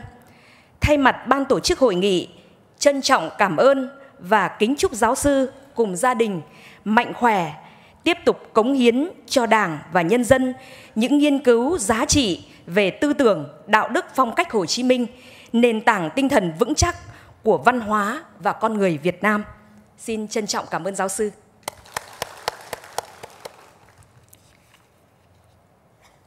Kính thưa các đồng chí lãnh đạo tỉnh, kính thưa các vị đại biểu khách quý, kính thưa các đồng chí cán bộ đảng viên và nhân dân. Được sự phân công của Ban Thường vụ tỉnh ủy, tôi xin được giới thiệu những nội dung cơ bản của hai kế hoạch quan trọng của Ban Thường vụ tỉnh ủy nhằm triển khai thực hiện chỉ thị 05 của Bộ Chính trị. Đó là kế hoạch số 41 ngày 16 tháng 12 năm 2016 về tuyên truyền thực hiện chỉ thị số 05 của Bộ Chính trị và nhân rộng điển hình học tập làm theo tư tưởng, đạo đức phong cách Hồ Chí Minh từ nay cho đến năm 2020 và kế hoạch số 46 ngày 24 tháng 2 năm 2017 về tổ chức cuộc thi kể chuyện, học tập và làm theo tư tưởng, đạo đức phong cách Hồ Chí Minh. Đối với kế hoạch số 41 ngày 16 tháng 12 năm 2016 thì như chúng ta đã biết kế hoạch này được Ban Thường vụ tỉnh ủy ký ban hành từ ngày 16 tháng 12 năm 2016 đã được gửi tới Thường trực Hội đồng Nhân dân tỉnh, Ủy ban Nhân dân tỉnh, các ban đảng tỉnh, Ủy ban Mặt trận Tổ quốc, các tổ chức chính trị xã hội tỉnh, Ban thường vụ các huyện thành ủy, đảng ủy trực thuộc tỉnh ủy, các đồng chí tỉnh ủy viên. Mặc dù tỉnh ủy chưa tổ chức quán triệt kế hoạch này, nhưng tới nay các cấp các ngành đã và đang chủ động triển khai thực hiện. Tuy nhiên, chúng ta xét thấy đây là một kế hoạch có tính dài hơi, kéo dài cả nhiệm kỳ nhằm cụ thể hóa công tác lãnh đạo, chỉ đạo và triển khai tổ chức thực hiện chỉ thị 05. Nên tại hội nghị này, Ban tuyên giáo tỉnh ủy đã tham mưu với Ban thường vụ tỉnh ủy để chúng ta dành thời gian quán triệt một số nội dung quan trọng đã nêu trong kế hoạch. Thứ nhất là về nội dung. Công tác tuyên truyền trong cả nhiệm kỳ sẽ tập trung vào bốn nội dung chính. Trong đó đề nghị các đồng chí đặc biệt lưu ý hai nội dung để tạo tính đồng loạt, điểm nhấn đậm nét và đạt hiệu quả cao trong công tác tuyên truyền. Đó là nội dung 1 và nội dung thứ ba. Nội dung 1 là tuyên truyền nội dung chỉ thị 05, những nội dung cơ bản của tư tưởng đạo đức phong cách Hồ Chí Minh. Chú ý phân tích làm rõ những điểm mới trong chỉ thị 05 của Bộ Chính trị, phân tích sâu sắc những nội dung cơ bản của tư tưởng đạo đức phong cách Hồ Chí Minh, nhất là về đạo đức phong cách của Chủ tịch Hồ Chí Minh gắn với xây dựng chỉnh đốn Đảng theo tinh thần nghị quyết Trung ương 4 khóa 12. Về nội dung 3, trong 4 nội dung này, đó là tuyên truyền biểu dương những tập thể cá nhân điển hình học tập và làm theo bác, chú trọng tuyên truyền những điển hình trong xây dựng, hoàn thiện, thực hiện chuẩn mực đạo đức công vụ, đạo đức nghề nghiệp, về sự gương mẫu đi đầu trong học tập làm theo bác của cán bộ đảng viên, công chức viên chức, nhất là cán bộ chủ chốt và người đứng đầu các cấp các ngành. Thứ hai, về hình thức. Kế hoạch yêu cầu chúng ta sử dụng linh hoạt các loại hình và phương tiện tuyên truyền cho phù hợp với tình hình của địa phương đơn vị, đặc thù của ngành, đối tượng và tập trung vào năm hình thức chủ yếu sau. Một là đẩy mạnh tuyên truyền trên các phương tiện thông tin đại chúng. Hai là tiếp tục thực hiện giải thưởng sáng tác, quảng bá các tác phẩm văn học nghệ thuật, báo chí về chủ đề học tập, làm theo tấm gương đạo đức Hồ Chí Minh. Tổ chức các cuộc thi tìm hiểu về tư tưởng đạo đức phong cách Hồ Chí Minh, thi viết về các cá nhân điển hình học tập và làm theo bác. Thứ ba là tuyên truyền trong thông qua đội ngũ báo cáo viên và tuyên truyền miệng. Thứ tư là tuyên truyền cổ động trực quan và thứ năm là khen thưởng, biểu dương các tập thể cá nhân có thành tích xuất sắc. Đây không phải là các hình thức tuyên truyền mới mà đã rất quen thuộc với chúng ta trong quá trình lãnh đạo, chỉ đạo và trực, trực tiếp triển khai công tác tuyên truyền, các chỉ thị nghị quyết cũng như là các đợt sinh hoạt chính trị quan trọng của đất nước và của tỉnh và nhất là trong quá trình chúng ta triển khai chỉ thị 06, chỉ thị 03 trước đây. Và đối với các cái hình thức thì cũng báo cáo với các đồng chí là tỉnh của chúng ta cũng xác định là báo Hưng Yên, Đài Phát thanh Truyền hình tỉnh, các tạp chí bản tin, trang thông tin điện tử sẽ xây dựng các chuyên mục để thực hiện chỉ thị 05, phản ánh gương người tốt, việc tốt, đăng ở trang nhất hoặc phát vào khung giờ sau thời sự để tập trung nhiều người theo dõi, phối hợp với các sở ngành địa phương để mời các nhà khoa học, các chuyên gia tổ chức tọa đàm, giới thiệu tư tưởng đạo đức phong cách Hồ Chí Minh và những tấm gương tiêu biểu học tập và làm theo bác. Đài phát thanh truyền hình và báo Hưng Yên mỗi tháng sẽ đưa ít nhất hai phóng sự, tin bài để giới thiệu điển hình học tập làm theo bác, phát vào chương trình Thời sự Hưng Yên và phát lại vào các thời điểm thuận lợi cho khán thính giả theo dõi. Và nhân kỷ niệm ngày truyền thống, ngày thành lập của các ngành, các đoàn thể, các cơ quan báo chí ở các địa phương, cơ quan đơn vị sẽ tổ chức tọa đàm gắn với chủ đề học tập làm theo tư tưởng đạo đức phong cách của Chủ tịch Hồ Chí Minh như là thầy thuốc Hưng Yên học tập và làm theo bác vào dịp 27 tháng 2, tuổi trẻ Hưng Yên học tập và làm theo bác dịp 26 tháng 3, nhà giáo Hưng Yên học tập và làm theo bác dịp 20 tháng 11, công an Hưng Yên học tập và làm theo bác dịp 19 tháng 8 và sáng mãi truyền thống bộ đội Cụ Hồ vào dịp 22 tháng 12, vân vân. Mặt trận Tổ quốc và các tổ chức chính trị xã hội tỉnh, các ban sở ngành và các địa phương đơn vị có trách nhiệm giới thiệu các gương điển hình, người tốt, việc tốt và phối hợp cung cấp danh sách, thông tin cần thiết cho các cơ quan báo chí để chúng ta xây dựng các tin bài và chương trình tuyên truyền rộng rãi tới đông đảo cán bộ đảng viên và quần chúng nhân dân. Đối với các hình thức tiếp tục uh, thực hiện giải thưởng sáng tác các tác phẩm văn học nghệ thuật báo chí và các cuộc thi thì Ban Thường vụ tỉnh ủy xác định các hoạt động quy mô của cấp tỉnh theo từng năm từ nay cho đến hết nhiệm kỳ đó là Năm 2017 thì chúng ta sẽ tổ chức cuộc thi kể chuyện mà ngày hôm nay chúng ta sẽ phát động. Năm 2018 tổ chức cuộc thi sáng tác các tác phẩm văn học về chủ đề học tập làm theo tư tưởng đạo đức phong cách Chủ tịch Hồ Chí Minh. Năm 2019 tổ chức chương trình giao lưu nghệ thuật học tập và làm theo bác gắn với nội dung 10 lần bác Hồ về thăm Hưng Yên. Và dịp 19 tháng 5 năm 2020, chúng ta sẽ tổng kết 5 năm thực hiện chỉ thị 05 của Bộ Chính trị và chúng ta tăng cường các hình thức biểu dương khen thưởng các tập thể cá nhân có thành tích xuất sắc trong các năm như là tổ chức gặp mặt biểu dương khen thưởng các tập thể cá nhân điển hình trong học tập và làm theo tấm gương đạo đức Hồ Chí Minh.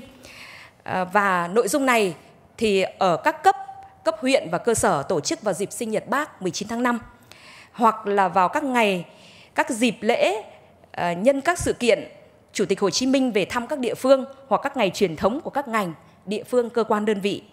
Cấp tỉnh của chúng ta thì sẽ tổ chức gặp mặt giao lưu hàng năm vào dịp 19 tháng 5 do Ban tuyên giáo tỉnh ủy chủ trì phối hợp với Đài Phát thanh Truyền hình tỉnh, Ban thi đua khen thưởng tỉnh tổ chức.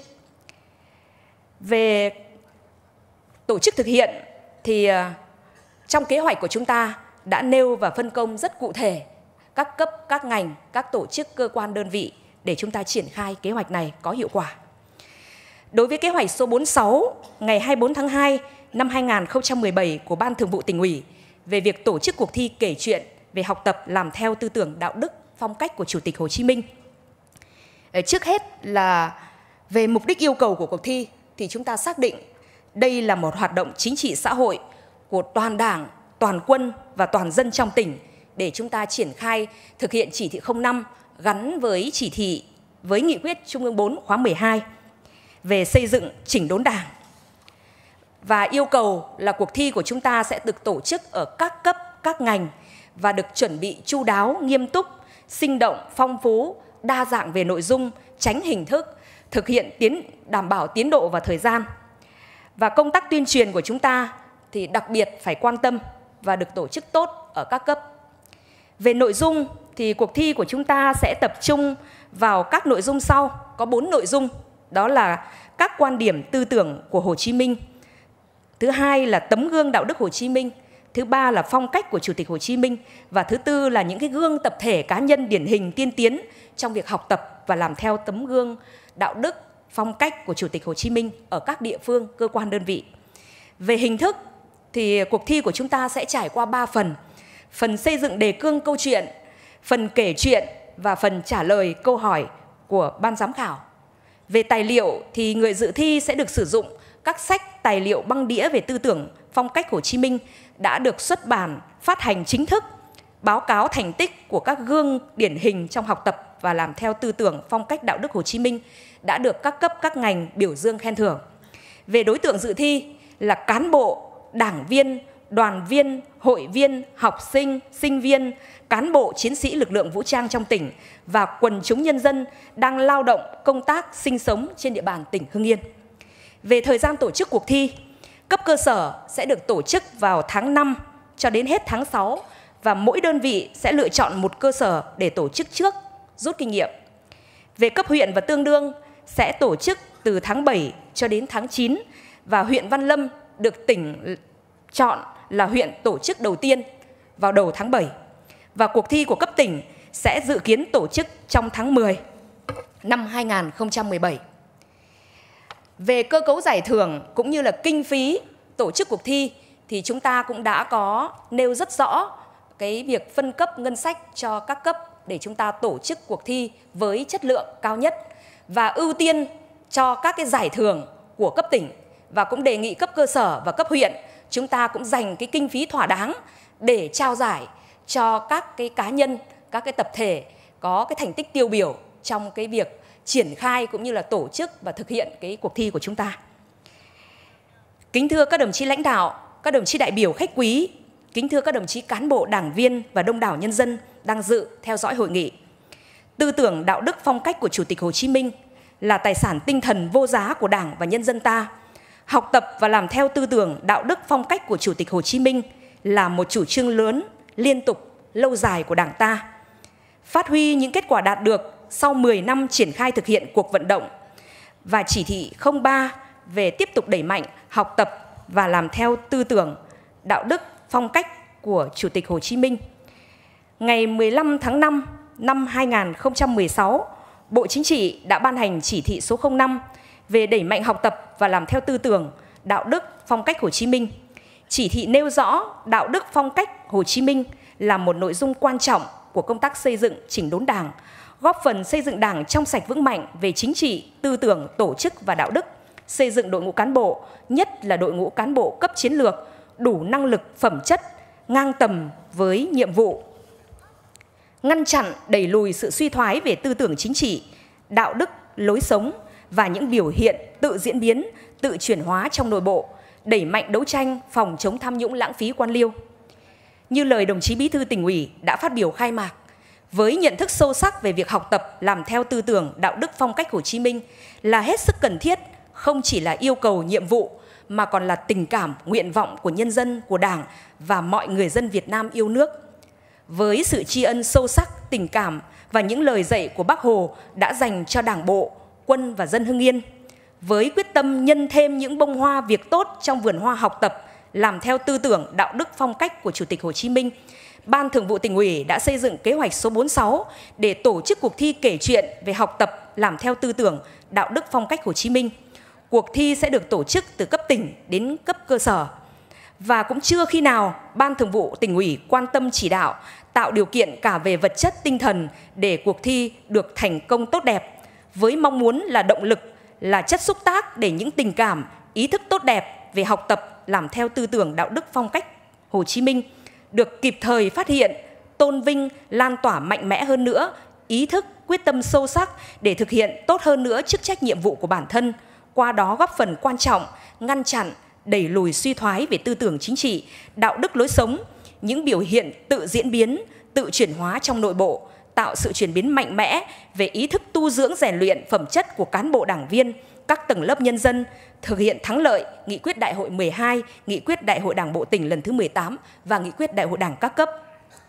Để cuộc thi thật sự trở thành một hoạt động chính trị xã hội sâu rộng trong toàn đảng bộ và nhân dân tỉnh nhà, thật sự đạt được những kết quả như mong muốn, tôi đề nghị mỗi cán bộ đảng viên, trước hết là đội ngũ cán bộ tuyên giáo, báo cáo viên, tuyên truyền viên các cấp, quán triệt sâu sắc mục đích yêu cầu của cuộc thi.